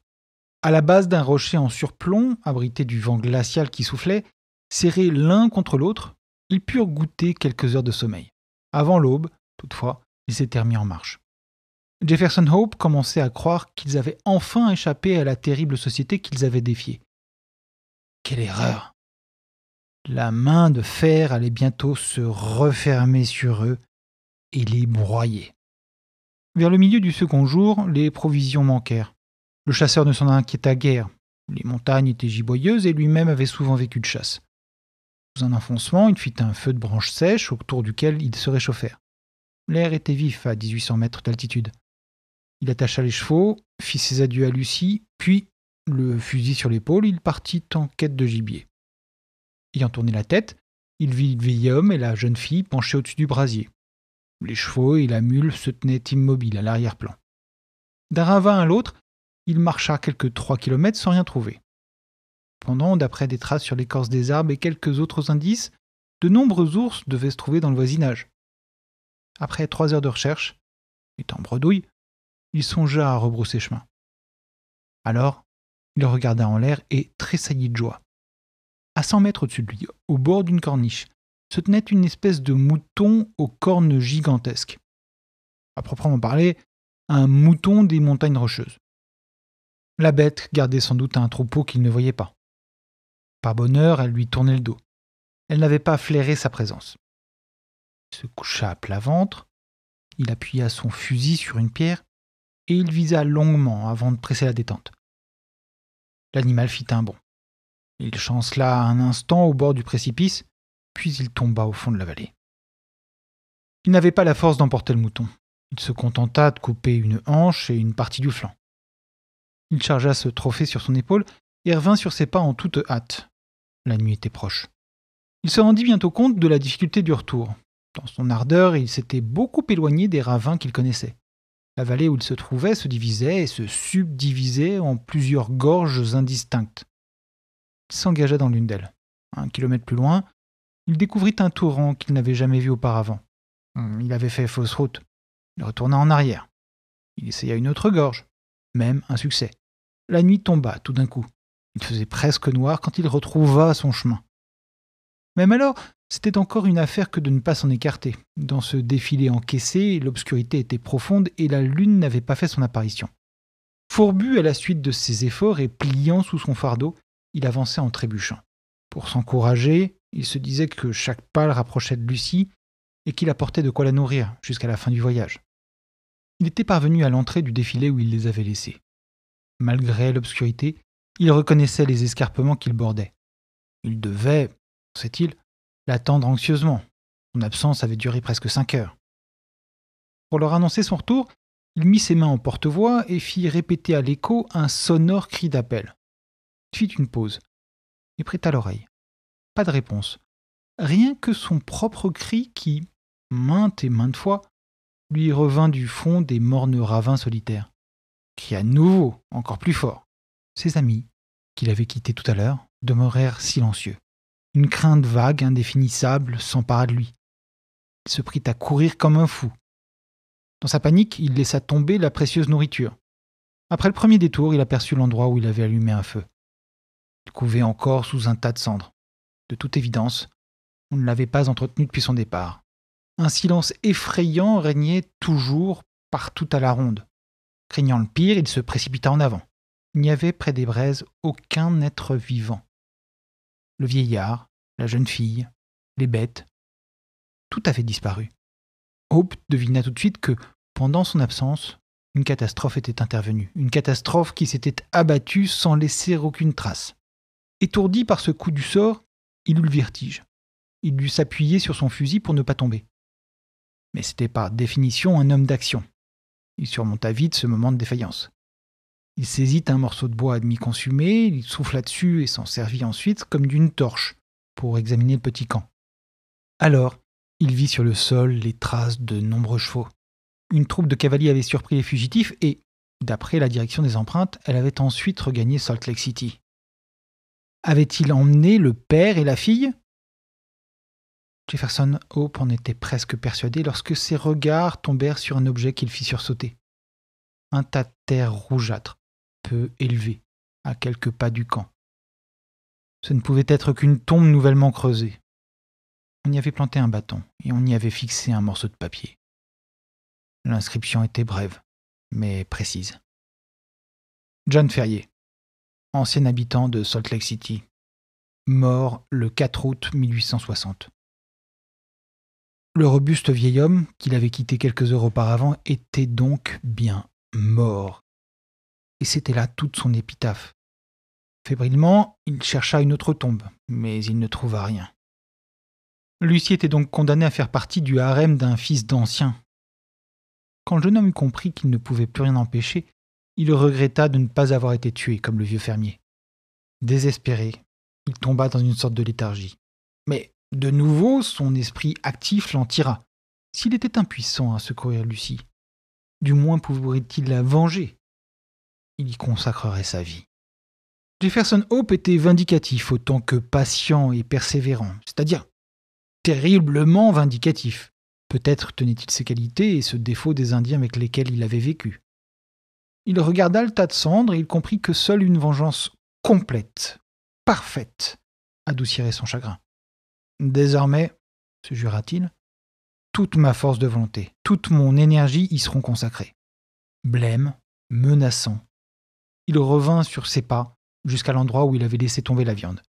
Il en fit cuire assez pour s'alimenter quelques jours. Puis, tout fatigué qu'il était, il se lança sur la piste des anges vengeurs. Pendant cinq jours, épuisé, les pieds blessés, il se traîna par les défilés qu'il avait déjà traversés à cheval. La nuit, il se jetait parmi les pierres pour quelques heures de sommeil. Mais avant l'aube, il avait repris sa marche. Le sixième jour, il atteignit le canyon de l'Aigle. De là-haut, il contempla le repère des saints. Il s'appuya sur son fusil et menaça du poing la ville silencieuse. Des rues pavoisées et quelques autres signes de festivité attirèrent son attention. Il était en train de se demander ce que cela signifiait quand le bruit des sabots d'un cheval se fit entendre. Un cavalier se dirigeait de son côté. Hope le reconnut. C'était un mormon, nommé Cooper, à qui il avait rendu quelques services. Peut-être savait-il ce qu'il était advenu de Lucie. Hope l'arrêta. Je suis Jefferson Hope, dit-il. Vous vous souvenez de moi? Le mormon le regarda avec stupéfaction. Comment retrouver dans ce vagabond au visage livide, à l'œil hagard, le jeune et pimpant cavalier de naguère? À la fin, toutefois, Cooper le reconnut. Sa surprise se mua en consternation. Vous êtes fou de venir ici cria-t-il. Et si l'on me voit avec vous, je suis un homme mort. Un mandat d'amener a été lancé contre vous. Les quatre saints vous accusent d'avoir aidé les ferriers à prendre la suite. Je me fiche d'eux et de leur mandat, répondit Hope avec vivacité. Vous devez savoir ce qui se passe, Copper. Au nom de ce que vous avez de plus cher au monde, je vous conjure de répondre à quelques questions. Nous avons toujours été bons amis. Pour l'amour de Dieu, ne me refusez pas cela. Eh bien, qu'est-ce que vous voulez savoir? demanda le mormon, très mal à l'aise. Soyez bref. Les rochers entendent. Les arbres voient. Qu'est devenu Luciférier On lui a fait épouser hier le jeune Dreber. Cette nouvelle semble apporter un coup mortel à son interlocuteur. Du courage, mon gars. Du courage. reprit Cooper, troublé. Ne faites pas attention, dit Hope d'une voix éteinte. Il était pâle comme un linge. Il se laissa tomber sur une pierre. Vous dites qu'elle est mariée? Oui, depuis hier. C'était pour la noce, les drapeaux. Il y a eu pas mal de tiraillements entre le jeune Stangerson et le jeune Dreber. Ils voulaient tous les deux avoir la fille. Tous les deux avaient pris part à la chasse aux ferriers. C'était le jeune Stangerson qui a battu le père. Cela lui donnait un avantage très net sur l'autre. Pourtant, quand on a discuté la chose au conseil, c'est au jeune Dreber que le prophète a donné la préférence, parce que son parti est le plus fort. Mais il n'en profitera pas beaucoup. Hier, la mort se peignait sur le visage de sa nouvelle femme. Ce n'est plus une femme, c'est un spectre. Non, sauvez-vous. Oui, je m'en vais, répondit Jefferson Hope, qui s'était relevé. Son visage, d'une pâleur de marbre, avait pris une expression féroce. L'éclat de ses yeux avait quelque chose de sinistre. Où allez-vous? Vous en faites pas, dit-il. Et, le fusil sur l'épaule, à grandes enjambées, il se rua dans l'étroit sentier qui menait en plein cœur de la montagne pour aller vivre parmi les bêtes sauvages. Non, il n'y en aurait pas de plus féroce, de plus dangereux que lui la prédiction de Cooper ne tarda point à se réaliser. Soit à cause de la mort affreuse de son père, soit par suite de l'abominable mariage auquel on l'avait contrainte, la pauvre Lucie languit pendant un mois, puis mourut. Son mari, qui l'avait épousée pour avoir les biens de Ferrier, témoigna très peu de chagrin en la perdant. En revanche, c'est l'usage chez les Mormons, les autres femmes de Trébert la pleurèrent et elles passèrent auprès de son corps la nuit précédant l'enterrement. Au matin, elles étaient encore groupées autour du cercueil quand elles furent frappées d'un étonnement et d'une frayeur indicibles. La porte s'ouvrit brusquement.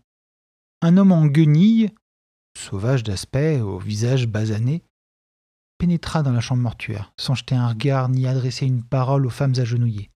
Il s'approcha du corps immobile et blanc où l'âme pure de Luciférier avait résidé. Il se pencha et baisa le front glacé. Puis il s'empara de la main de la morte et en arracha l'alliance en rugissant On ne l'enterrera pas avec. Avant que les veilleuses n'eussent le temps de donner l'alarme, il s'était éclipsé. L'incident leur sembla si étrange, il avait été si soudain qu'elles auraient pu se croire dupes d'une illusion, sans un fait indéniable la disparition de la non-nuptiale. Jefferson Hope s'attarda plusieurs mois dans les montagnes. Il menait une vie sauvage tout en nourrissant un ardent désir de vengeance. En ville, les histoires se multipliaient sur l'être mystérieux qui rôdait aux abords de la cité et qui hantait les défilés solitaires de la montagne. Un jour, une balle tirée par la fenêtre s'aplatit sur le mur, à quelques centimètres de Stangerson. Une autre fois, Dreber passait le long d'un escarpement et une grosse pierre tomba près de lui. Il n'avait échappé à une mort affreuse qu'en se jetant par terre les deux jeunes mormons n'hésitèrent pas à mettre un nom sur l'auteur de ces attentats. Pour le capturer ou le tuer, ils organisèrent plusieurs expéditions dans les montagnes. Sans succès. Ils n'osaient plus se montrer seuls, ni sortir après la tombée de la nuit. Ils firent garder leur maison. Au bout d'un certain temps, leur vigilance se relâcha. Leur ennemi n'avait plus donné signe de vie. Ils se prirent à espérer qu'il avait perdu de sa férocité. Au contraire, son appétit de vengeance, loin de diminuer, s'était exaspéré. Il dominait son esprit au point que tout autre sentiment en était banni. Mais Jefferson Hope était par-dessus tout un homme pratique. Bientôt, il se rendit compte que sa constitution, si robuste qu'elle fût, ne résisterait pas aux rigueurs des saisons et au manque de nourriture saine. Peu à peu, il perdait ses forces. Comment pourrait-il se venger s'il mourait comme un chien au milieu des montagnes? Or, c'était ce qu'il attendait, pour peu qu'il s'obstinât à mener cette existence. Ferait-il donc le jeu de ses ennemis? Il retourna dans le Nevada pour rétablir sa santé et amasser un peu d'argent. Ensuite, il pourrait se consacrer tout entier à son projet. Il avait compté revenir au bout d'une année, mais un enchaînement de circonstances imprévues le retint cinq ans dans la région des mines. Ce temps écoulé n'avait pas estompé le souvenir des torts qu'on lui avait faits, et il souhaitait autant se venger que lors de cette nuit inoubliable qu'il avait passée près de la tombe de John Ferrier. Il regagna Salt Lake City sous un déguisement et un nom d'emprunt. Peu lui importait sa vie. L'essentiel était qu'il se fît justice. En arrivant chez le peuple élu, il apprit de mauvaises nouvelles. Un schisme avait éclaté quelques mois auparavant. Plusieurs des plus jeunes membres de l'Église s'étaient rebellés contre l'autorité des anciens, et un certain nombre de mécontents avaient quitté l'Utah pour se faire gentils. Dreber et Stangerson étaient parmi ceux-là. Personne ne savait où ils se trouvaient. D'après la rumeur publique, Dreber s'était arrangé pour convertir en argent une grande partie de ses propriétés. Il était parti bien nanti. Au contraire, Stangerson, qui l'accompagnait, était relativement pauvre. Là se bornaient les renseignements que Jefferson Hope recueillit.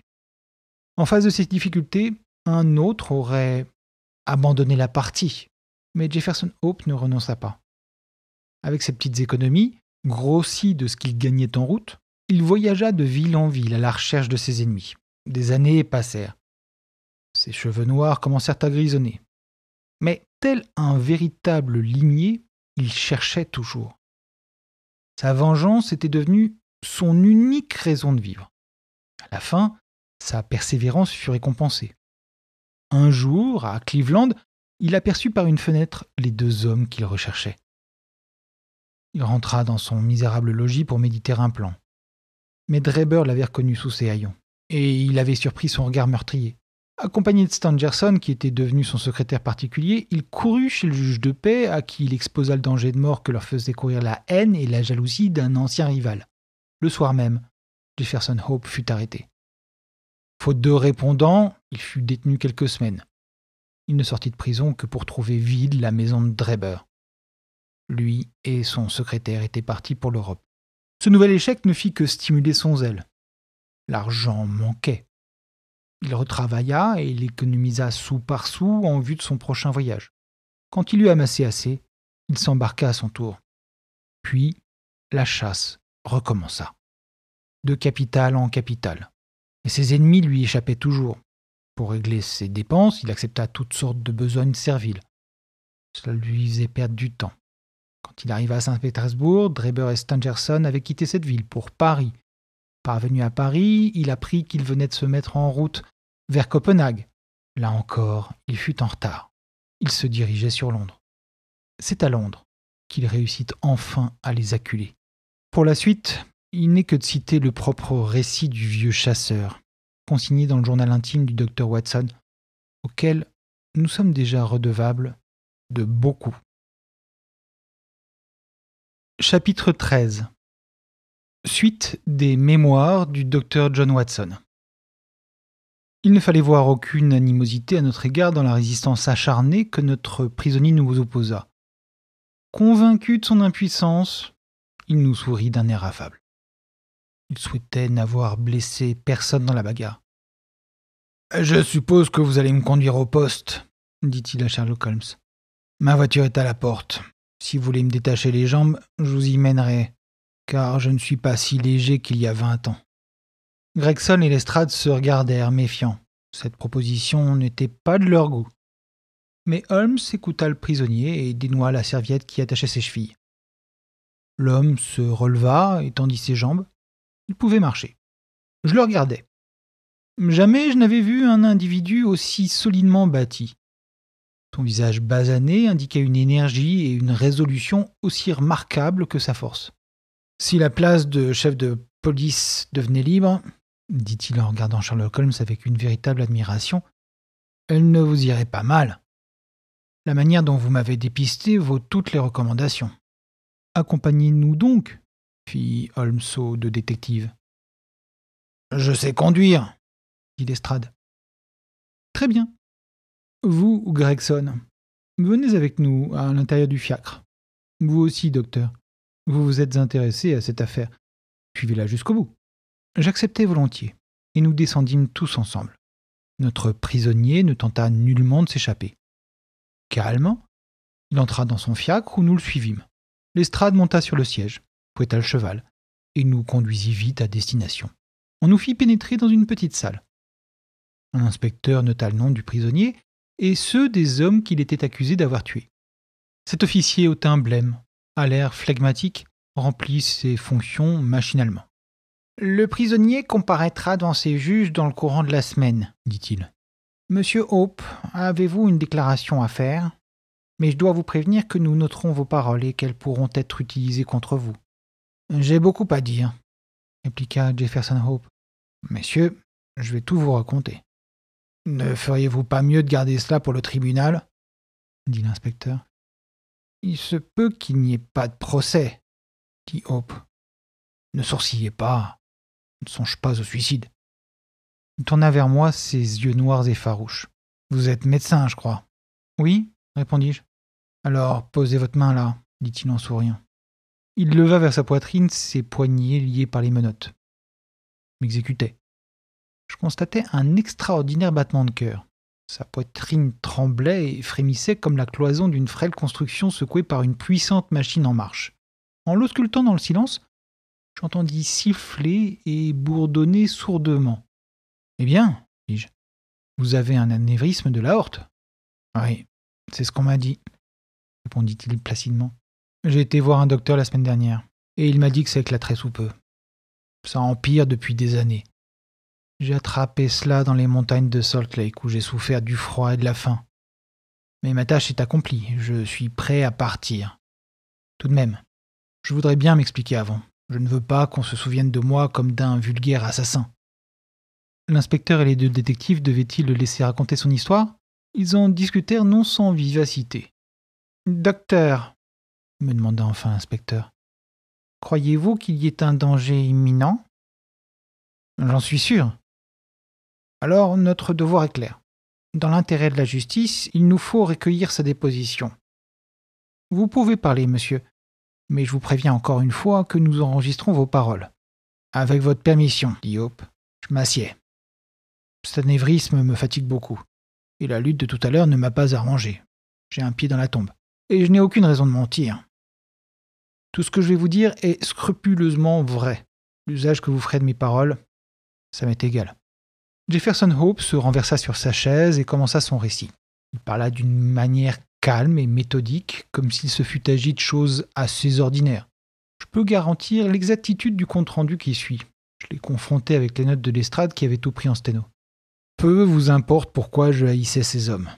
Je vous dirai seulement qu'ils étaient coupables du meurtre de deux personnes, le père et la fille, et qu'ils l'ont payé de leur vie. C'était un crime trop vieux pour que j'en appelle à un tribunal quelconque. Mais comme je savais qu'ils étaient coupables, je décidai que je serais, à moi tout seul, le juge, le jury et le bourreau. Si vous avez du cœur au ventre, vous auriez agi comme moi. La jeune fille était ma fiancée il y a vingt ans. On la maria de force à Dreber. Elle en mourut, le cœur brisé. Je fis glisser l'alliance du doigt de la morte et je me jurai de la mettre sous les yeux de son bourreau au moment de sa mort. Elle lui rappellerait son crime, et il saurait pourquoi je le punissais. Je portais l'alliance toujours sur moi. J'ai cherché ce misérable et son complice à travers les deux continents. Enfin, j'ai pu les joindre. Ils avaient cru que je me fatiguerais, mais ils se sont trompés. Si je meurs demain, ce qui est probable, je mourrai content. Ma tâche est faite, et bien faite. Ils sont morts tous les deux de ma main. Il ne me reste plus rien à espérer ni à désirer. Ils étaient riches, et j'étais pauvre. Il m'était difficile de les suivre. Quand j'arrivai à Londres, je n'avais plus le sou. Je me mis en quête d'un emploi. Conduire un cheval ou une voiture est pour moi une chose aussi naturelle que de marcher. J'allais donc chez un loueur qui m'employa. Chaque semaine, je devais remettre tant à mon patron. Le surplus était pour moi. C'était peu, mais je m'arrangeais pour joindre les deux bouts. Le plus difficile, c'était de m'orienter. Quel mini Londres J'avais un plan sous la main cependant. Quand je sus bien situer les gares et les principaux hôtels, cela commença à marcher. Je mis un certain temps à trouver le domicile de mes deux gentlemen. Je cherchais, cherchais. Ils étaient logés dans une pension à Camberwell, sur l'autre rive. Là, ils étaient à ma merci. J'avais une barbe. Ils ne pouvaient pas me reconnaître. Je voulais les pister jusqu'au moment favorable. J'étais bien décidé à ne pas les laisser s'envoler. Oh Ils ont été bien près de le faire. Pourtant, j'étais continuellement sur leurs talons. Parfois, je les suivais à pied, d'autres fois avec mon fiacre. Cette manière était la meilleure, alors ils ne pouvaient pas me semer. Ce n'était que tôt le matin et tard le soir que je pouvais gagner quelque chose. Je commençais à être en dette à l'égard du patron, mais ça m'était égal. La seule chose qui comptait était que je mette la main sur mes bonhommes. J'avais affaire à des gens rusés. Ils avaient sans doute peur d'être suivis car ils allaient toujours ensemble. Et, la nuit tombée, ils ne sortaient plus. J'ai suivi avec mon fiacre quinze jours durant, et jamais je ne les vis l'un sans l'autre. La moitié du temps, Dreber était ivre, mais Stangerson veillait. J'avais beau les guetter, jamais l'ombre d'une chance ne se présenta. Je ne me décourageais pas. Quelque chose me disait que l'heure de la vengeance approchait. Ma seule crainte était que ce truc dans ma poitrine éclate un peu trop tôt, et que je n'ai pas le temps d'agir. Enfin, un soir que j'allais et venais sur Torquay Terrace, leur rue, je vis un cab s'arrêter à leur porte. On le chargea de bagages. Puis Dreber et Stangerson montèrent et la voiture démarra. Je fouettais mon cheval et je les suivis loin. Peut-être allait-il quitter Londres? J'étais inquiet. Ils descendirent à la gare d'Houston. Je confiai mon cheval à un gamin et je les suivis sur le quai. Ils se renseignèrent sur l'heure des trains pour Liverpool. Un train venait justement de partir il n'y en aurait pas d'autre avant quelques heures. Stangerson parut très fâché de ce retard et Dreber content. J'étais si près d'eux, parmi la foule, que je pouvais entendre ce qu'ils disaient. Dreber avait une petite besogne à terminer. Il demanda à Stangerson de l'attendre. Il ne serait pas long. Mon compagnon lui rappela qu'ils étaient convenus de ne jamais se séparer. Il s'agit d'une affaire délicate, dit Dreber. Je dois être seul pour la traiter. La réponse de l'autre m'échappa. Mais Dreber se mit à jurer. Entre autres, il rappela à son compagnon qu'il n'était que son employé. Il n'avait pas d'ordre à recevoir de lui, n'est-ce pas? Le secrétaire le laissa partir. Il se contenta de demander qu'il le rejoigne à l'Holidays Private Hotel au cas où il manquerait le dernier train. Dreber répondit qu'il serait à la gare avant onze heures et il partit. Enfin, mon jour était arrivé. Mes ennemis étaient en mon pouvoir. À deux, ils pouvaient se protéger, mais en séparant, ils se livraient eux-mêmes. Pourtant, j'évitais toute précipitation. Mon plan était déjà arrêté. On ne savoure pas sa vengeance si la victime n'a pas le temps de reconnaître son juge, ni de savoir par qui elle est frappée et pourquoi.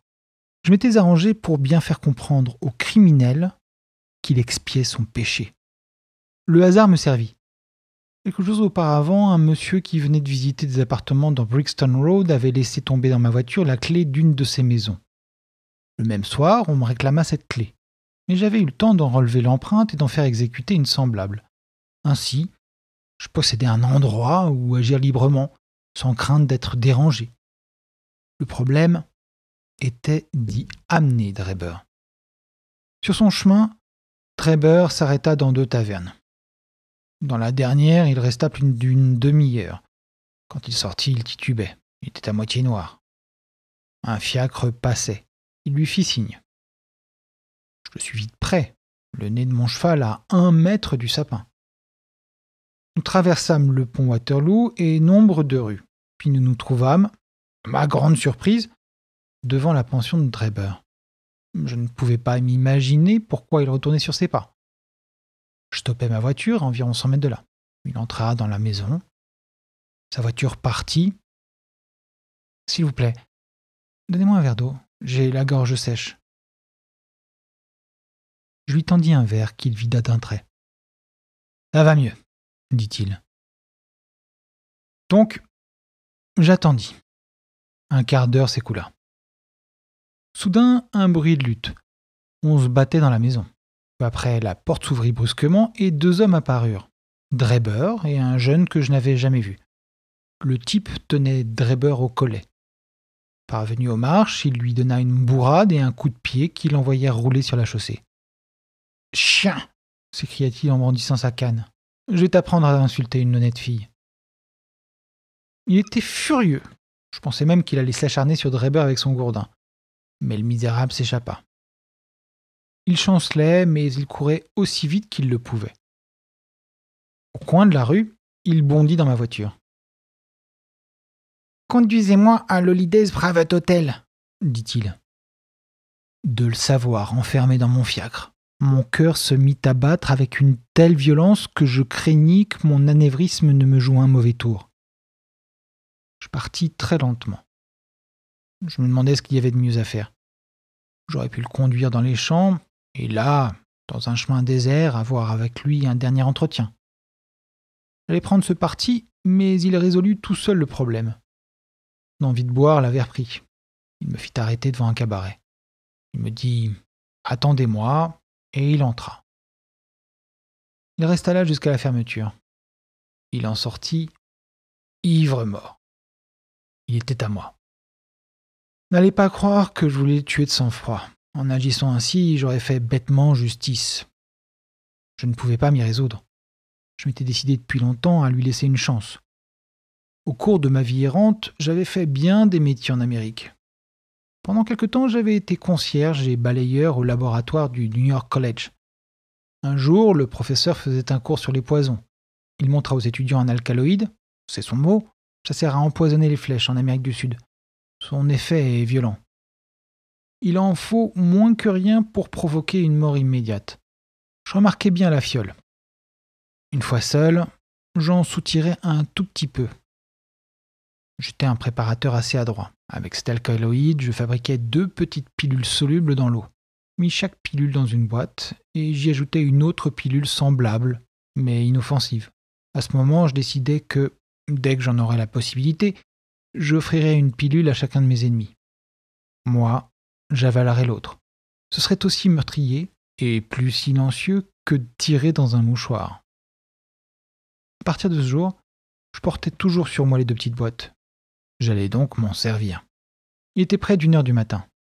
Un vent violent soufflait, la pluie tombait à torrents. Mais malgré la tristesse alentour, je ressentais un tel bonheur que je me retenais avec peine de crier ma joie. Messieurs, si pendant plus de vingt ans vous avez poursuivi un but, et si tout à coup vous voyez que vos désirs sont sur le point de se réaliser, vous comprendrez mes sentiments. J'allumai un cigare pour me calmer. Mes mains tremblaient, mes tempes battaient. Chemin faisant, je voyais dans l'obscurité aussi distinctement que je vous vois ici le vieux John Ferrier et ma douce Lucie qui me souriaient. Ils m'accompagnèrent durant tout le trajet, l'un à droite, l'autre à gauche de mon cheval, jusqu'à notre arrivée à la maison de Brixton Road. Là, il n'y avait pas un chat. On n'entendait pas d'autre bruit que le clapotement de la pluie. Par la portière, je vis Dreber tassé sur lui-même, dormant à point fermé. Je secouai par le bras. Il faut sortir de là. Voilà, voilà, répondit-il. Sans doute se croyait-il arrivé à l'hôtel, car il descendit sans rien dire et me suivit dans le jardin. Je dus le soutenir, car il perdait l'équilibre. La porte franchie, je le fis entrer dans la chambre de devant. Je puis vous jurer que, pendant tout ce temps, je voyais le père et la fille nous montrer le chemin. Il fait noir comme dans un four, dit-il en tâtonnant. Nous allons y voir, répondis-je. Je grattai une allumette. J'enflammai une bougie que j'avais apportée. Maintenant, Enoch Dreber, me reconnaissez-vous? criai-je. Je m'étais tourné vers lui et j'avais approché la bougie de mon visage. Ses troubles yeux d'ivrogne me regardèrent, s'emplirent d'horreur et ses traits se crispèrent. Il m'avait reconnu. Il se rejeta en arrière, pâle comme un mort. J'eus des gouttes de sueur sur son front. Ses dents claquaient. Appuyé contre la porte, j'éclatai de rire. J'avais toujours pensé que la vengeance me serait douce, mais je n'avais jamais espéré ressentir une telle joie. Chien m'écriai-je. Je t'ai suivi depuis Salt Lake City jusqu'à Saint-Pétersbourg, et tu m'as toujours échappé. Mais enfin, te voici arrivé au terme de tes voyages. Il faut que l'un de nous meure avant l'aube. À ces mots, il recula encore et je vis à mon air qu'il me croyait fou. En fait, je l'étais. Mes artères me battaient aux tempes comme des marteaux. J'aurais eu une attaque si je n'avais abondamment saigné du nez. Te rappelles-tu, Luciférier hurlai-je en fermant la porte et en agitant la clé sous son nez. L'expiation s'est fait attendre, mais elle arrive. Je vis ses lèvres trembler. Il m'aurait supplié de l'épargner s'il ne s'était pas rendu compte qu'il ne pourrait pas me fléchir. Oseriez-vous m'assassiner? Bégaya-t-il. T'assassiner? On n'assassine pas un chien enragé. As-tu pris en pitié ma fiancée quand tu l'as arrachée à son père pour l'entraîner dans ton harem infâme? Ce n'est pas moi qui ai tué son père hurla-t-il. Mais c'est toi qui as brisé le cœur de Lucie. Je criai plus fort que lui, puis je lui tendis la petite boîte de pilules. Que le Dieu Tout-Puissant soit notre juge. Choisis, mais avale. Une de ces pilules contient un poison mortel, l'autre est inoffensive. Prendrai celle que tu laisseras. Nous allons voir s'il y a une justice en ce monde ou si nous sommes seulement menés par le hasard. Il s'agenouilla avec des hurlements sauvages. Il me suppliait de l'épargner. Je tirai mon couteau, je lui mis sur la gorge pour le faire avaler la pilule. Pris l'autre pilule, et nous restâmes face à face quelques instants. Qui de nous deux mourrait? Je n'oublierai jamais son expression lorsque l'empoisonnement s'annonça. J'éclatai de rire et lui montrai l'alliance de Lucie. Mais l'effet de l'alcaloïde fut foudroyant. Un spasme douloureux tordit ses traits, il étendit les bras, tituba, puis avec un cri rauque, il s'effondra. Du pied, je le retournai et je mis la main sur sa poitrine. Aucun battement. Il était mort. Pendant tout ce temps, mon nez avait saigné. Je ne m'en étais pas occupé. Je ne sais pas l'idée qui me prit d'écrire avec mon sang sur le mur. Je me sentais joyeux, le cœur léger, et j'imaginais de jouer ce bon tour à la police. Je me souvenais qu'à New York, on avait trouvé le mot Rach écrit sur le corps d'un Allemand assassiné, et les journaux de l'époque avaient accusé les sociétés secrètes. Ce qui avait intrigué les New-Yorkais, pensais-je, intriguerait autant les Londoniens. Alors je trempais mon doigt dans mon sang et j'écrivis le mot sur le mur bien en vue. Je regagnai mon fiacre. Il n'y avait personne. Le temps était toujours abominable. J'avais déjà fait un bout de chemin quand je m'aperçus que je n'avais plus l'alliance de Lucie. Cette découverte me fut un coup terrible. Je n'avais d'elle que ce souvenir. J'ai dû la perdre en me penchant sur le cadavre. Je fis demi-tour, et après avoir laissé ma voiture dans une rue transversale, je courus à la maison, car je voulais retrouver l'anneau coûte que coûte. Je tombais pile sur un agent qui sortait de là. Il me fallut jouer l'ivresse pour ne pas être soupçonné. C'est ainsi que mourut Enoch Dreber. Pour venger la mort de John Ferrier, il ne me restait plus qu'à en faire autant à Stangerson. Je savais qu'il résidait à l'Holidays Private Hotel. Toute la journée, je flânais autour. Mais l'homme resta caché. Sans doute, n'ayant pas vu revenir Dreber à la gare, se méfiait-il. Ce Stangerson était malin et toujours sur le qui-vive, mais il se trompait absolument s'il espérait m'échapper en restant à l'hôtel. Je repérais bientôt la fenêtre de sa chambre. Le lendemain, au petit jour, à l'aide d'une échelle qui se trouvait là, j'y grimpais. Je réveillai Stangerson. Ta dernière heure est venue, lui dis-je. Tu vas payer pour le crime que tu as commis autrefois. Je lui racontai la fin de Dreber et je lui offris les pilules. Au lieu d'accepter cette planche de salut, il se précipita hors de son lit et me sauta à la gorge. En état de légitime défense, je lui portai un coup de couteau en plein cœur. N'importe comment, il devait mourir. Sa main était criminelle. La Providence lui aurait fait choisir le poison. Je n'ai plus grand-chose à dire. Heureusement parce que je suis à bout. Pour retourner en Amérique, il me fallait un peu d'argent. J'ai continué mon métier de cocher. Tout à l'heure, j'étais dans la cour. Un gamin tout déguenillé est venu me dire qu'un monsieur habitant au numéro 221B de Baker Street réclamait une voiture. Sans rien soupçonner, je m'y suis rendu. Pas le temps de dire ouf. Le jeune homme m'avait déjà passé les menottes. Voilà toute mon histoire, messieurs. Vous pouvez me prendre pour un meurtrier. Moi, je tiens que je suis, tout comme vous, un justicier. Nous avions écouté en silence ce récit bouleversant. Les détectives officiels, tout blasés qu'ils fussent, avaient suivi avec un intérêt visible la confession de Jefferson Hope. Un silence tomba. troublé seulement par le crayon de l'estrade qui prenait ses dernières notes en sténo. Quelque chose encore, dit à la fin Sherlock Holmes. Qui était votre complice, cet homme qui est venu réclamer la bague après l'annonce passée dans les journaux? Avec un clin d'œil, le prisonnier réplique Je peux révéler mes secrets, mais je ne voudrais pas causer d'ennui à d'autres. J'ai lu votre annonce, j'étais perplexe. S'agissait-il d'un piège ou bien aviez-vous véritablement trouvé l'alliance? Mon ami eut l'obligeance d'aller voir. Avouez qu'il a rempli sa mission avec adresse. Tout à fait de votre avis, reconnut franchement Holmes. À présent, messieurs, déclara solennellement l'inspecteur, il faut se conformer au règlement. Jeudi prochain, le prisonnier comparaîtra devant les juges. Votre présence sera requise. D'ici là, je suis responsable de cet homme. Il sonna. Sur son ordre, deux gardiens emmenèrent Jefferson Hope. Holmes et moi quittâmes le poste. Un fiacre nous ramena à Baker Street. Conclusion. Nous avions tous été assignés à comparaître devant les juges le jeudi suivant. Mais quand ce jour arriva, ils n'avaient plus besoin de notre témoignage. Un juge supérieur avait pris l'affaire en main.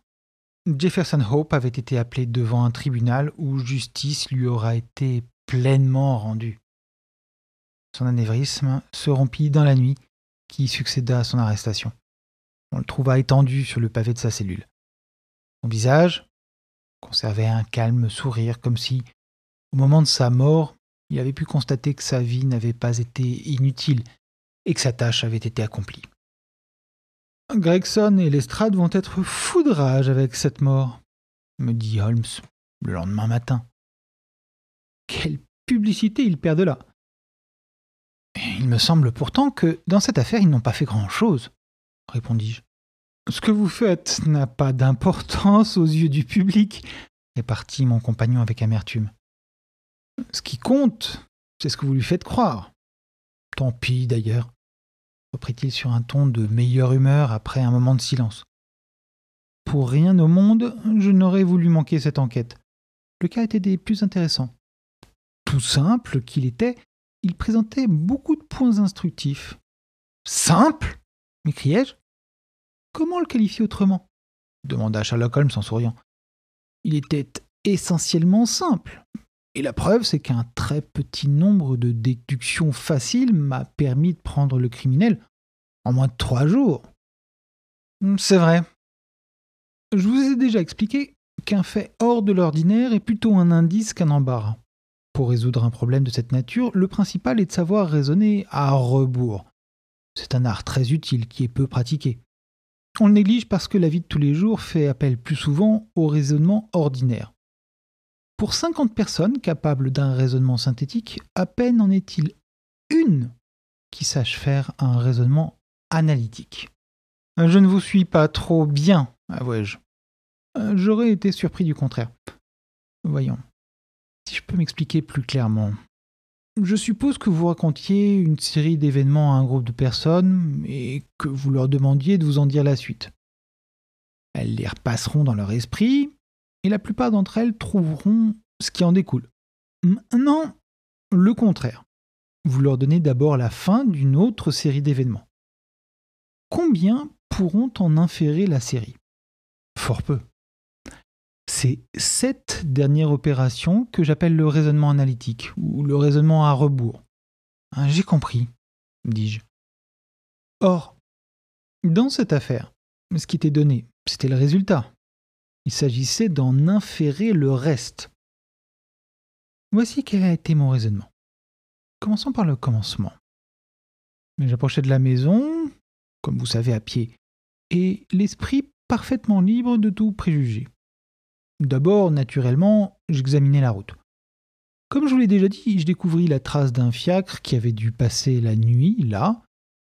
L'enquête vérifia ce fait, du reste m'assurer que c'était bel et bien un fiacre et non une voiture de maître par l'étroit écartement des roues. Le fiacre londonien est en général moins large que le coupé d'un gentleman. Je donnais une première donnée. Ensuite, je marchais lentement dans l'allée du jardin. Le sol argileux semblait fait exprès pour retenir les empreintes. où vous ne voyiez sans doute que de la boue piétinée comme à plaisir, mes yeux exercés interprétaient les moindres marques. Il n'existe pas, dans la science du détective, une branche aussi négligée que l'examen des vestiges. Par bonheur, j'ai tant pratiqué cet art qui est devenu chez moi une seconde nature. Je remarquais les empreintes profondes des agents de police, mais je distinguais encore celles de deux hommes qui avaient traversé le jardin avant eux. Il était évident qu'ils y avaient passé les premiers. De place en place, leurs pas avaient été effacés par les pas des autres. Ainsi, j'établis un second fait d'après lequel les visiteurs nocturnes étaient au nombre de deux. L'un d'une haute stature, calculé sur la longueur des enjambées, et l'autre vêtu d'une manière élégante, à en juger par l'empreinte élégante de son soulier. Cette dernière déduction se confirma quand j'entrai dans la maison. L'homme coquettement chaussé gisait devant moi. Par conséquent, c'était l'autre, je veux dire, le grand, qui avait commis le meurtre, si meurtre il y avait. Le cadavre ne présentait aucun signe de blessure. En revanche, son expression tourmentée laissait croire qu'il avait vu la mort s'approcher. Celle d'un homme emporté par une crise cardiaque ou par toute autre cause naturelle ne traduit jamais une semblable agitation. Je flairais les lèvres. S'en exhalait une odeur aigrelette. J'en inférais qu'il avait été empoisonné de force. Qu'il l'eût été de force se devinait, d'après son visage, à la fois haineux et terrifié. C'est par la méthode d'exclusion que j'étais arrivé à ce résultat. En effet, aucune autre hypothèse ne s'ajustait au fait. D'ailleurs, ne vous imaginez pas que l'idée de faire prendre du poison de force soit bien nouvelle. Elle se retrouve dans les annales du crime. Tout toxicologue se rappellera les cas de Dolsky à Odessa et de Le à Montpellier. Quel était le motif? Voilà le hic. Ce ne pouvait pas être le vol, on n'avait rien pris. La question se posait donc ainsi. Est-ce la politique ou une femme? Cette dernière supposition m'a paru de prime abord comme étant la bonne. Sitôt sa besogne accomplie, l'assassin politique file. Au contraire, l'assassin que je cherchais avait pris tout son temps. De plus, il avait négligé toute précaution. Témoin les nombreuses traces laissées dans la pièce par lui. La politique étant hors de cause, cette vengeance méthodique avait dû être provoquée par une offense personnelle. L'inscription sur le mur, cette attrape-nigo, ne réussit qu'à me confirmer dans mon idée, et ensuite la découverte de l'alliance me donna raison. Sans aucun doute, le meurtrier s'en était servi pour rappeler à sa victime une femme absente, sinon morte, à ce moment-là, je posais une question à Gregson. Dans son télégramme à Cleveland, avait-il demandé si Dreber avait eu des histoires dans le passé? Il me répondit que non. Vous vous souvenez? L'examen minutieux de la pièce confirma mon hypothèse sur la stature du meurtrier. En outre, il me fournit des détails sur les cendres de son cigare et la longueur de ses ongles. Étant donné l'absence de toute trace de lutte, j'en étais arrivé à la conclusion que le sang répandu sur le parquet avait coulé du nez du meurtrier dans son énervement la traînée de sang suivait la trace de ses pas. C'est en général, chez les tempéraments sanguins, qu'une violente colère provoque un tel accident. Je hasardais que le criminel était un type robuste, avec un visage haut en couleur. Je ne me trompais pas, comme on l'a vu par la suite. Une fois dehors, je me dépêchais de faire ce que Gregson avait négligé. Je télégraphiais au chef de la police de Cleveland pour savoir dans quelles circonstances Enoch Dreber s'était marié. La réponse fut concluante. J'appris que Dreber avait déjà invoqué la protection de la loi contre un ancien rival, Jefferson Hope, actuellement en Europe. Là, je tenais la clé du mystère. Il ne me restait plus qu'à prendre le meurtrier. C'était le conducteur du fiacre qui était entré dans la maison avec Dreber. J'en avais la certitude. Les marques sur la route montraient que le cheval avait erré à droite et à gauche. Il avait donc été livré à lui-même. Pendant ce temps, où se trouvait le cocher sinon dans cette maison? Or, un homme censé n'aurait pas commis délibérément son crime en présence d'un tiers. Enfin, pour qui veut pister quelqu'un à Londres, le métier de cocher est tout indiqué. Ma conclusion Jefferson Hope était un cocher de la capitale. En admettant qu'il fût cocher, il ne changerait sans doute pas de métier, du moins pour l'instant, afin de ne pas attirer l'attention sur lui. Vraisemblablement, il continuerait à exercer quelque temps encore. Mais prendrait-il un faux nom? C'était bien improbable. Personne à Londres ne le connaissait. J'organisai une bande de gamins en corps de détective et systématiquement, je les envoyais chez tous les loueurs de voitures, jusqu'au moment où ils me dénichèrent mon homme. Leur réussite et le parti que j'en tirais aussitôt sont encore présents à votre mémoire. Quant au meurtre de Stangerson, je ne l'avais pas prévu. En tout cas, il n'y avait pas moyen de l'empêcher. Alors j'entrai en possession des pilules que j'avais devinées. Voilà. Tout n'est qu'un enchaînement de déductions. C'est merveilleux m'écriai-je. Il faut que vos mérites soient reconnus. Publiez un compte-rendu de cette affaire. Si vous ne le faites pas, moi je le ferai. À votre idée, docteur, répondit-il. Tenez, continua-t-il en me tendant un journal. C'était l'écho du jour, et le paragraphe qu'il me signalait avait trait à l'affaire. Le public a été frustré d'un régal sensationnel par la mort subite du dénommé Hope, l'assassin présumé de messieurs Enoch Dreber et Joseph Stangerson.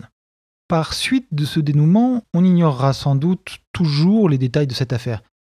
Cependant, nous savons de bonnes sources que le crime a été la conclusion d'une vieille et romantique inimitié où l'amour et le mormonisme ont joué un rôle. Les deux victimes ont fait partie, dans leur jeune âge, des saints des derniers jours. Et Hope, le détenu qui vient de mourir, venait lui-même de Salt Lake City. À tout le moins, cette affaire aura servi à mettre en lumière de la façon la plus frappante la valeur de notre police, et elle fera comprendre à tous les étrangers que, désormais, ils feront bien de vider leurs querelles dans leurs pays respectifs plutôt que sur le sol britannique. C'est le secret de Polichinelle que le mérite de cette prompte arrestation revient entièrement aux célèbres détectives de Scotland Yard, messieurs Lestrade et Gregson. L'individu a, paraît-il, été appréhendé dans l'appartement d'un certain monsieur Sherlock Holmes, qui a lui-même fait preuve de quelques talents comme détective amateur, et qui, avec de tels maîtres, peut espérer rivaliser un jour avec leurs compétences. On s'attend à ce qu'une décoration soit attribuée aux deux agents en juste reconnaissance de leur service. Ne vous l'avais-je pas dit? s'écria Sherlock Holmes en riant aux éclats. Voilà tout le résultat de notre étude en rouge. Nous avons décroché pour ces messieurs une décoration. Peu importe, répondis-je. Tout est consigné dans mes notes, et le public jugera. Pour l'instant, contentez-vous de la bonne conscience que vous donne votre réussite, tel ce pauvre Romain. Qu'importe leur sifflet quand, enchanté, je contemple le spectacle chez moi des trésors de mon coffre. Édition Samarcande vous a présenté une étude en rouge d'Arthur Conan Doyle. Sherlock Holmes 1. Lu par Cyril Godefroy. Retrouvez d'autres romans et recueils de nouvelles d'Arthur Conan Doyle dans votre boutique préférée.